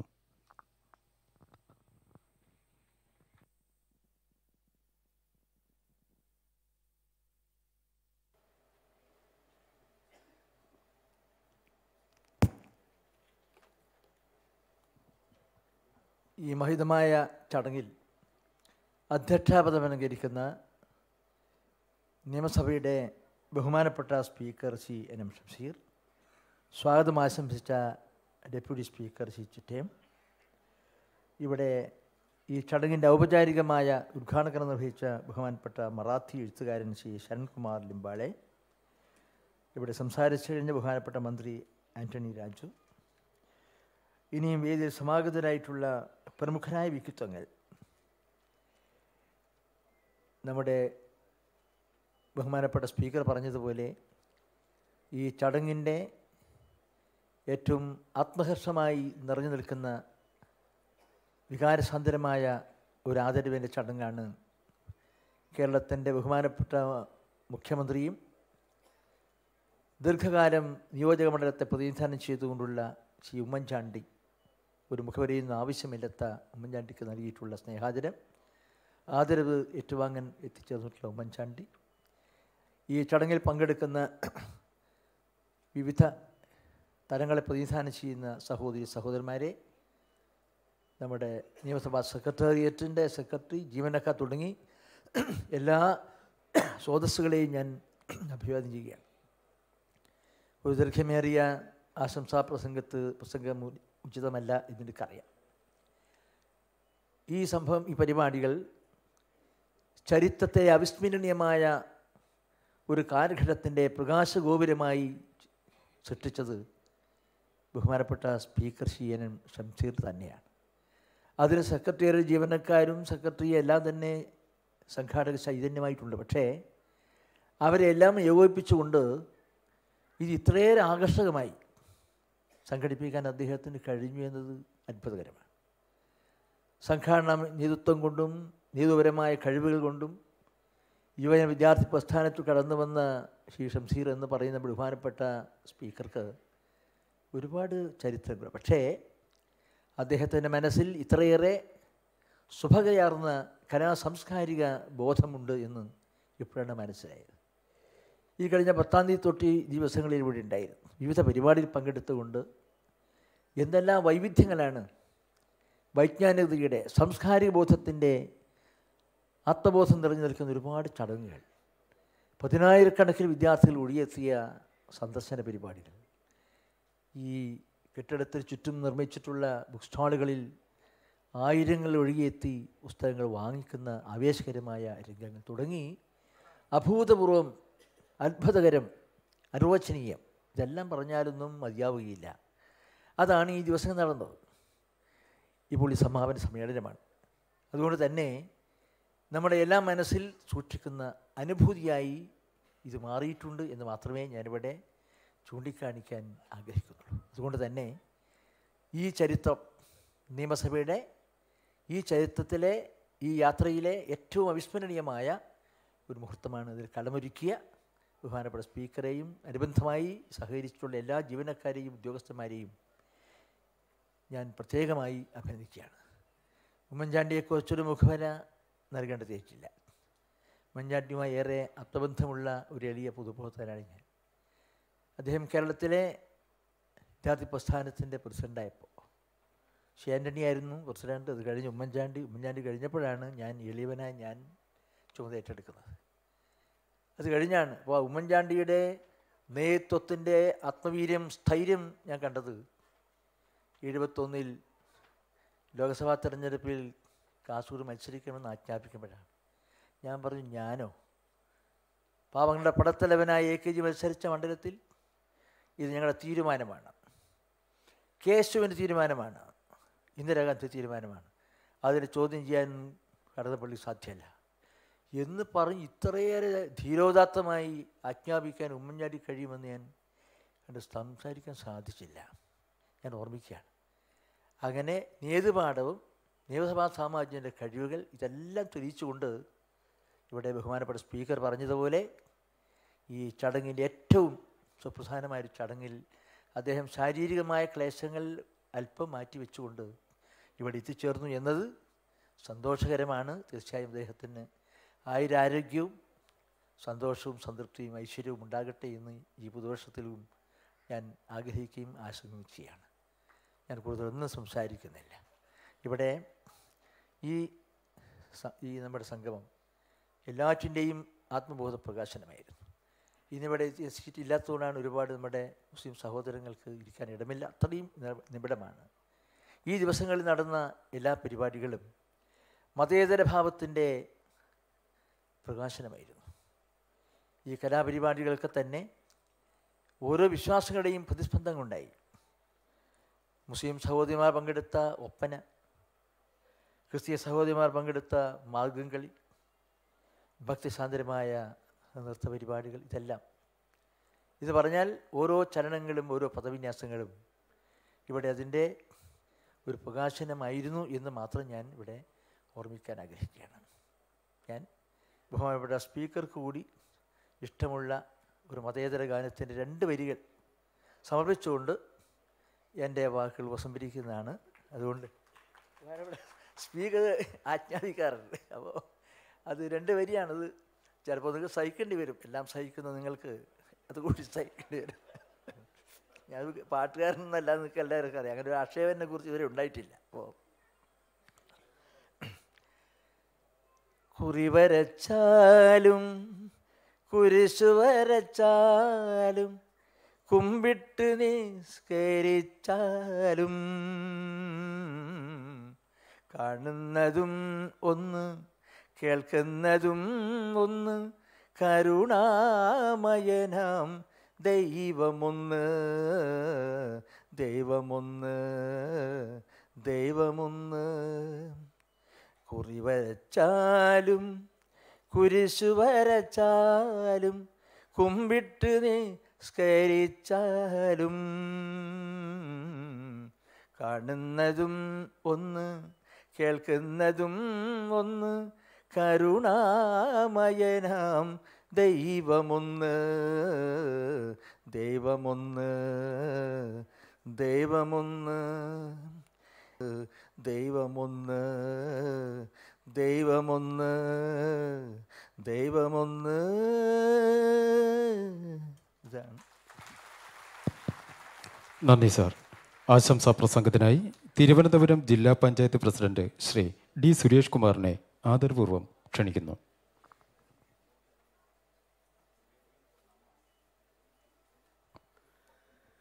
ബഹുമാന്യരെ കേരള നിയമസഭയുടെ അന്താരാഷ്ട്ര പുസ്തകോത്സവം രണ്ടായിരത്തി ഇരുപത്തി മൂന്നിൻ്റെ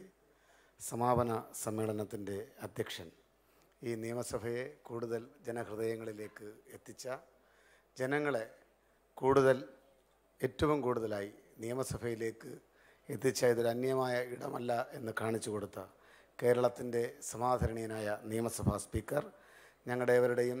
വിദ്യാഭ്യാസ കാലം മുതലുള്ള പ്രിയങ്കനായ നേതാവ് ശ്രീ എ എൻ ഷംസീർ അവർകൾ ഈ പ്രോഗ്രാം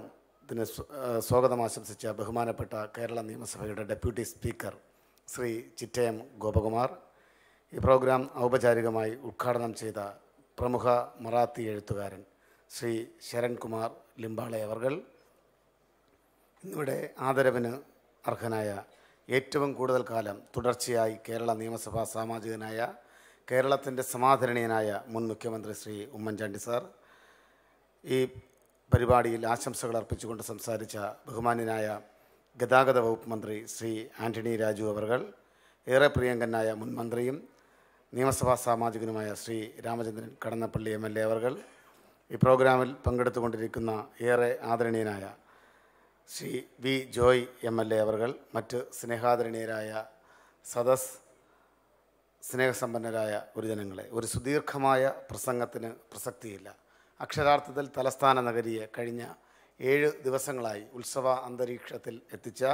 പുസ്തകോത്സവം ഇന്ന് എല്ലാവിധ അതിൻ്റെ പകിട്ടോടുകൂടിയും സമാപിക്കുകയാണ് തിരുവനന്തപുരം ജില്ലാ പഞ്ചായത്തിനും ഈ പുസ്തകോത്സവത്തിൽ ഭാഗമാകാൻ കഴിഞ്ഞു എന്നത് ഏറെ അഭിമാനത്തോടുകൂടി ചാരിതാർത്ഥ്യത്തോടുകൂടി ഞങ്ങൾ നോക്കിക്കാണുന്ന ഒരു കാര്യമാണ് പ്രിയമുള്ളവരെ ഉമ്മൻചാണ്ടി സാറിനെ ആദരിക്കുന്ന ഈ മഹനീയമായ ചടങ്ങ് ഈ ചടങ്ങിൽ ഭാഗമാകുക എന്നത് എന്നെ സംബന്ധിച്ചിടത്തോളം വ്യക്തിപരമായി എൻ്റെ പൊതുജീവിതത്തിലെ ഏറ്റവും വലിയ അംഗീകാരമായി കൂടി ഞാൻ കണക്കാക്കുന്നു തീർച്ചയായും അതിന് എന്നെ കൂടെ ക്ഷണിച്ച ഇതിൻ്റെ സംഘാടകർക്കുള്ള ഹൃദയാർദ്രമായ നന്ദി പങ്കുവെച്ചുകൊണ്ട് എല്ലാവിധ ഭാവുകങ്ങളും നേർന്നുകൊണ്ട് ഞാൻ എൻ്റെ വാക്കുകൾ ചുരുക്കുന്നു നന്ദി സർ ഈ സമ്മേളനത്തിന് കൃതജ്ഞത അറിയിക്കുന്നതിനായി Shri V Joy M L A ആദരപൂർവ്വം ക്ഷണിക്കുന്നു inviting M L A Shri V Joy for vote of thanks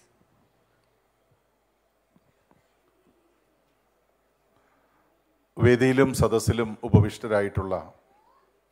ബഹുമാന്യരെ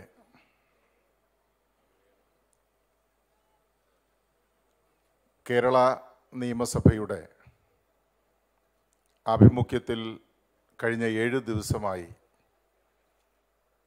നടന്നുവരുന്ന പുസ്തകോത്സവത്തിൻ്റെ സമാപനം കുറിക്കുകയാണ് ഇവിടെ ആദരണീയരായ എല്ലാ വ്യക്തിത്വങ്ങളും സൂചിപ്പിച്ചതുപോലെ കേരള നിയമസഭ ഇന്ത്യയിലെ മറ്റ് നിയമസഭകൾക്ക് മാതൃകയായ പ്രവർത്തനങ്ങളാണ് നടത്തി വരുന്നത് ഇപ്പോൾ ബഹുമാന്യനായിട്ടുള്ള സ്പീക്കർ ശ്രീ എ എം ഷംസീറിൻ്റെ നേതൃത്വത്തിൽ രാജ്യം മുഴുവൻ ഒരുപക്ഷെ രാജ്യത്തിന് പുറത്തു പോലും ശ്രദ്ധിക്കപ്പെടുന്ന തരത്തിൽ ഒരു അന്താരാഷ്ട്ര പുസ്തകോത്സവം സംഘടിപ്പിക്കാൻ നമുക്ക് സാധിച്ചു അതിലേറ്റവും വലിയ പ്രാധാന്യമർഹിക്കുന്ന ഒരു കാര്യം ഒരു ലക്ഷത്തിലധികം വരുന്ന വിദ്യാർത്ഥികൾ കേരള നിയമസഭയിലേക്ക് വന്നു എന്നുള്ളതാണ് കേരള നിയമസഭയെ നടത്തുന്ന ഈ പുസ്തകോത്സവം കണ്ടു നിയമസഭാ മന്ദിരം കണ്ടു ലൈബ്രറി കണ്ടു മ്യൂസിയം കണ്ടു ഇന്നത്തെ ഒരു പ്രത്യേക സാഹചര്യത്തിൽ നമ്മുടെ കുട്ടികളെ സംബന്ധിച്ചിടത്തോളം പുസ്തകങ്ങൾ അങ്ങോട്ട് മാറ്റിവെക്കുന്ന ഒരു സ്ഥിതിയാണ് ഒരു പുസ്തകവും ഒരു മൊബൈൽ ഫോണും കുട്ടികൾക്ക് കൊടുത്താൽ ആദ്യം അവരെടുക്കുക മൊബൈൽ ഫോണായിരിക്കും പുസ്തകം എടുക്കുന്ന സ്ഥിതിയില്ല പക്ഷേ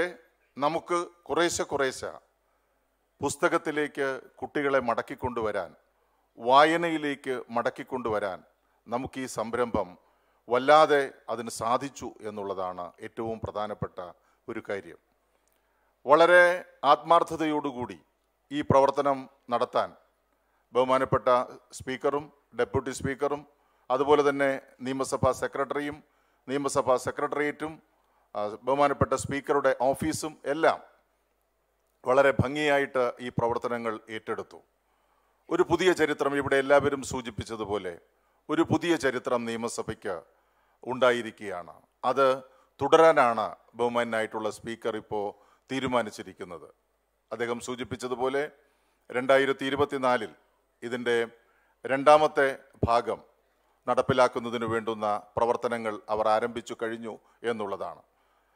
ലക്ഷക്കണക്കിന് ആളുകളെ നമുക്ക് വരും വർഷങ്ങളിൽ കൂടുതൽ നല്ല രൂപത്തിലേക്ക് നമുക്ക് കൊണ്ടുവരാൻ ഇത് കഴിയും എന്നുള്ളതാണ് നമ്മൾ പ്രതീക്ഷിക്കുന്നത് മറ്റു കാര്യങ്ങളിലേക്ക് ഒന്നും കിടക്കാതെ എന്നിൽ നിക്ഷിപ്തമായിട്ടുള്ള കടമയിലേക്ക് ഞാൻ കടക്കുകയാണ് ഈ സമാപന സമ്മേളനത്തിന് അധ്യക്ഷത വഹിക്കുന്നത് ഏറെ പ്രിയങ്കരനായിട്ടുള്ള നിയമസഭാ സ്പീക്കറാണ് അദ്ദേഹത്തെ സംബന്ധിച്ച് കൂടുതൽ കാര്യങ്ങൾ ഞാൻ ഈ അവസരത്തിൽ പറയണം എന്ന് ആഗ്രഹിക്കുന്നില്ല പലർക്കും ഒരു സംശയമുണ്ടായിരുന്നു അദ്ദേഹത്തിൻ്റെ കഴിഞ്ഞകാല പ്രവർത്തനം അദ്ദേഹത്തിൻ്റെ മറ്റു കാര്യങ്ങൾ ഒക്കെ വെച്ചുകൊണ്ട് ഒരു സ്പീക്കറായി അദ്ദേഹം ശോഭിക്കുമോ എന്ന ചിന്ത പലരും പറയുകയും എഴുതുകയും ചെയ്തു എന്നാൽ അതിനൊന്നും ഒരടിസ്ഥാനവുമില്ല ഏൽക്കുന്ന സ്ഥാനം അല്ലെങ്കിൽ ഏൽപ്പിക്കുന്ന സ്ഥാനം വളരെ ഭംഗിയായി ചെയ്യാൻ കരുത്തും ശേഷിയുമുള്ളയാളാണ് ശ്രീ എ എം ഷംസീർ എന്ന് തെളിയിക്കാൻ വേണ്ടിയിട്ട് സാധിച്ചു എന്നുള്ളതാണ് ഈ പുസ്തകോത്സവത്തിൻ്റെ ഏറ്റവും മർമ്മപ്രധാനമായിട്ടുള്ള കാര്യം വളരെ വിനയത്തോടെ ബഹുമാന്യനായിട്ടുള്ള സ്പീക്കറെ ഈ ഈ ചടങ്ങുകളുടെ ചടങ്ങുകളിൽ പങ്കെടുത്തുകൊണ്ട് അധ്യക്ഷത വഹിക്കുന്ന സ്പീക്കർക്ക് എല്ലാവിധ നന്ദിയും ഈ അവസരത്തിൽ രേഖപ്പെടുത്തുകയാണ് ഇന്ന് ഈ സമാപന സമ്മേളനം ഉദ്ഘാടനം ചെയ്യാനായിട്ട് ഇവിടെ എത്തിയിട്ടുള്ളത് പ്രമുഖ മറാത്തി എഴുത്തുകാരൻ ശ്രീ ശരൺകുമാർ ലിംബാവയാണ് അദ്ദേഹത്തെ വളരെ ആദരവോടുകൂടി ഇവിടെ നന്ദി രേഖപ്പെടുത്തുകയാണ് മറ്റൊരു പ്രധാനപ്പെട്ട വ്യക്തിത്വം ഇന്ന് നിയമസഭാ സ്പീക്കർ ആദരിക്കപ്പെട്ട ശ്രീ ഉമ്മൻചാണ്ടി സാറാണ് പ്രത്യേകിച്ച് ഒരു വിശേഷണത്തിൻ്റെയും ആവശ്യമില്ല കേരളീയ സമൂഹം എന്നും നല്ല ഓർമ്മകൾ മാത്രം പങ്കുവയ്ക്കുന്ന ആരാധ്യനും ബഹുമാന്യനുമായിട്ടുള്ള ശ്രീ ഉമ്മൻചാണ്ടി സാറിന് പ്രത്യേകമായിട്ട് ഈ അവസരത്തിൽ നന്ദി രേഖപ്പെടുത്തുകയാണ് കേരളത്തിൻ്റെ ഗതാഗത വകുപ്പ് മന്ത്രി ശ്രീ ആന്റണി രാജു അവർ ഈ വേദിയിൽ സന്നിഹിതനാണ് അദ്ദേഹത്തിന് ഈ സമാപന സമ്മേളനത്തിൻ്റെ പേരിൽ നന്ദി രേഖപ്പെടുത്തുകയാണ് പ്രിയങ്കരനായിട്ടുള്ള മുൻ മന്ത്രിയും എം എൽ എയുമായ ശ്രീ രാമചന്ദ്രൻ കടന്നപ്പള്ളി അദ്ദേഹം ഈ വേദിയിൽ സന്നിഹിതനാണ് അദ്ദേഹത്തിൻ്റെ പ്രസൻസ് നമുക്ക് വളരെ ഗുണം ചെയ്തു എന്തായിരുന്നാലും അദ്ദേഹത്തിന് ഈ സമാപന സമ്മേളനത്തിൻ്റെ പേരിൽ നന്ദി രേഖപ്പെടുത്തുകയാണ് പ്രിയങ്കരനായ തിരുവനന്തപുരം ജില്ലാ പഞ്ചായത്തിൻ്റെ പ്രസിഡന്റ് ശ്രീ സുരേഷ് കുമാർ ഇവിടെ വരികയും നമുക്ക് ആശംസകൾ നേരുകയും ചെയ്തു ഈ സമാപന സമ്മേളനത്തിൻ്റെ പേരിൽ അദ്ദേഹത്തിന് നന്ദി രേഖപ്പെടുത്തുകയാണ് ഈ പ്രവർത്തനങ്ങൾക്കാകെ ബഹുമാന്യനായ സ്പീക്കറോടൊപ്പം ഈ പ്രവർത്തനങ്ങൾ ഏറ്റെടുത്ത് നടത്തിയ ഒരു വ്യക്തിത്വമാണ് നമ്മുടെ ഡെപ്യൂട്ടി സ്പീക്കർ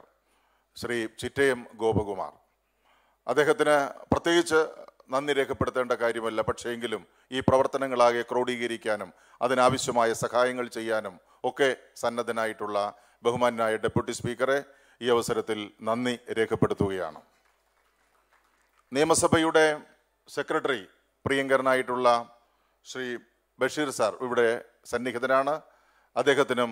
ഈ അവസരത്തിൽ സമാപന സമ്മേളനത്തിൻ്റെ പേരിൽ നന്ദി രേഖപ്പെടുത്തുകയാണ് ഇവിടെ അല്പം മുമ്പ് ബഹുമാനപ്പെട്ട ഇന്ത്യൻ പ്രസിഡന്റിൻ്റെ സന്ദേശം വായിക്കുകയുണ്ടായി ധാരാളം ആളുകൾക്ക് നന്ദി ഈ അവസരത്തിൽ രേഖപ്പെടുത്തേണ്ടതായിട്ടുണ്ട് കഴിഞ്ഞ ഏഴ് ദിവസമായിട്ട് ഈ പ്രവർത്തനങ്ങളാകെ സഹായിക്കുകയും നമുക്ക് അഭിനന്ദനങ്ങൾ അറിയിക്കുകയും ഒക്കെ ചെയ്തിട്ടുള്ള നിരവധി വ്യക്തിത്വങ്ങളുണ്ട് ബഹുമാനപ്പെട്ട ഇന്ത്യയുടെ പ്രസിഡന്റ് അതുപോലെ ബഹുമാന്യനായ കേരളത്തിൻ്റെ മുഖ്യമന്ത്രി വകുപ്പ് മന്ത്രിമാർ ലോക്സഭാ സ്പീക്കർ എം പിമാർ എം എൽ എമാർ പുസ്തക ഉത്സവത്തിനായി രൂപീകരിച്ച വിവിധ കമ്മിറ്റികളുടെ ചെയർമാൻമാർ മുൻ എം എൽ എമാർ മന്ത്രിമാരുടെ പേഴ്സണൽ സ്റ്റാഫ് എം എൽ എമാരുടെ പി എമാർ അതുപോലെ ജില്ലാ കളക്ടർ തിരുവനന്തപുരം മേയർ നഗരസഭ കൗൺസിലർമാർ വിവിധ സർക്കാർ വകുപ്പുകൾ മാധ്യമങ്ങൾ ലൈബ്രറി കൗൺസിൽ സ്പോർട്സ് കൗൺസിൽ പുസ്തകോത്സവ എക്സ്പോർട്ട് കമ്മിറ്റി അംഗങ്ങൾ സാഹിത്യ കലാ സാംസ്കാരിക പ്രവർത്തകർ സ്ഥാപനങ്ങൾ ചലച്ചിത്ര പ്രവർത്തകർ പ്രസാധകർ എഴുത്തുകാർ ബുക്ക് റിലീസ് നടത്തിയ പ്രമുഖ വ്യക്തികൾ Thiruvananthapuram arch bishop Thiruvithamkoor Devaswom board യൂണിവേഴ്സിറ്റികൾ സർക്കാർ എയ്ഡഡ് അൺഎയ്ഡഡ് സ്കൂളുകൾ മറ്റ് വിദ്യാഭ്യാസ സ്ഥാപനങ്ങൾ ബുക്ക് കൂപ്പൺ സ്പോൺസർ ചെയ്ത വകുപ്പുകൾ പൊതുമേഖലാ സ്ഥാപനങ്ങൾ ബാങ്കുകൾ അതോറിറ്റികൾ Thiruvananthapuram Sree Chitra art gallery natural history museum Napier museum മൃഗശാല നിയമസഭാ ലൈബ്രറി അവാർഡ് നിർണയം ജൂറി പൊതുമരാമത്ത് ഇലക്ട്രോണിക്സ് ഇലക്ട്രിക്കൽ സിവിൽ മെക്കാനിക്കൽ വിഭാഗങ്ങൾ നിയമസഭ ജീവനക്കാർ വാച്ച് ആൻഡ് വാർഡ് നിയമസഭ മുൻ ജീവനക്കാർ ലൈബ്രറികൾ കോളേജുകൾ സ്കൂളുകൾ വീഡിയോ ഓഡിയോ റെക്കോർഡിംഗ് നടത്തിയവർ സംഗീതജ്ഞർ ഫുഡ് കോർട്ട് നടത്തിയവർ ഹോട്ടലുകൾ ദീപാലങ്കാരവും വെളിച്ചവും സ്റ്റാളും മറ്റ് സംവിധാനങ്ങളും ഒരുക്കിയവർ കേരള പോലീസ് പി വിവിധ ചാനലുകൾ പുസ്തകോത്സവത്തിനായി രൂപീകരിച്ച വിവിധ കമ്മിറ്റിയിലെ ജീവനക്കാർ ഞാൻ നേരത്തെ സൂചിപ്പിച്ചതുപോലെ സ്പീക്കറുടെ ഓഫീസ് നമ്മുടെ നിയമസഭാ സെക്രട്ടേറിയറ്റിലെ മുഴുവൻ ജീവനക്കാരും മീഡിയ വാച്ച് ആൻഡ് വാർഡ് എല്ലാ എല്ലാ എല്ലാ വിഭാഗത്തിൽപ്പെട്ട ആളുകളും കഴിഞ്ഞ ഒരു പത്ത് പതിനഞ്ച് ദിവസമായി ഏഴ് ദിവസമാണ് ഈ പുസ്തകോത്സവം നടന്നതെങ്കിലും ഒരു ഒരു മാസത്തോളമായി ഈ പ്രവർത്തനങ്ങളെല്ലാം ഏറ്റെടുത്ത് അത് പൂർണ്ണതയിൽ എത്തിക്കാൻ വേണ്ടിയിട്ട് വിജയത്തിലേക്ക് എത്തിക്കാൻ വേണ്ടിയിട്ട് അശ്രാന്ത പരിശ്രമം നടത്തിയിട്ടുണ്ട് അത് അവരെല്ലാവരെയും ഈ അവസരത്തിൽ ഹൃദയത്തോട് ചേർത്ത് പിടിച്ച് അവർക്കെല്ലാവർക്കും ഈ അവസരത്തിൽ നന്ദി രേഖപ്പെടുത്തുകയാണ് കേരള നിയമസഭ വീണ്ടും ഇന്ത്യക്ക് മാതൃകയാകുന്ന പ്രവർത്തനങ്ങളിലേക്ക് കടക്കാൻ നമുക്ക് സാധിക്കട്ടെ എന്ന് ഒരിക്കൽ കൂടി ആശംസിച്ചുകൊണ്ട് എല്ലാവർക്കും ഇവിടെ എത്തിച്ചേർന്ന എല്ലാ ബഹുമാന്യർക്കും ഒരിക്കൽ കൂടി ആരെയെങ്കിലും വിട്ടുപോയിട്ടുണ്ടെങ്കിൽ എല്ലാവരും എല്ലാവർക്കും ഈ അവസരത്തിൽ പ്രത്യേകം ഈ പുസ്തകോത്സവത്തിൻ്റെ സമാപന സമ്മേളനത്തിൻ്റെ പേരിൽ നന്ദി നന്ദി നന്ദി നന്ദി സാർ അടുത്തതായി ദേശീയ ഗാനം നാഷണൽ ആൻഡം